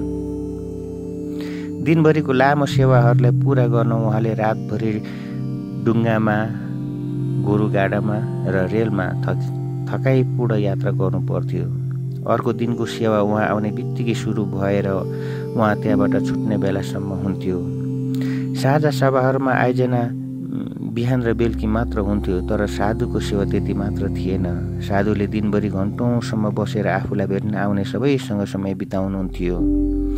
यी समयहरूमा अर्थी दिने आत्मिक समस्याहरूको समाधान गर्ने तरिका बताउने र हिन्दूहरू आएको खण्डमा उहाँ उद्धारको कुराहरू सुनाउने र उहाँहरूको प्रश्नको उत्तर दिने र मिसनरीहरूसँग भेटघाट गर्ने जस्ता कामहरू गरिनुहुन्थ्यो उहाँ जति बढी समय रहनुभयो त्यो भेटघाटको समयको महत्त्वलाई प्रकट गर्ने गरी भेट्न आउनेहरूको सङ्ख्या पनि वृद्धि हुँदै गयो। उच्च विद्यालयहरू र विद्यालयहरू जस्तै ठुला ठाउँहरूमा बिहान र बेलुकीको सभाको आयोजना हुन्थ्यो जहाँ उहाँले विद्यार्थीहरूको बिचमा बोल्नुहुन्थ्यो। व्यक्तिगत भेटघाटको लागि इसाईहरूले उहाँलाई आफ्नो घरमा बोलाउँदा उहाँको काम थपिन्थ्यो। दक्षिण भारतमा सेवा गर्दा उहाँको मुख्य समस्या भाषा थियो। अङ्ग्रेजी बुझ्नेहरूको बिचमा अङ्ग्रेजी भाषामा बोल्नुहुन्थ्यो तर प्रायः जसो उहाँ अनुवादक मार्फत नै बातचित गर्न बाध्य हुनुहुन्थ्यो। जुन कुरा सबै समस्याहरू समयहरूमा उत्तम हुँदैन थियो जोसिलो स्वभाव भएको र दुखित आत्माहरूलाई चाहिने प्रशस्त सन्देश भएको उहाँको लागि भाषाको बाधा नै बोझ हुन्थ्यो होला तर उहाँको मनको कुरालाई कसैले बुझ्न सक्दैनथे। साधुले आफूलाई पछ्याउने चेलाहरू खोज्नु भएन।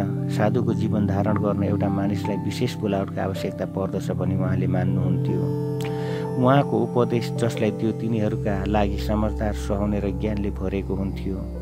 उहाँ स्त्रीहरूको बिचमा बोल्दा सधैँ नै धर्मलाई प्रेम गर्न र आदर गर्न सिकाएको आफ्ना धार्मिक आमाको उदाहरण दिनुहुन्थ्यो। उहाँ बारम्बार भन्नुहुन्थ्यो एउटा गैर इसाई आमाले आफ्नो छोराको लागि यति गर्न सक्छ भने तपाईँ इसाई आमाहरूले आफ्नो छोराहरूको लागि कति मिहिनेत गर्नुपर्छ होला। गहिरो रूपमा नयाँ करारको पुस्तकलाई उहाँ आफैले प्रेम गरे तापनि आफूले उहाँले आफूभन्दा बढी प्रे त्यसलाई प्रेम गर्ने इसाईहरूको कुरा गर्नुहुन्थ्यो।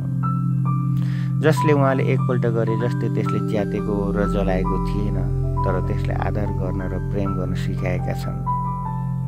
उहाँले यो कुरा बोल्दा सुन्नेहरूको मानसिकतामा हुने गहिरो प्रभावलाई थाहा पाउनु भएको थिएन। साधु दक्षिण भारतमा रहँदा रातको समयमा हिन्दूहरूले उहाँलाई खोजेर आउनु असाधारण कुरो थिएन। जुन समयलाई उहाँहरूको सेवामा खर्च गर्नुभयो र आफू खर्चिनुभयो उहाँ गएको ठाउँमा भएको इसाईहरूबाट धेरै चिठीहरू पा पनि पाउनुहुन्थ्यो जसको उत्तर दिन र प्रार्थना गरिदिनको लागि पनि धेरै बल समय चाहिन्थ्यो। साधु सुन्दर सिंहलाई देखेको हजारौँ इसाईहरूले आफ्नो प्राण र शरीरलाई पूर्ण रूपमा आफ्नो सृष्टिकर्तालाई समर्पण गर्ने मानिसबाट ईश्वरले कस्तो प्रकारको पुरानो ल्याउने सम्भावना छ भने हेर्ने मौका पाए। साधुले देख्न सक्ने बेलासम्म उहाँलाई हेरिरहन तिनीहरू थकित हुँदैन थिए उहाँ जहाँ जहाँ जानुभयो ती सबै ठाउँहरूमा उहाँ र उहाँको सन्देशलाई ठुलो आनन्दसहित मानिसहरूले ग्रहण गरे। आफ्नो सेवालाई बलियो पार्न अझै लामो समय त्यहाँ रहन पाउनु भएन भन्ने एउटै मात्र दुःखको कुरा थियो उहाँलाई। उहाँको सेवाको गहिराइ र विशालतालाई ईश्वरले मात्र जान्नुहुन्छ तर साधु सुन्दर सिंह दक्षिण भारतको इसाईहरूको बिचमा सही समयमा आउनुभयो र ईश्वरले नै उहाँलाई पठाउनु भयो भन्ने कुरामा कोही र केही पनि शङ्का छैन।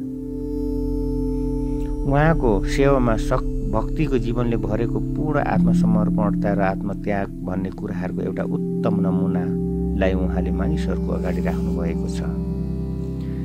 केरलाको तिरुवितामकुरमा मलाबारमा भएको ऐतिहासिक सिरियन मण्डली सन्त थोमा यो ठाउँको किनारहरूमा ओर्लेर भारतमा इसाइत्वको जग बसालेको बेलादेखि सुरु भएको भन्ने विश्वास गरिन्छ।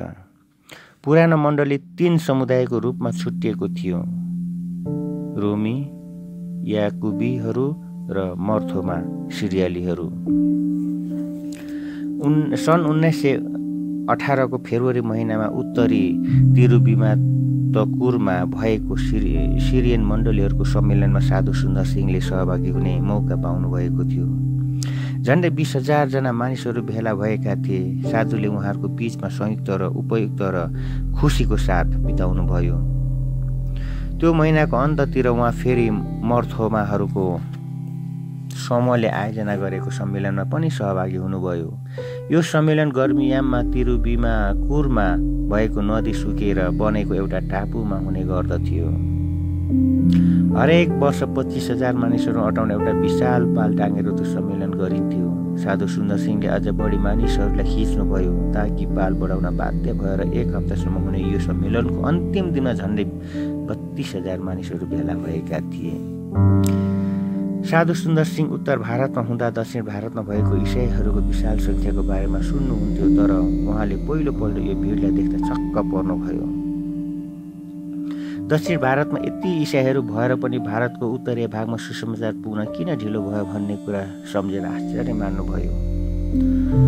उहाँले साहसपूर्ण तरिकाले कडा शब्दहरू प्रयोग गरी त्यो भिडको बिचमा बोल्न थाल्नुभयो। सिरियन मण्डलीहरूलाई ईश्वरले आफ्नो सत्यको भण्डार बताउनु भयो बनाउनु भयो तर आफ्नो देशभरि त्यो सत्यलाई फैलाउन असफल भएको कारण छोडिएको त्यो काम पुरा गर्न ईश्वरले अमेरिका र बेलायतबाट मानिसहरूलाई बोलाउन बाध्य हुनुभयो। त्यस पश्चात प्राचीन समयको मण्डलीहरूमा भएको जागृतिलाई उदाहरण देखाएर उत्कर्षता र नम्रतासहित नसुनेकाहरूका बिचमा सुसमाचार लाने बोलावटलाई स्वीकार गरेर अन्धकारमा मरिरहेका मानिसहरूको बिचमा ज्योति पुर्याउन बिन्ती गर्नुभयो। सिरियन मण्डलीले यो कुरालाई बुझेर यो महान आवश्यकतालाई पुरा गर्न तयार भयो र निरन्तर भारतको विभिन्न ठाउँहरूमा मिसनरीहरू पठाउन थालियो। उहाँले यही अर्जीलाई अरू ठाउँहरूमा पनि राख्नुभयो र मानिसहरूको हृदय पहिले कहिले नभए जस्तै यो कुरामा जागृत भयो। साधु सुन्दर सिंहले भारतीय मण्डलीहरूलाई आफ्नो योजनामा सहभागी सहभागी भएर करोडौँ आत्माहरूलाई ईश्वरको लागि जित्न राख्नुभएको कर्तव्य र सुवर्ण अवसरलाई स्पष्ट देख्नुहुन्थ्यो। साधु सुन्दर सिंहले आफ्नो जीवन्त शब्दहरूले भारतको छोराहरूलाई जतिसुकै मूल्य तिरेर पनि क्रुस उठाएर अन्तिम विजय पाउन्जेल क्रिस्टलाई पछ्याउने सिफारिस गर्नुभयो। साधु सुन्दर सिंहको प्रचार यात्रा। साधु सुन्दर सिंहले गरेको प्रचारहरूलाई किताबको रूपमा निकाल्नको लागि धेरैले बिन्ती गरे। यथार्थमा कतिपय शक्तिशाली प्रचारहरू कागजमा छापिँदा त्यति महत्त्व नभएको जस्तै देखिने सम्भावना छ तर सबैको बिन्ती र प्रयासको कारण साधुको प्रचारहरू भएको एउटा किताब तमिल भाषामा प्रकाशन भयो। उहाँलाई नजिकमा चिनेकाहरू र उहाँको कामको महत्त्वलाई बुझेकाहरूले यो किताब छाप्नु न्यायसङ्गत हुन्छ कि हुँदैन भनी शङ्का गर्थे। साधु सुन्दर सिंह एउटा असल प्रचारक हुनुहुन्थ्यो। उहाँले प्रचार गर्दा बढाइ चढाइ गर्नु र सुन्दर वाक्यांश प्रयोग गर्नु भन्ने कुराहरूलाई समय खेर फाल्नु हुन्न थियो यी कुराहरूमा। उहाँको प्रचार सफा सिधा र संक्षिप्त हुन्थ्यो। उहाँको प्रचार सुन्नेहरूलाई शङ्कामा जान दिनुहुन्न थियो। बताउनु पर्ने कुराहरूलाई बताउन आनाकानी गर्नुहुन्न थियो न त बुझ्न नसक्ने गरी अस्पष्ट नै बोल्नुहुन्थ्यो। ईश्वरबाट सिधा सन्देश नपाइकन उहाँ आउनुहुन्न थियो र जति ठुलो भिडमा पनि जतिसुकै कुनामा बसेकाहरूलाई पनि त्यो सुन्नलाई बाध्य बनाउनुहुन्थ्यो। प्रचार गर्दा उहाँको वचनको शक्तिले मानिसको हृदयलाई छुँदा वातावरण शान्त हुन्थ्यो र एउटा अप्राकृतिक ध्यान सुन्नेहरूमा हुन्थ्यो। सुन्नेहरूले दायाँ बायाँ फर्किने मौका समेत पाउन नसक्ने गरी अलिकति पनि अल्छी बनाएको प्रवेश हुन पाउँदैन थियो। सधैँ आफ्नो जीवनको व्यक्तिगत अनुभव तथा उखानद्वारा आफूले बताउन चाहेको कुरालाई ठिक तरिकाले हृदयलाई छुने गरी बोल्नुहुन्थ्यो। गैर इसाईहरूको बिचमा बोल्दा धर्म विवादको कुरा होइन तर अनुभवको कुरा हो भने बताउनुहुन्थ्यो र आफूले यो अनुभव गरेको हो भने अन्त्य गर्नुहुन्थ्यो। उहाँको प्रचार सुन्ने भिड विभिन्न प्रकारको मानिसहरूले भरिए तापनि सुन्नेहरू कोही पनि गहिरो प्रभाव नपाइ नपाइकन जान पाउँदैन थिए ख्रिस्टलाई प्रेम गर्नेहरू आफ्नो विश्वासमा बलियो हुने मौका पाए। व्यवस्था गरी क्रिस्चियन जीवन जिउनेहरू अचानक भयभीत भएर आफ्नो जीवनलाई पुनः विचार गरे। गैर इसाईहरूलाई आफ्नो जीवनमा ख्रिस्टको अधिकार के छ भन्ने कुरालाई सामना गरे र परिणामस्वरूप धेरैजना उद्धारकर्ताको पाउमा परे। साधु सुन्दर सिंहको प्रचारको मुख्य महत्त्व आत्मिक जीवनको अनन्त कुराहरूको बारेमा उहाँले आनन्दसहित गर्ने पुनः पुष्टिमा थियो। उहाँको सन्देशको आकर्षणले धर्मलाई अजीब कुरा ठानेर ख्रिस्टको शक्तिलाई अनुभव नगरिकन जिउने विषयहरूमा नयाँ जीवन ल्यायो। आफ्नो पहिलाको जोसलाई त्यागेर सांसारिकपनले स्वर्गको मार्ग स्वर्गको दर्शनलाई धमिलो बनाएको अवस्थामा जिरहेका मानिसहरूको बिचमा साधु सुन्दर सिंह आफ्नो ईश्वरसँगको निरन्तर सङ्गतिले पाएको ताजा पदसेत साधुको वस्त्र लगाएर ध्यान आकर्षण गर्ने र प्रभाव पार्ने सन्देशले भरिएर उभिँदा तिनीहरूले बिर्सिएको उदारकताको भक्ति र शक्ति र मिठोपनालाई फेरि अनुभव गर्न पाए। उहाँले ईश्वरले ईश्वरको कहिले नरितिने आनन्दको मूलबाट आफ्नो जीवनलाई भर्नु भएको छ र त्यो आनन्दबाट थोरै कुरा सुन्नेहरूका बिचमा बाँड्नुहुन्थ्यो ताकि सुन्नेहरूलाई त्यो आगोले पक्रेर आफू सिधा त्यो आनन्दको मूलबाट पिउने र त्यसलाई बाँड्ने इच्छाले भरिन सकोस्। गैर इसाईहरूको बिचमा उहाँले प्रचार गर्दा कहिले पनि उहाँहरूको धर्मप्रति आक्रमक हुनुहुन्न थियो न त निन्दा ल्याउने शब्दहरू नै प्रयोग गर्नुहुन्थ्यो। तर आफ्नो विगतको जीवनमा ख्रिस्टलाई पाउनुभन्दा अगाडि शान्ति आनन्द र सन्तुष्टिको खोजी गरेर असफल भएको कुरालाई नडराइकन बताउनुहुन्थ्यो।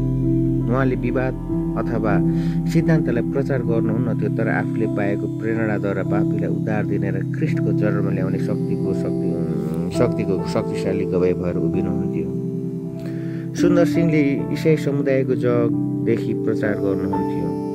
ईश्वरको प्रेम त्यो प्रेमको लागि जीवन र मृत्युमा ख्रिस्टले दिनुभएको गवाई र त्यो प्रेमलाई स्वीकार गर्ने हरेकलाई बचाउन सक्नलाई त्यसमा भएको नरितिने शक्ति र मुख्यत ख्रिस्ट र उहाँको क्रुस नै उहाँको मुख्य विषय थियो। उहाँले घनिष्ठ रूपमा चिनेको एकजनाको बारेमा कुरा गर्नुहुन्थ्यो जसको शक्तिलाई उहाँ एउटा जवान केटो हुँदादेखि अहिलेसम्म अनुभव गर्दै हुनुहुन्छ। जसको लागि उहाँले सबै कुरा त्याग्नुभयो जो दिन र रात दुवै उहाँको साथी हुनुहुन्छ। उहाँको प्रचार सुन्नेहरूले सुन्दर सिंह जीवित यसु जस्तै भएर जीवित यसुको प्रचार गर्दै हुनुहुन्छ भन्ने महसुस गरे। साधु सुन्दर सिंह जाने हरेक ठाउँमा उहाँको उपस्थितिले मानिसहरूलाई खिचिएर प्रभाव पार्ने शक्तिलाई उहाँले मानिसहरूलाई ख्रिस्तिर डोर्याउन प्रयोग गर्नुभयो। मानिसहरूको भिड उहाँलाई हेर्नको लागि लामो समय पर्खिरहन्थे र उहाँलाई विश्राम विभिन्न प्रकारको आदरणीय शब्दहरूले सम्मान गर्थे। इसाईहरूले साधुले यसरी मानिसहरूलाई जागृत ल्याउन सक्नुहुन्छ भने यसु ख्रिस्ट आफैले कति भक्ति र जागृतिलाई ल्याउन सक्नुहुन्छ भन्ने कुराको महसुस गरे।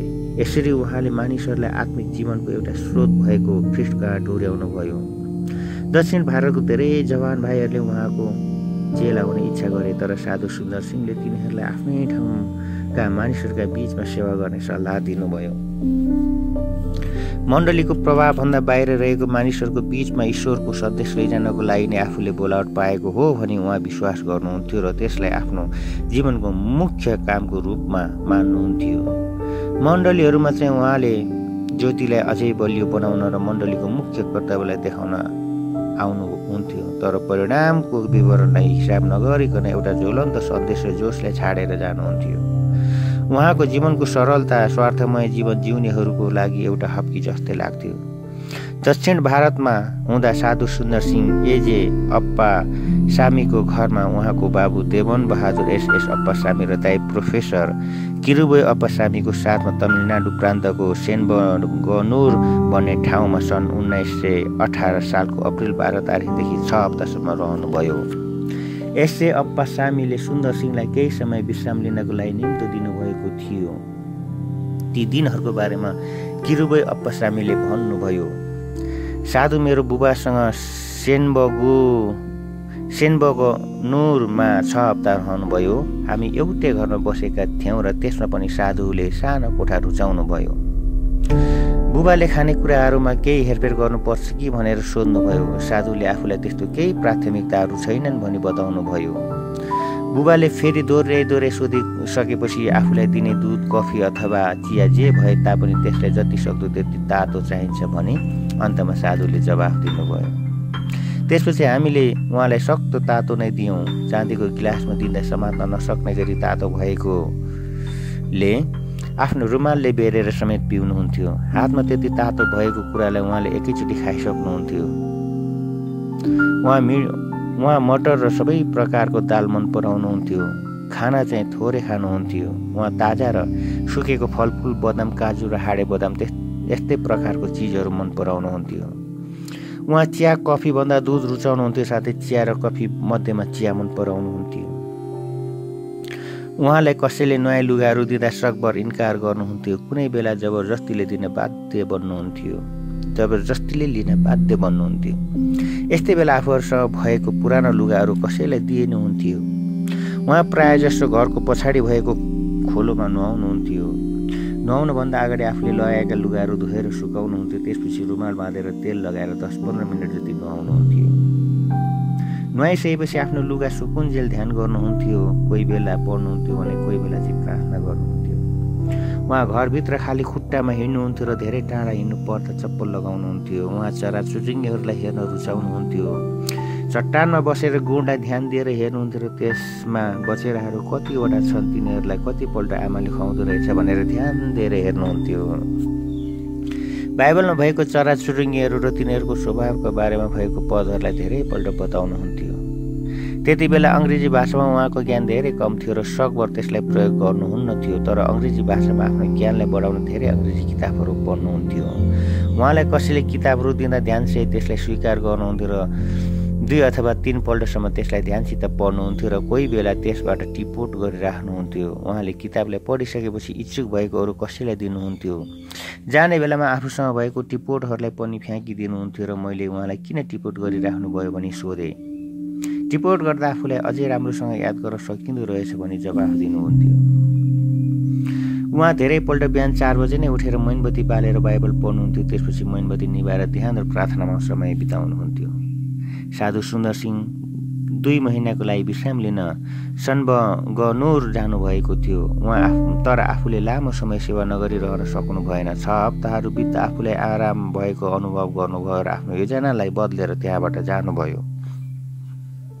सन् उन्नाइस सय अठार जुलाई बिस तारिकदेखि छब्बिस तारिकसम्म साधु सुन्दर सिंह तिरुवन्तपुरमा रेब्रेन आर्तर र श्रीमती पार्करसँग रहनुभयो।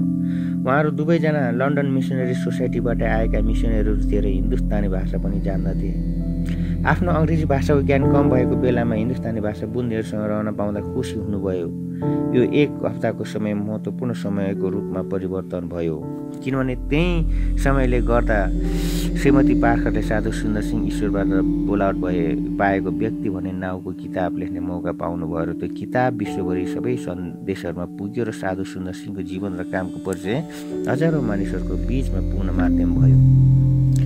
श्रीमती पाखरलाई साधु सुन्दर सिंहको जीवनप्रति चासो बढेपछि तिरुबिमापुर कुरमा भएको दिदीबहिनीहरूको उत्साहको लागि मलयाम भाषामा साधु सुन्दर सिंहको जीवन चरित्र लेख्नु उहाँको इच्छा भयो थियो। तर काम अगाडि बढ्दै जाने क्रममा अङ्ग्रेजी भाषामा पनि त्यो किताबले निकाल्नुपर्छ भन्ने सल्लाह उहाँले पाउनुभयो। एउटा गहिरो र दिगो मित्रता साधु सुन्दर सिंह र पार्करको बिचमा बढ्यो सुन्दर सिंहले एउटा छोराले आमालाई दिए जस्तै नै सबै माया पार्करलाई दिनुभयो र आमाले पनि त्यसरी नै उहाँलाई पार्करले पनि त्यसरी नै उहाँलाई प्रेम गर्नुभयो। त्यति बेलादेखि सुन्दर सिंहले आफू जहाँ भए तापनि जति व्यस्त भए तापनि पार्करलाई पत्र लेख्ने समय निकाल्नुहुन्थ्यो। र आफ्नो सबै सेवा र जीवनको विवरणहरूलाई पत्र मार्फत पार्करलाई जनाउनुहुन्थ्यो। सुन्दर सिंहले आफ्नो जीवनकालमा यसरी संयौँ पत्रहरू पार्करलाई लेख्नुभयो। श्रीलङ्कामा साधु सुन्दर सिंह।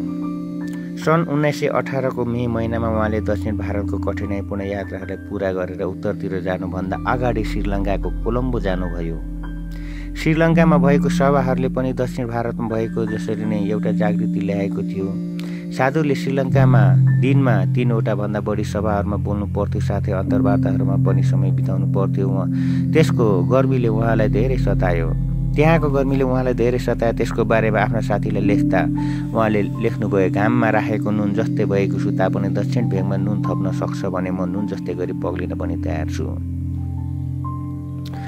दक्षिण भारत र श्रीलङ्कामा उहाँको सेवाको यात्राहरू अचम्मको हुन्थ्यो। कोलम्बोमा दैनिक उहाँको प्रचार सुन्न ठुलो भिड जम्मा हुन्थ्यो। सयौँ मानिसहरू उहाँले प्रचार गर्ने भवनको ढोकासम्म पनि पुग्न पाएनन् र रातिको समय पनि कतिले आत्मिक सल्लाहको लागि उहाँलाई भेट्न आउँथे। यसरी उहाँले भिडको बिचमा नै जीवन बिताउनु भयो पत्रिकाहरू उहाँ सम्बन्धी कुराहरूले भर्यो र हजारौँ विषयहरूको परिवारमा उहाँकै चर्चा हुन्थ्यो।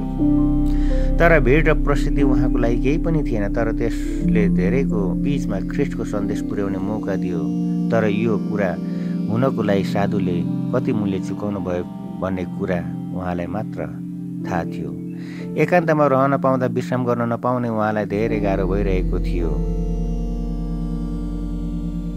जुलाई महिनामा भारत फर्किनु भयो त्यहाँबाट दक्षिण भेगको सबै काम सिधाएर एउटा सहभागी सहभागी हुनको लागि मुम्बई जानुभयो फेरि त्यहाँबाट उहाँ कलकत्ता जानुभयो जहाँ इन्फ्लुएन्जा भाइरसको रोग फैलिरहेको थियो र उहाँलाई पनि लाग्यो। उहाँले पछि लेख्नुभयो मैले दक्षिण भेगमा नपाएको विश्राम र प्रार्थनाको समय ईश्वरले मलाई यो बिरामी अवस्था भएको अवस्थामा दिनुभयो। जहाँबाट बर्मा र छेउछाउ भएका बेलायती उपनिवेशहरूमा पनि जानुभयो। विभिन्न देश र जातिका मानिसहरूले भरिएको रङ्गुन पेनङ्गन र सिङ्गापुरहरूमा उहाँले सेवा गर्नुभयो। यहाँ उहाँले चिनियाहरू युरोपियनहरू र भारतका विभिन्न ठाउँका मानिसहरूको बिचमा बोल्नुभयो र उहाँको प्रचारहरू दुईवटा भाषामा अनुवाद हुन्थ्यो। उर्दू बर्मिस तमिल तेलुगु चाइनिज र अङ्ग्रेजी भाषाहरूमा उहाँको भाषाको प्रचारको अनुवाद हुन्थ्यो। मेमी यो भन्ने ठाउँमा उहाँले पन्जाबीहरूलाई भेट्नुभयो जसले उहाँलाई आफूसँग भोजन खान निम्ति दिनुभयो झन्। उहाँ खुसी हुने गरी एउटै थालमा खाना स्वागत गर्नुभयो। पेनङमा साधुले सिखहरूको लागि सन्त जर्ज तमिल गिर्जाघरमा छुट्टै सभाको आज सभाको आयोजना गर्नुभयो। भवन मानिसहरूको भिडले भरिएको थियो र उहाँको प्रचारको अन्ततिर एकजना भलादमी सिख उठेर सबैको अगाडि उहाँलाई सिख मन्दिरमा बोल्न निम्तो दिनुभयो। त्यो सिख व्यक्तिले साधुको कामको बारेमा यसरी लेख्नुभयो। साधु गएको हरेक सहरमा आफ उहाँलाई राजकीय स्वागत भयो र उहाँको उहाँले एउटा ज्योतिको चिन्ह छाडेर जानुभयो। सन् उन्नाइस सय उन्नाइस सालको सुरुको समयहरू साधुको जीवनमा एक महत्त्वपूर्ण समय थियो। उहाँले चिन र जापानसम्म सेवा गर्न पुगेको मात्र नभएर जनवरी दुई तारिकमा अङ्ग्रेजी भाषा मात्र बोल्ने मानिसहरूको बिचमा सिङ्गापुरमा हुनुहुन्थ्यो। र भारतीय भाषाबाट अनुवाद गरिदिने कोही पनि भएन। उहाँले तुरुन्तै अङ्ग्रेजी भाषालाई नै प्रयोग गर्ने निर्णय गर्नुभयो र त्यही समयदेखि सबै ठाउँहरूमा अङ्ग्रेजी भाषामा नै बोल्नुभयो। यसको बारेमा लेख्दा साधुले अबदेखि आफूलाई अनुवादकको आवश्यकता छैन भनी भन्नुभयो तर उहाँले पहिलोपल्ट अङ्ग्रेजी भाषा प्रयोग गर्दा आफूभित्र भूकम्प गइरहेको जस्तो अनुभव गर्नुभयो। मेरो हृदयमा भएको विचारहरू निस्किने माध्यम भएन र मेरा हृदय काप्दछन् तर एउटा महत्त्वपूर्ण काम पुरा भएर यसले उहाँको सन्देशलाई पृथ्वीको पल्लो छेउसम्म लान सहायता गर्नेछ। भारतबाट निस्किसकेपछि उहाँलाई धेरैले घरमा भोजन दिए कतिले रेल मार्फत ठाउँ ठाउँमा जान सहायता गरेर विभिन्न प्रकारका मानिसहरू युरोपियन भारतीयहरू र चिनियाहरू सबैले उहाँको प्रचार सुने। यी सबैले अन्तमा दिएको गवाई एउटै छ। उहाँ साँच्चै नै ईश्वरको दास हुनुहुँदो रहेछ र सबै मानिसहरूको लागि उहाँ कहाँ सन्देश छ। उहाँ साँच्चै नै ईश्वरको दास हुनुहुँदो रहेछ र सबै मानिसहरूको लागि उहाँ कहाँ सन्देश छ। साधु सुन्दर सिंहको जीवन चरित्र पढ्ने हरेकले उहाँले पूर्ण रूपमा जीवनको हरेक थोकको लागि ईश्वरमाथि नै भरोसा राखेको र ईश्वरले उहाँको विश्वास अनुसार नै प्रशस्त इनाम दिनुभएको कुरा थाहा पाउन आउँछ। क्रिसले भन्नुभयो आफ्नो जीवनको लागि फिक्री नगर के खाउला के पिउला के गरौँला के पहिरौँला भन्ने शब्दहरूलाई उहाँले पूर्ण रूपमा प्रयोगत्मक रूपमा आफ्नो जीवनमा लागू गर्नुभयो र स्वर्गमा हुनुहुने आफ्नो पिताले आफूलाई यी सबै थोकको खाँचो छ भने जान्नुहुन्छ भने बिना शङ्का विश्वास गर्नुहुन्थ्यो। भारतबाट बर्मा पेनाङ पेराक सिङ्गापुर चिन र जापानसम्म विभिन्न भाषा र जातिको मानिसहरूका बिचमा बदल्ने विभिन्न मौसममा हातमा पैसा नबोकी यात्रा गर्नु भन्ने कुरा ईश्वरप्रति भएको उहाँको विश्वासको ताजा प्रमाण हो। त्यही नै बलियो र साधारण विश्वासले उहाँलाई सानो उमेरमा नै घर त्यागेर कठोर र सत्कार नपाइने तिब्बततिर जान उन्मुख गरियो। त्यसले नै ईश्वरको बोलावटलाई स्वीकार गरेर आनाकानी नगरी यसरी टाढा र नचिनेको मानिसहरूको बिचमा जान सहायता गरियो। हुरी बतासले भरेको त्यो तिब्बत भन्ने पटारको थोरै सङ्ख्यामा भएको मानिसहरूले सुन्दरको सन्देशलाई स्वीकार नगरी बोक्कै जङ्गलतिर खेदे तापनि त्यही तिब्बतमा नै उहाँले अचम्मको अनुभवहरू बटुल्ने मौका पाउनुभयो र त्यही सेवाले नै उहाँ ईश्वरबाट बोलाइएको र वास्ता गरिएको मानिस हो भन्ने कुराको प्रमाण दियो। उहाँ हिम शिखरहरूमा एक्लै महिनौ हिँडी डुली हिँड्नुभयो। र ती पहाडहरूलाई प्रेम गर्न सिक्नुभयो। त्यही नै उहाँले ईश्वरको शक्तिशाली कामलाई देख्नुभयो र उहाँको सुमधुर स्वरलाई सुन्नुहुन्छ। यो एकान्त वातावरण उहाँ वातावरणमा उहाँले दर्शनहरू मात्र देख्नु भएन। तर समतल ठाउँहरूमा भिडहरूको बिचमा सेवा गर्ने शक्ति पनि पाउनुभयो। तिब्बतबाट फर्किसकेपछि साधु सुन्दर सिंह पन्जाबको गाउँहरूमा प्रचार गर्दै सन् उन्नाइस सय उन्नाइसको अक्टोबर दस तारिकमा लुधियाना पुग्नुभयो। लुधियानाबाट आफ्नो वृद्ध बुबासँग केही दिनहरू बिताउन आफू जन्मेको गाउँ रामपुर जानुभयो। आफूले बत्तिसमा पाएको समयदेखि आफ्नो बुबाको मन परिवर्तन भएर ख्रिस्टलाई पछ्याउनको लागि चौध वर्षसम्म उहाँले प्रार्थना गरिरहनु भएको थियो। अहिले सुन्दर सिंहले रामपुरमा बुबालाई भेट्दा आफू इसाई हुन चाहेको कुरालाई बुबा शेर सिंहकै मुखबाट सुन्न पाउने ठुलो आनन्दलाई अनुभव गर्नुभयो। यो ईश्वरलाई धन्यवाद दिने एउटा मुख्य कुरा थियो र साधु सुन्दर सिंहको हृदय आनन्दले भरियो। श्रेय सिंहले भन्नुभयो तिमीले मेरो आत्मिक आँखाहरूलाई खोलिदियौ त्यसैले तिमीले नै मलाई बत्तिस्न दिनुपर्छ। तर सुन्दर सिंहले त्यसो गर्न इन्कार गर्नुभयो। उहाँले सुसमाचार प्रचार गर्नु आफ्नो कर्तव्य हो तर बत्तिस दिनु होइन भन्ने कडा निर्णय सधैँको लागि लिनुभएको थियो र त्यो काम मण्डलीमा भएको अभिषिक्त सेवकहरूद्वारा गरिनुपर्छ भन्ने विचार उहाँले लिनुहुन्थ्यो। सुन्दर सिंहले आफ्नो बुबालाई भन्नुभयो मैले सयौँ अरू मानिसहरूलाई बत्तिस दिन इन्कार गरेको छु र तपाईँलाई पनि म कसरी बत्तिस दिन सक्छु? कारणवश सुन्दर सिंहको बुबा कसैबाट बत्तिस नलिई बित्नुभयो उहाँले अङ्ग्रेजी भाषामा स्वीकार योग्य तरिकाले बोल्न र प्रचार गर्न सिक्ने भएको पनि थियो अनि उहाँको कार्यक्षेत्रहरू बिस्तारै बिस्तार हुँदै हुँदै गइरहेको थियो। उहाँले एक दिन राति प्रार्थना गरिरहँदा बेलायतमा जान स्पष्ट बोलावट पाउनुभयो र जस जसले जिउँदो क्रुसको अनुभव गर्नुभयो उहाँहरूले आफूले पाएको पूर्ण शान्ति र आनन्द अरूहरूलाई बताउनु पर्छ भन्नुभयो भन्नु उहाँको इच्छा थियो। उहाँको बुबा अहिले इसाई धर्मप्रति असल धारणा बोक्ने व्यक्ति हुनुहुन्थ्यो र त्यसैले साधु सुन्दर सिंहलाई बेलायत जानको लागि चाहिएको खर्च दिनुभयो। सन् उन्नाइस सय बिस जनवरी सोह्र तारिक उहाँले मुम्बईबाट यात्रा सुरु गर्नुभयो। सदा चाहिँ उहाँले कुनै पनि कार्यक्रमहरू तयार गर्नुभएको थिएन। यात्रामा हुँदा बेलायतमा भएको साथीहरूले उहाँ आउने कुरा थाहा पाए। एकतिस वर्ष वर्षको अग्लो जवान साधु वस्त्र पहिरेको सुन्दर सदा जसरी चप्पल पनि नलाइकन बेलायतमा ओर्लनु भयो उहाँको व्यक्तित्व र सन्देशले सबै वर्गका मानिसहरूलाई प्रभाव पार्यो ताकि सुन्दर बोल्नुहुन्छ भन्ने सूचनाले जति सुकै ठुलो सभा भवन र मण्डलीलाई पनि भरिदिन्थ्यो। बौरी उठेको क्रिसले मात्रै समस्याग्रस्त संसारलाई शान्ति दिन सक्छ भन्ने सन्देश उहाँको महत्त्वपूर्ण अनुभवबाट नै सिकेर आफूहरूको बिचमा आउनुभएको छ भन्ने कुरालाई हरेकले महसुस गरे। बाटोमा हिँड्दा उहाँको साधुको वस्त्र र पगरीले उहाँलाई विशिष्ट बनाएर आफ्नो इच्छाको रङसँग मिल्ने एउटा वर्षादी पनि उहाँ सधैँ लगाउनुहुन्थ्यो।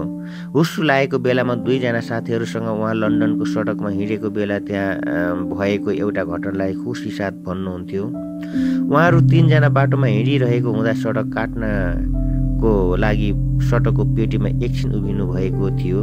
त्यति नै बेला एकजना स्त्री पत्र पठाउन आउनुभएको थियो। त्यो मधुरो उज्यालोमा सुसु लागिरहेको हुँदा रातो देखिने साधुको वस्त्रलाई देखेर हुलाक बक्स सम्झेर आफ्नो पत्रलाई उहाँभित्र हाल्न कोसिस गर्नुभयो। हुलाक बक्साले चिठी मलाई दिनु म पठाइदिने छु भनी भन्दा उहाँ झसङ्ग हुनुभयो। सुन्दर जहाँ जहाँ जानुभयो उहाँ त्यहाँका धर्मगुरुहरू दर्शनशास्त्रीहरू र वैज्ञानिकहरूले उहाँको आत्मिक अनुभवहरूलाई जाँच गर्न खोजे। सबैले उहाँको आत्मिक अनुभवहरूलाई विश्वास गर्न नसके तापनि स्पष्ट देखिरहेको निष्कपटपनलाई विश्वास गरे। बेलायतकी रानीले उहाँलाई चिया चियापानको लागि निम्तो दिनुभयो। उहाँले रानीलाई इज्जत गरे तापनि त्यही समयमा एउटा सभाको आयोजना पहिले नै निश्चित भइसकेकोले अति अप्ठ्यारो महसुस गर्नुभयो र के निर्णय गर्ने भन्ने कुरामा उहाँ दोधारमा पर्नुभयो। अन्तमा त्यही नै समयमा आयोजना भएको सभामा दुई हजारभन्दा बढी मानिसहरू भेला हुने भएकोले आफूले उनीहरूलाई निराश तुल्याउन नचाहेको कुरा रानीलाई एउटा पत्र मार्फत जनाएर क्षमा माग्नुभयो। रानीले पनि अनुग्रह साथ उहाँको पत्रलाई स्वीकार गर्नुभयो तर त्यो निम्तोलाई स्वीकार न गर्न नसकेकोमा सुन्दरले दुःख मात्र मान्नुभयो। बेलायतमा तिन महिना बिताइसकेपछि अमेरिका जानुभयो र धेरै ठुलो सभाहरूमा प्रचार गर्नुभयो। त्यहाँ धन कमाउनको लागि मानिसहरू हतारिएको देखेर उहाँ चक्क पर्नुभयो। यही सबै थाकेका र बोझले दबिएका हो म कहाँ हो म तिनीहरूले विश्राम दिनेछु भन्ने ख्रिस्टको शब्दहरू पूर्वीय देशको लागि मिल्छ तर साधुको विचार अनुसार ख्रिस्टले अमेरिकालाई त्यसरी भन्नुहुन्छ यसरी भन्नुहुन्छ। यस सबै सुनले दबिएका हो म कहाँ हो म तिमीहरूलाई विश्राम दिनेछु। तापनि फेरि उहाँले भन्नुभएको थियो ईश्वरका मानिसहरू विश्वभरि छन् र उहाँको आफ्नो साथीहरू पश्चिम र अन्य ठाउँहरूमा पनि छन्। उहाँलाई एउटा ठुलो विश्वविद्यालयमा बोल्नको लागि निम्ति दिएको थियो। त्यहाँ पुग्दा विश्वविख्यात साधु यहाँ बोल्नुहुनेछ भने ठुलो अक्षरले लेखेको ब्यानर देख्नुभयो। त्यसले उहाँलाई आघात तुल्याएर भन्नुभयो म त्यो देख्दा लज्जित भएर असिन पसिन भएँ। पश्चिमी राष्ट्रहरूको जनजीवन भौतिकवादले भरेको देख्नुभयो तर आफू पाहुना बसेको घरहरूमा भएको भक्तिलाई सधैँ सम्मान गरेर बोल्नुहुन्थ्यो। अमेरिकामा दुई महिना बिताएपछि त्यहाँबाट अस्ट्रेलिया जानुभयो। त्यहाँ पनि मुख्य सहरहरूका मानिसहरूले उहाँलाई स्वागत गरे र उहाँको सभाहरूले धेरै परिवर्तन ल्याए। सन् उन्नाइस सय बिसमा उहाँ मुम्बई फर्कनुभयो। देशभक्ति त्यति बेला भारतमा धेरै उच्च अवस्थामा थियो। देशभक्ति भएको इसाईहरूले उहाँको आगमनलाई विशेष बनाउने विचार गरे। चेन्नई र दक्षिण भारतमा उहाँको लागि विशेष स्वागतको कार्यक्रमहरू आयोजना भएका थिए र पश्चिमलाई जितेको मानिस भनी उहाँको बारेमा विज्ञापन गरे। तर उहाँले आफूलाई त्यसरी विशेष व्यक्ति बनाएको चाहनु भएन र कसैलाई थाहा नहुने गरी चुपचाप जानुभयो। उहाँले पछि भन्नुभयो म मुम्बई फर्किरहेको यात्रामा श्रीलङ्काको कोलम्बोमा आइपुग्दा मद्रासमा मेरो लागि भइरहेको तयारीको बारेमा थाहा पाएँ र म मेरो इसाई दाजुभाइ तथा दिदीबहिनीहरूलाई धन्यवाद दिन चाहन्छु। मेरो लागि भएको तयारी मैले बोक्न नसक्ने ठुलो क्रुस जस्तै मलाई लाग्यो। क्रिसको लागि भोके बस्नु अथवा झ्यालखानामा बस्नु बरु सजिलो छ तर यो स्वागत एउटा धेरै नै ठुलो क्रुस हो जसले त्यसैले कसैलाई नबताइकन म सिधै मुम्बई आइपुगेँ। सेवाहरू सकेर फर्किँदा रहनलाई एउटा निश्चित ठाउँको आवश्यकता देखेर सुबाथु बजारको पल्लो छेउमा भएको एउटा पुरानो विद्यालयको भवनलाई किन्नुभयो र हरेक सेवाको यात्रा पछि शान्त वातावरणमा विश्राम लिन त्यहाँ जानु आउनुभयो। जीवनको अन्तिम पाँच वर्षहरूमा यसरी नै उहाँले बिताउनु भयो युरोपमा भएको धेरैजना मानिसहरू उहाँको सन्देशलाई सुन्न अत्यन्त इच्छुक भएको कारणले उहाँलाई युरोपमा आउन धेरै निम्तहरू आए। सन् उन्नाइस सय बाइसको जनवरी उन्नाइस तारिक उहाँ मुम्बईबाट मिश्र देशमा जानुभयो र त्यहाँबाट प्यालेस्टाइनमा विलियम बिलाक्सको घरमा पाहुना भएर रहनुभयो। यसु ख्रिस्ट हिँडेको ठाउँहरूमा हिँड्न पाउँदा सोलोमनको मन्दिर भएको पहाडमा उभिन पाउँदा यशु ख्रिस्टको च्यान हेर्न पाउँदा र नासत टेबेरियस र गालिल समुद्र जाँदा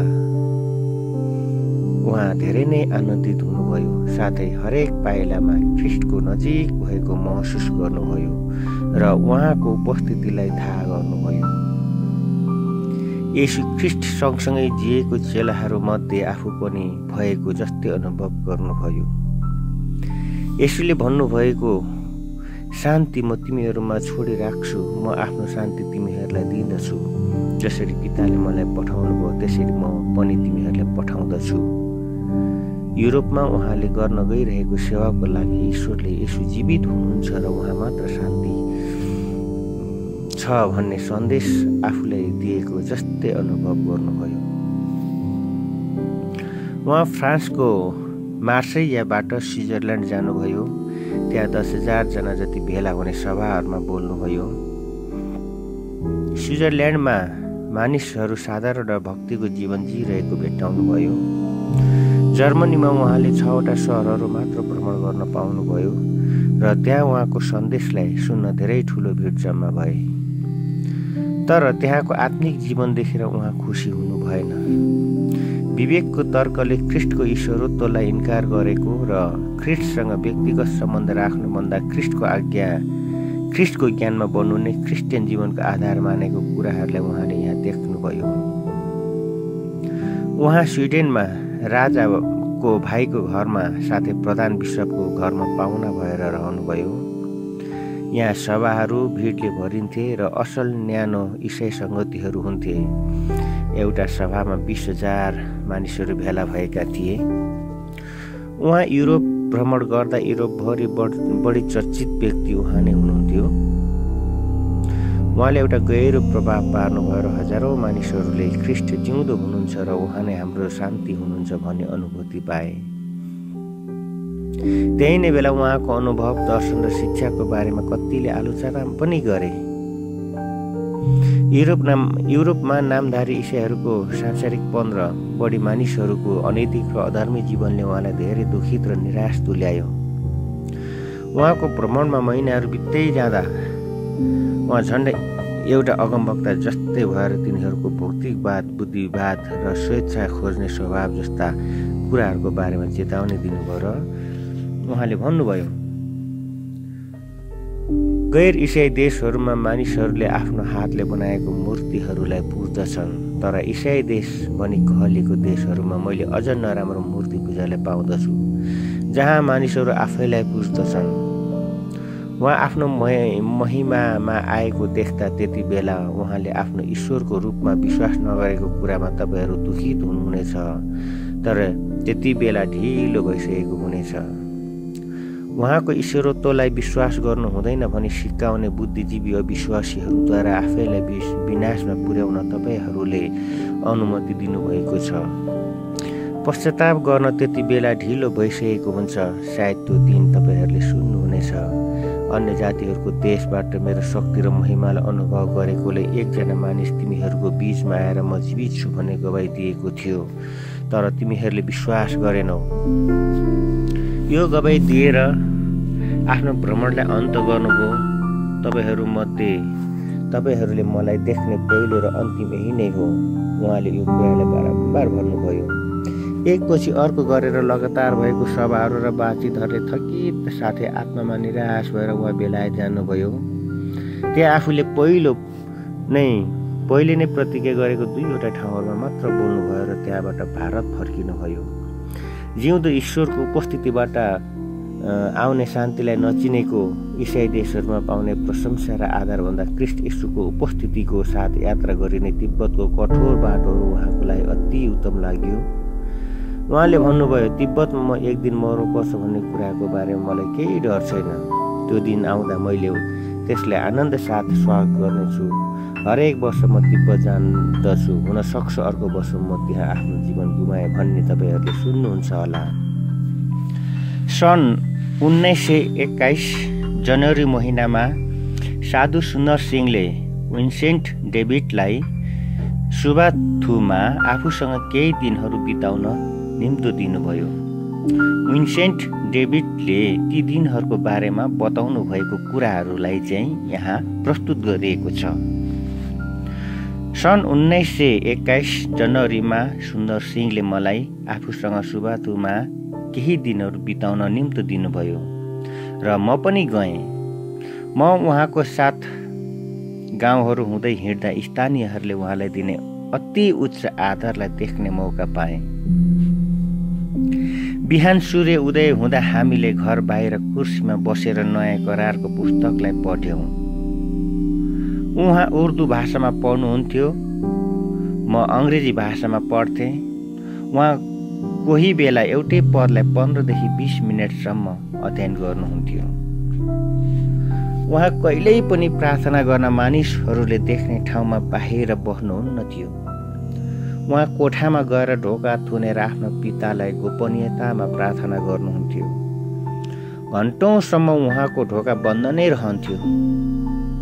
र मलाई केही काम पर्यो भने उहाँ अझै प्रार्थना गर्दै हुनुहुन्छ कि अथवा सक्नुभयो भने सिसाको झ्यालबाट हेर्थेँ। मैले निश्चित रूपमा भन्न नसके पनि मलाई लाग्थ्यो उहाँ हरेक दिन सामान्यतः चारदेखि छ घन्टासम्म प्रार्थना गर्नुहुन्थ्यो।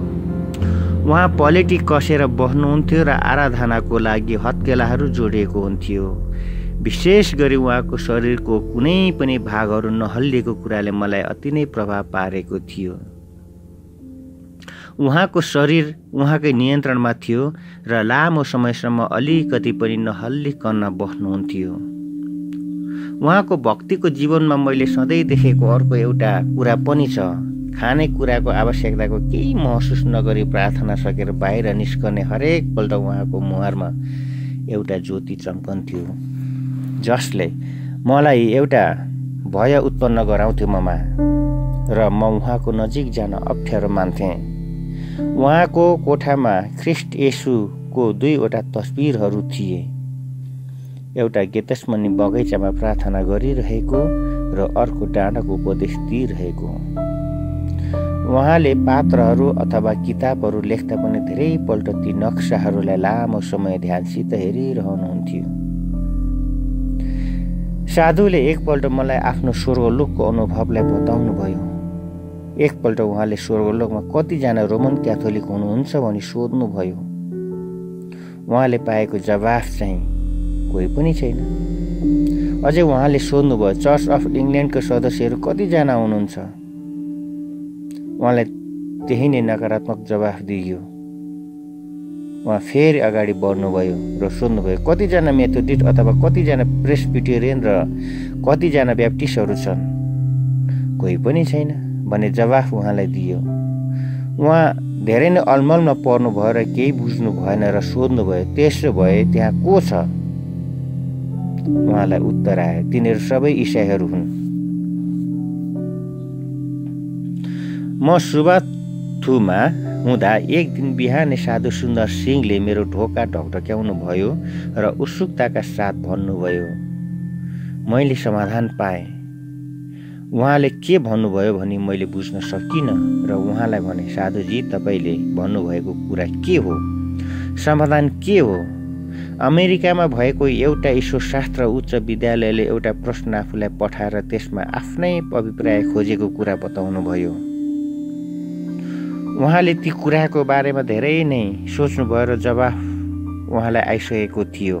सोधेको प्रश्न यस्तो थियो सबै कुरा ईश्वरकै इच्छा अनुसार हुँदैछ भने प्रार्थनाको आवश्यकता के हो? हामीले प्रार्थना गरे पनि नगरे पनि जे हुन गइरहेको छ त्यो त हुनेछ। साधुले यसको जवाफ अन्डाहरू भएको एउटा गुणबाट आएको कुरा मलाई बताउनु भयो उहाँले झ्यालबाट एउटा चराको गुडलाई दिनानुदिन हेरिरहनु भएको थियो।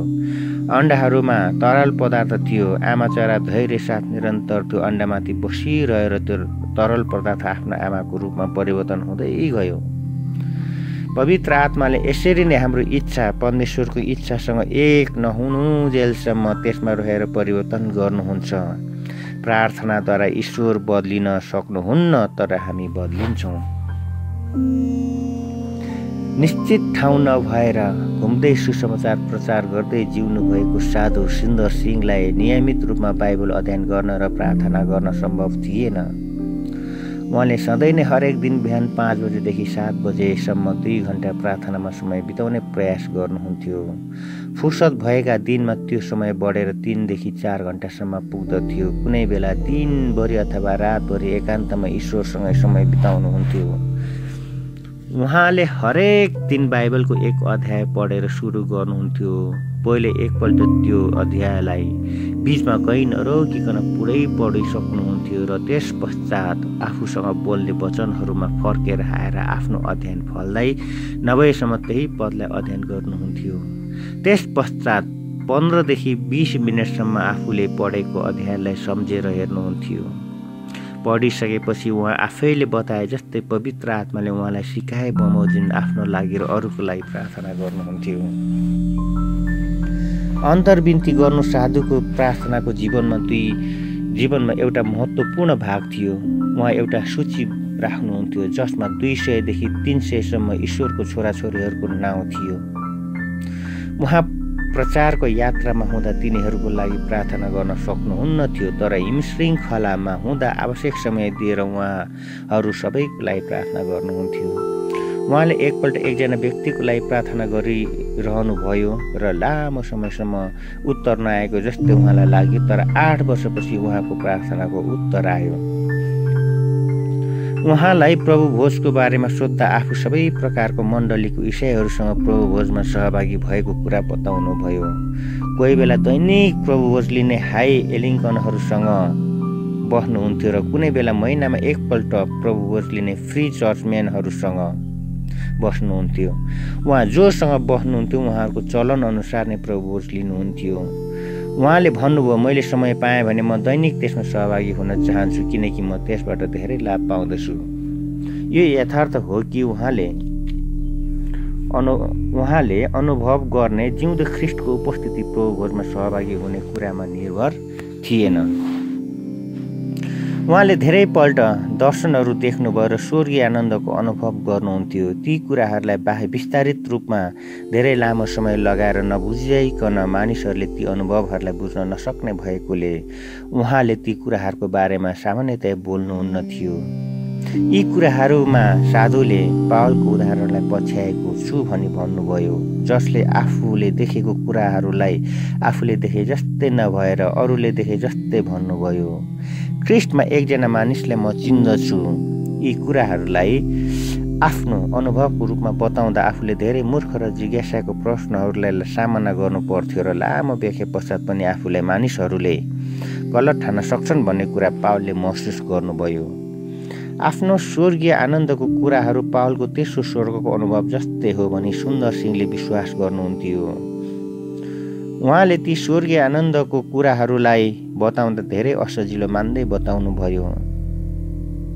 उहाँको स्वर्गीय आनन्दको कुराहरूमा धेरैवटा मुख्य विशेषताहरू छन्। जस्तै एक नम्बरमा उहाँले स्वर्गीय आनन्दको अनुभव धेरैपल्ट गर्नुहुन्थ्यो। जीवनको पछिल्ला समयहरूमा उहाँ महिमाको महिनाको दसपल्टसम्म त्यो अनुभवमा प्रवेश गर्नुहुन्थ्यो। उहाँले भन्नुभयो म कहिल्यै पनि यो स्वर्गीय आनन्दको अनुभवमा आफै प्रवेश गर्ने प्रयास गर्दिनँ न त अरूलाई त्यो अनु यो अनुभव पाउन प्रयास गर्ने सल्लाह दिन्छु। यो स्वीकार गर्नुपर्ने वरदान हो तर यसको खोजी गर्नु हुँदैन। पाएमा यो एउटा बहुमूल्य मोती हो। मैले चौध वर्षको साधु जीवनमा भोक तिर्खा र सतावटको दुःख भोग्दा यो स्वर्गीय आनन्दको अनुभवहरू पाएको थिइनँ भने त्यो साधु जीवनलाई त्यागिदिने परिसीमा पर्न सक्थेँ तर यी आनन्दहरूको सट्टामा संसारलाई नै दिए तापनि म यसलाई छोड्दिनँ। दोस्रोमा उहाँको सबै दर्शनहरूमा नफेरिने एउटा दृश्य हुन्थ्यो जसलाई उहाँले यसरी व्याख्या गर्नुहुन्थ्यो। सिंहासनमा विराजमान भएको ख्रिस्ट मध्यभागमा हुनुहुन्थ्यो जसको रूप व्याख्या गर्न नसक्ने गरी अवर्णनीय हुन्थ्यो। उहाँको मुहार जुन स्वर्गीय आनन्दमा आत्मिक आँखाले देखेँ त्यो मैले उद्धार पाउँदा शारीरिक आँखाले देखेको मुहार नै थियो। उहाँको शरीरमा चोटहरू थिए जसबाट रगत बगिरहेको थियो। यी चोटहरू घिनलाग्दा थिएनन् तर चम्किला सुन्दर थिए। उहाँको मुहारमा दारी थियो र उहाँको लामा केसहरू सुन जस्तै चम्किरहेका थिए। उहाँको मुहार सूर्य जस्तै थियो तर त्यो ज्योतिले उहाँलाई हेर्न नसक्ने तुल्याएन उहाँको मुहार सुन्दर र सधैँ हँसिलो थियो। त्यो मुस्कुराहट प्रेम र महिमाले भरिएको थियो र ख्रिस्ट हेर्नको लागि डरलाग्दो हुनुहुन्न थियो। सिंहासन ख्रिस्टको सिंहासनको वरिपरि आँखाले देख्न नसक्ने टाढासम्म अनगिन्ती महिमित आत्मिक जीवनहरू थिए। कुनै सन्तहरू थिए र कुनै स्वर्गदूतहरू थिए। तिनीहरूलाई मैले छुट्याउन सकिनँ तिनीहरूले मलाई भने भिन्नता मुख्य होइन यहाँ हामी सबै एकै हौँ। तिनीहरू सबै ख्रिस्टका भाइहरू जस्तै देखिन्थे। तिनीहरू सबै महिमित थिए तर ख्रिस्टको महिमा तिनीहरूको भन्दा अति नै धेरै थियो। तिनीहरूको महिमाको नाप भएको भिन्नता रङ्गको भिन्नता जस्तै देखिन्थ्यो तर खासै रङको भिन्नता चाहिँ होइन। तिनीहरूको लुगाहरू विभिन्न रङको ज्योतिले बनिएको जस्तै देखिन्थ्यो जसले आँखालाई असजिलो बनाएन। त्यहाँ संसारमा भएको भन्दा धेरै रङहरू थिए। हिरा र बहुमूल्य पत्थरहरू पनि त्यहाँको तुलनामा सुन्दर तुलनामा सुन्दर छैनन्। तिनीहरू मसँग बोल्दा एकैचोटि आफ्नो विचारलाई मेरो मनमा राखिदिन्थे जसरी संसारमा हामी कोही बेला एकजना व्यक्तिले बोल्नुभन्दा अगाडि ऊ के बोल्न गइरहेछ भने थाहा पाउँछौँ। मलाई त्यो आत्मिक संसारको भाषा सिक्न परेन। अब यो शरीर छोडेर आत्मिक संसारमा प्रवेश गर्दा जसरी एउटा नाबालकले पहिले कहिल्यै पनि सास नफेरे तापनि जन्मने बित्तिकै सास फेर्न सुरु गर्छ त्यसरी नै हामी पनि स्वाभाविक रूपमा सजिलै बोल्न थाल्छौँ। यो दर्शनमा हामी तिनीहरूसँग अचम्मको बातचित गर्छौँ। प्रेरितहरूको विश्वासको सारमा भनिएको वास्तविक सन्तहरूको सहभागिता यही नै हो। हामी धेरै आत्मिक कुराहरू र समस्याहरूको बारेमा कुरा गर्छौँ जसको उत्तर कसैले दिन सक्दैन तर यहाँ यो सन्तहरूको समूहले ती कुराहरूको उत्तर सजिलैसँग दिन्छन्। त्यसै गरी तेस्रोमा उहाँले स्वर्गीय आनन्दमा देखेका दर्शनहरूको मुख्य विषयहरू पुनरुत्थान न्याय स्वर्ग र नरक थिए। यी विषयहरूले उहाँलाई धेरै नै खिचियो र उहाँले यी कुराहरूको बारेमा सधैँ मनन गर्नुहुन्थ्यो। उहाँ यसरी स्वर्गीय आनन्दमा हुँदा ईश्वरले यी कुराहरूको बारेमा उहाँको फाइदाको लागि नयाँ प्रकाशहरू दिनुभयो भने पक्का विश्वास गर्नुहुन्थ्यो। चौथोमा यो स्वर्गीय आनन्दको समयहरूमा उहाँले साधारण जीवनभन्दा बढी समयसम्म स्पष्ट रूपमा ध्यानलाई केन्द्रित गर्न सक्नुहुन्थ्यो। स्वर्गीय आनन्दको अनुभव बिउजेको अवस्थामा हो सपनामा होइन।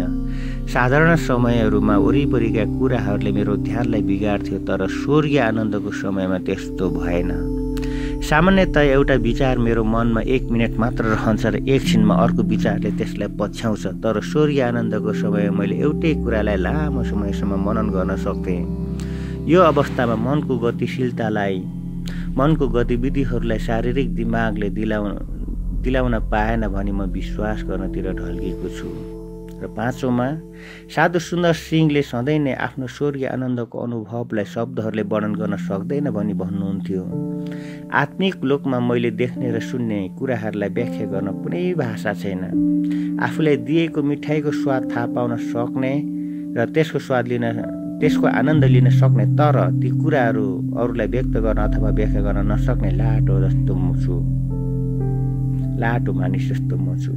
छैटौँमा उहाँले यो स्वर्गीय आनन्दमा प्रवेश भएको अवस्थामा हुँदा बाह्य संसारिक कुराहरूलाई थाहा पाउन सक्नुहुन्न थियो। एकपल्ट उहाँ रुखमुनि प्रार्थना गर्दा यो अवस्थामा प्रवेश गर्नुभयो। उहाँको शरीरलाई बारुलाहरूले चिल्लियो र शरीर पुरै सुन्निएको थियो तर उहाँले केही थाहा पाउनु भएको थिएन। सातौँमा साधु सिन्धर सिंह यो अनुभवबाट फर्किसकेपछि आफू शरीर र आत्मामा ताजा भएको कुरालाई बताउनुहुन्थ्यो। यी सम्बन्ध यी समयहरूमा साधु सुन्दर सिंहले तिब्बततिरको अर्को सुसमाचारीय यात्राहरू सुरु गर्नुभयो। उहाँले बताउनु भएको विवरणहरू छोटकरी म यहाँ दिइन्छ। सन् उन्नाइस सय एक्काइस मे महिनाको सुरुवातमा मैले सुबातुबाट तिब्बततिरको यात्रा सुरु गरेँ। म सिमाला हुँदै कोटगढ पुगेँ। त्यहाँबाट तिब्बती भाषामा केही ज्ञान भएका श्रीमान राइट्सले मसँग यात्रा सुरु गर्नुभयो। हामीले रोटोङ्स पासमा धेरै कठिनाइलाई सामना गर्नुपर्ने भयो। मे महिनाको बिस र एक्काइस तारिकमा हिउँ पर्यो र जाडो अत्यन्तै बढियो। जाडो यति कठोर थियो कि हाम्रो छालाको रङलाई नै निलो कालो बनाइदियो र छालाहरू उम्किन थाले। हामी प्रार्थना गर्दै अगाडि बढ्यौँ। हामी रोटोङ्स पासबाट शिशु र गन्दल हुँदै क्ल्या क्यालाङ्गम पुग्यौँ र मुराबी मिसनरीहरूले तिब्बतीहरूको बिचमा धेरै परिश्रम गरेका छन्। यहाँ एउटा इसाई समाज छ जसमा सबै मिलेर झन्डै पचासजना जति हुन्छन्। तिनीहरूले हाम्रो लागि एउटा सभाको आयोजना गरेका थिए र मैले प्रचार गरेँ। तर यहाँ श्रीमान राइस गम्भीर रूपमा बिरामी हुनुभयो। त्यसैले हामी आएको बाटो हुँदै फर्किन बाध्य भयौँ। उहाँले यति उचाइ र जाडोलाई सामना गर्न सक्नु भएन तर कठोर परिस्थितिहरूको सामना गर्ने बानी भएको कारण मलाई त्यति समस्या भएन। श्रीमान राइट सिमला फर्किनुभयो र म अर्को एउटा जवान तिब्बती इसाईसँग अर्को बाटो हुँदै तिब्बत फर्केँ। यो जवान भाइले मेरो काममा धेरै सहायता पुर्यायो। एक दिन मेरो सहयात्रीलाई छोडेर म अगाडि बढिरहेको बेला एउटा जङ्गली याक मतिर आइरहेको अचानक मैले देखेँ त्यो मरुभूमिमा रुखहरू नभएको कारण मलाई उम्कन बाटो छैन जस्तो लाग्यो। मैले एउटा अग्लो चट्टान देखेर याकले मलाई आक्रमण गर्नुभन्दा अगाडि म त्यसमा चढ्न सफल भएँ। रिसाएको याकले आफ्नो खुट्टाले जमिनलाई खोस्न थाल्यो र मेरो शरणको चट्टानको वरिपरि घुमियो। त्यतिखेर समयमा मेरा या सहयात्री र अरू कुनै मानिसहरू त्यो ठाउँमा आइपुगेर याकलाई हेरेर हकारेर ढुङ्गाले हाने र त्यसलाई घाइते पारेर त्यहाँबाट भगाए। तर त्यो हल्लाले त्यहाँको नजिकै गुफामा बसोबास गर्ने डाकाहरूलाई त्यहाँ लागि त्यहाँ लागि ला ल्यायो र हामी तिनीहरूसँग जान बाध्य भयौँ। हामी जङ्गली जनावरबाट उम्क्यौँ तर जङ्गली मानिसहरूको हातमा पऱ्यौँ मेरो अनुभवमा मैले जङ्गली मानिसहरूबाट भन्दा जङ्गली जनावरहरूबाट कम दुःख पाएको छु। डाकाहरूले हामीसँग भएका सबै थोक लुटे तर हामी जीवित रहन पाएकोमा धन्यवादी भयौँ। एउटा असल मौका पारेर मैले तिनीहरूलाई सुसमाचार सुनाएँ। ईश्वरको आत्माको प्रभावद्वारा त्यो सन्देशले तिनीहरूको हृदयलाई यति छोयो कि एक घन्टाभित्र तिनीहरूले हाम्रो सबै थोक फिर्ता दिए। मलाई इसाई लामा ठानेर विशेष भोटे चिया तयार पारे हाम्रो शत्रुहरूको सामुन्ने हामीलाई भोज तयार पारेकोमा हामीले सुरुमा ईश्वरलाई प्रशंसा चढाएर धन्यवाद दियौँ। त्यसपछि एउटा कठिनाइ आयो। मेरो लागि चिया हाल्न ठिक्क पारेको कप धेरै नै मैलो थियो। मैले भने सक्नुहुन्छ भने दया गरी यो कपलाई सफा गर्नुहोला। एकजनाले जवाफ दियो निश्चय नै के तपाईँले सम्माननीय सम्माननीय पाहुनालाई भाँडा धुन लाउँछु भनी सोच्नुभयो। तुरुन्तै उसले आफ्नो छ इन्च लामो भएको कपाल कपको तल्लो भागसम्म पुग्न सक्ने जिब्रो निकालेर कपको भित्री भागलाई चाट्न थाल्यो। मैले केही पनि भन्न सकिनँ तर त्यो कपमा चिया हालेर दिँदा त्यसलाई पिउनको सट्टा मैले त्यसले त्यो कपलाई धोएँ। तिनीहरू आश्चर्यचकित भएर हाँस्न थाले। मेरो सहयात्रीले त्यसको बारेमा बताएर भारतमा ढाकालाई प्रयोग गर्नुभन्दा अघि धुने चलन छ भनी भन्नुभयो। उत्तर दिएर उत्तर दिएर त्यसको केही काम छैन किनभने यसरी भाँडाहरूलाई धुन आवश्यक छ भने हरेक व्यक्तिले आफ्नो पेटको भित्री भागलाई दैनिक रूपमा धुनुपर्छ भनी तिनीहरूले भने। हामीले यसरी नै सातु खायौँ चिया पियौँ र प्रार्थना गऱ्यौँ र सुत्न गयौँ। केही समयसम्म पश्चिम तिब्बतमा कामलाई निरन्तरता निरन्तरता दियौँ।